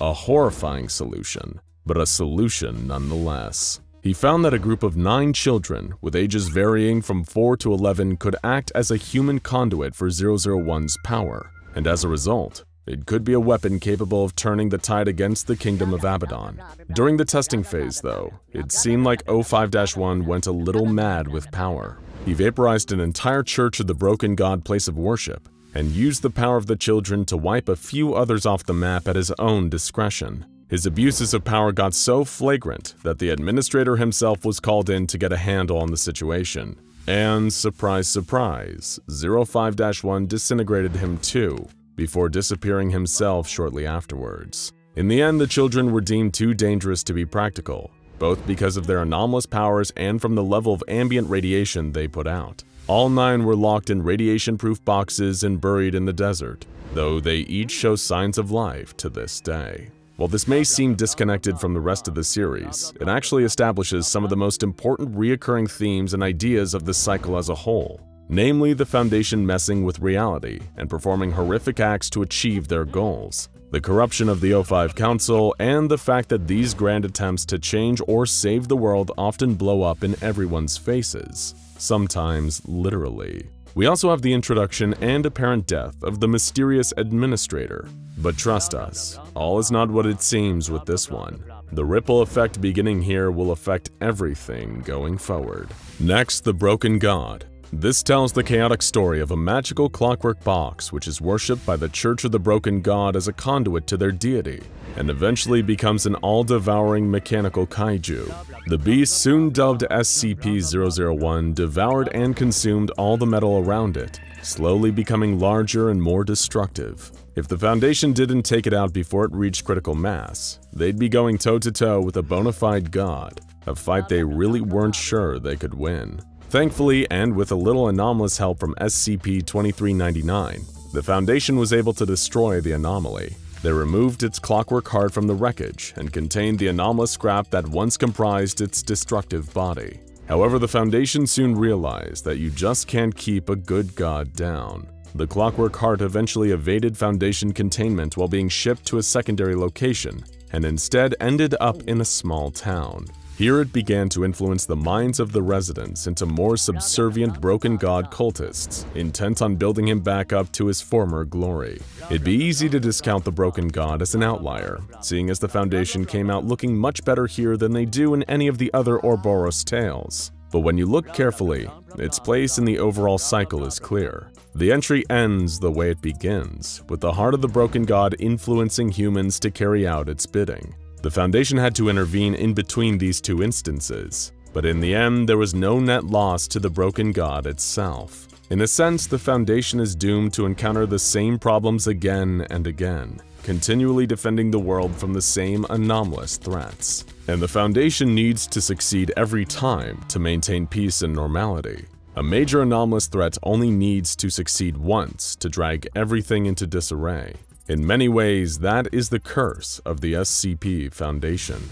Speaking of major anomalous threats, now it's time for part 3 of the Ouroboros cycle, Atonement. Once again, we start off with the Foundation meddling with cosmic scale powers with the creation of the Area 11 Pietrocal-Fontaine Spatial Stabilization Array. Try saying that three times fast. That was a machine so powerful, it was capable of creating a singularity, though what it actually ended up doing was turning Dr. Calvin Desmond into an abomination. More specifically, into a kind of immensely powerful humanoid black hole, whose powers were only restrained by the very machine that created him. Think of him as kind of a malicious Dr. Manhattan from Watchmen. This new entity, dubbed SCP-001, presented a grim prophecy and an ominous offer. He told the O5 Council that anomalies were leaking into their universe from other realities, and soon the anomalous threat would destroy them all. His offer was to, upon his release, wipe out the rest of the multiverse entirely,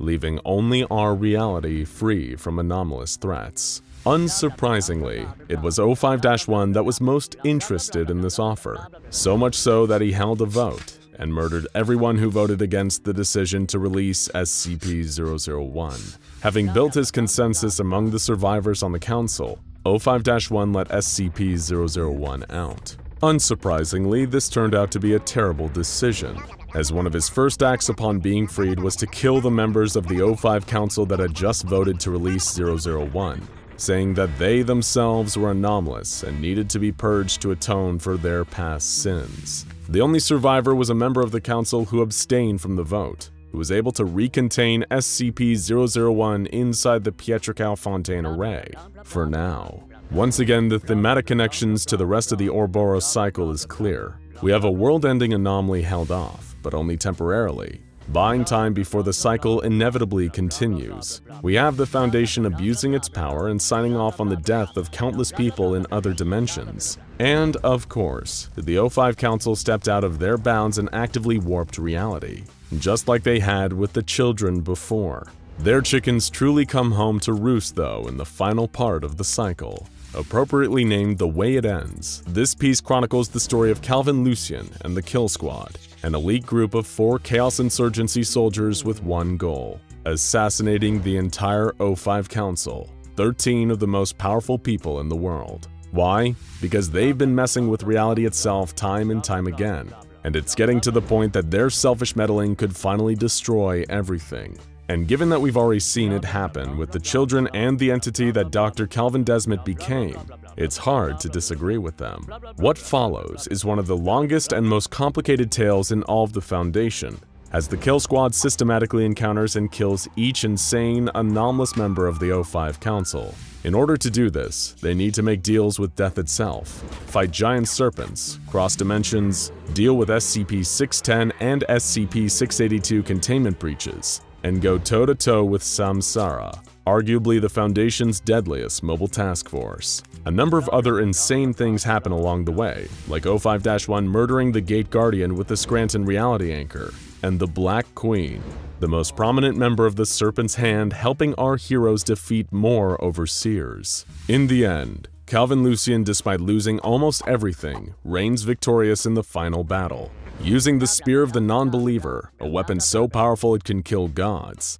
Calvin managed to finally kill the top member of the Overseers, O5-1. With the O5 Council destroyed, Calvin set about completing his final task, destroying the entire SCP Foundation, but that didn't happen. Instead, he was contacted by a mysterious and immensely powerful being known as the Administrator, who gave him some frightening news. He'd just been hired by the SCP Foundation to be their new O5-1. This was where our last video on the Ouroboros series left us. What happens next, you may ask? How does Calvin respond to this offer he seemingly can't refuse? In this case, it seems that the administrator, of being so completely tied to the nature of the Foundation itself, is SCP-001. And while it seemed that the Overseers were mad with power, they were actually always there to keep the administrator in check. Aaron Siegler, the O5-1 that Calvin had just killed, was doing the exact same thing Calvin was doing when he became O5-1,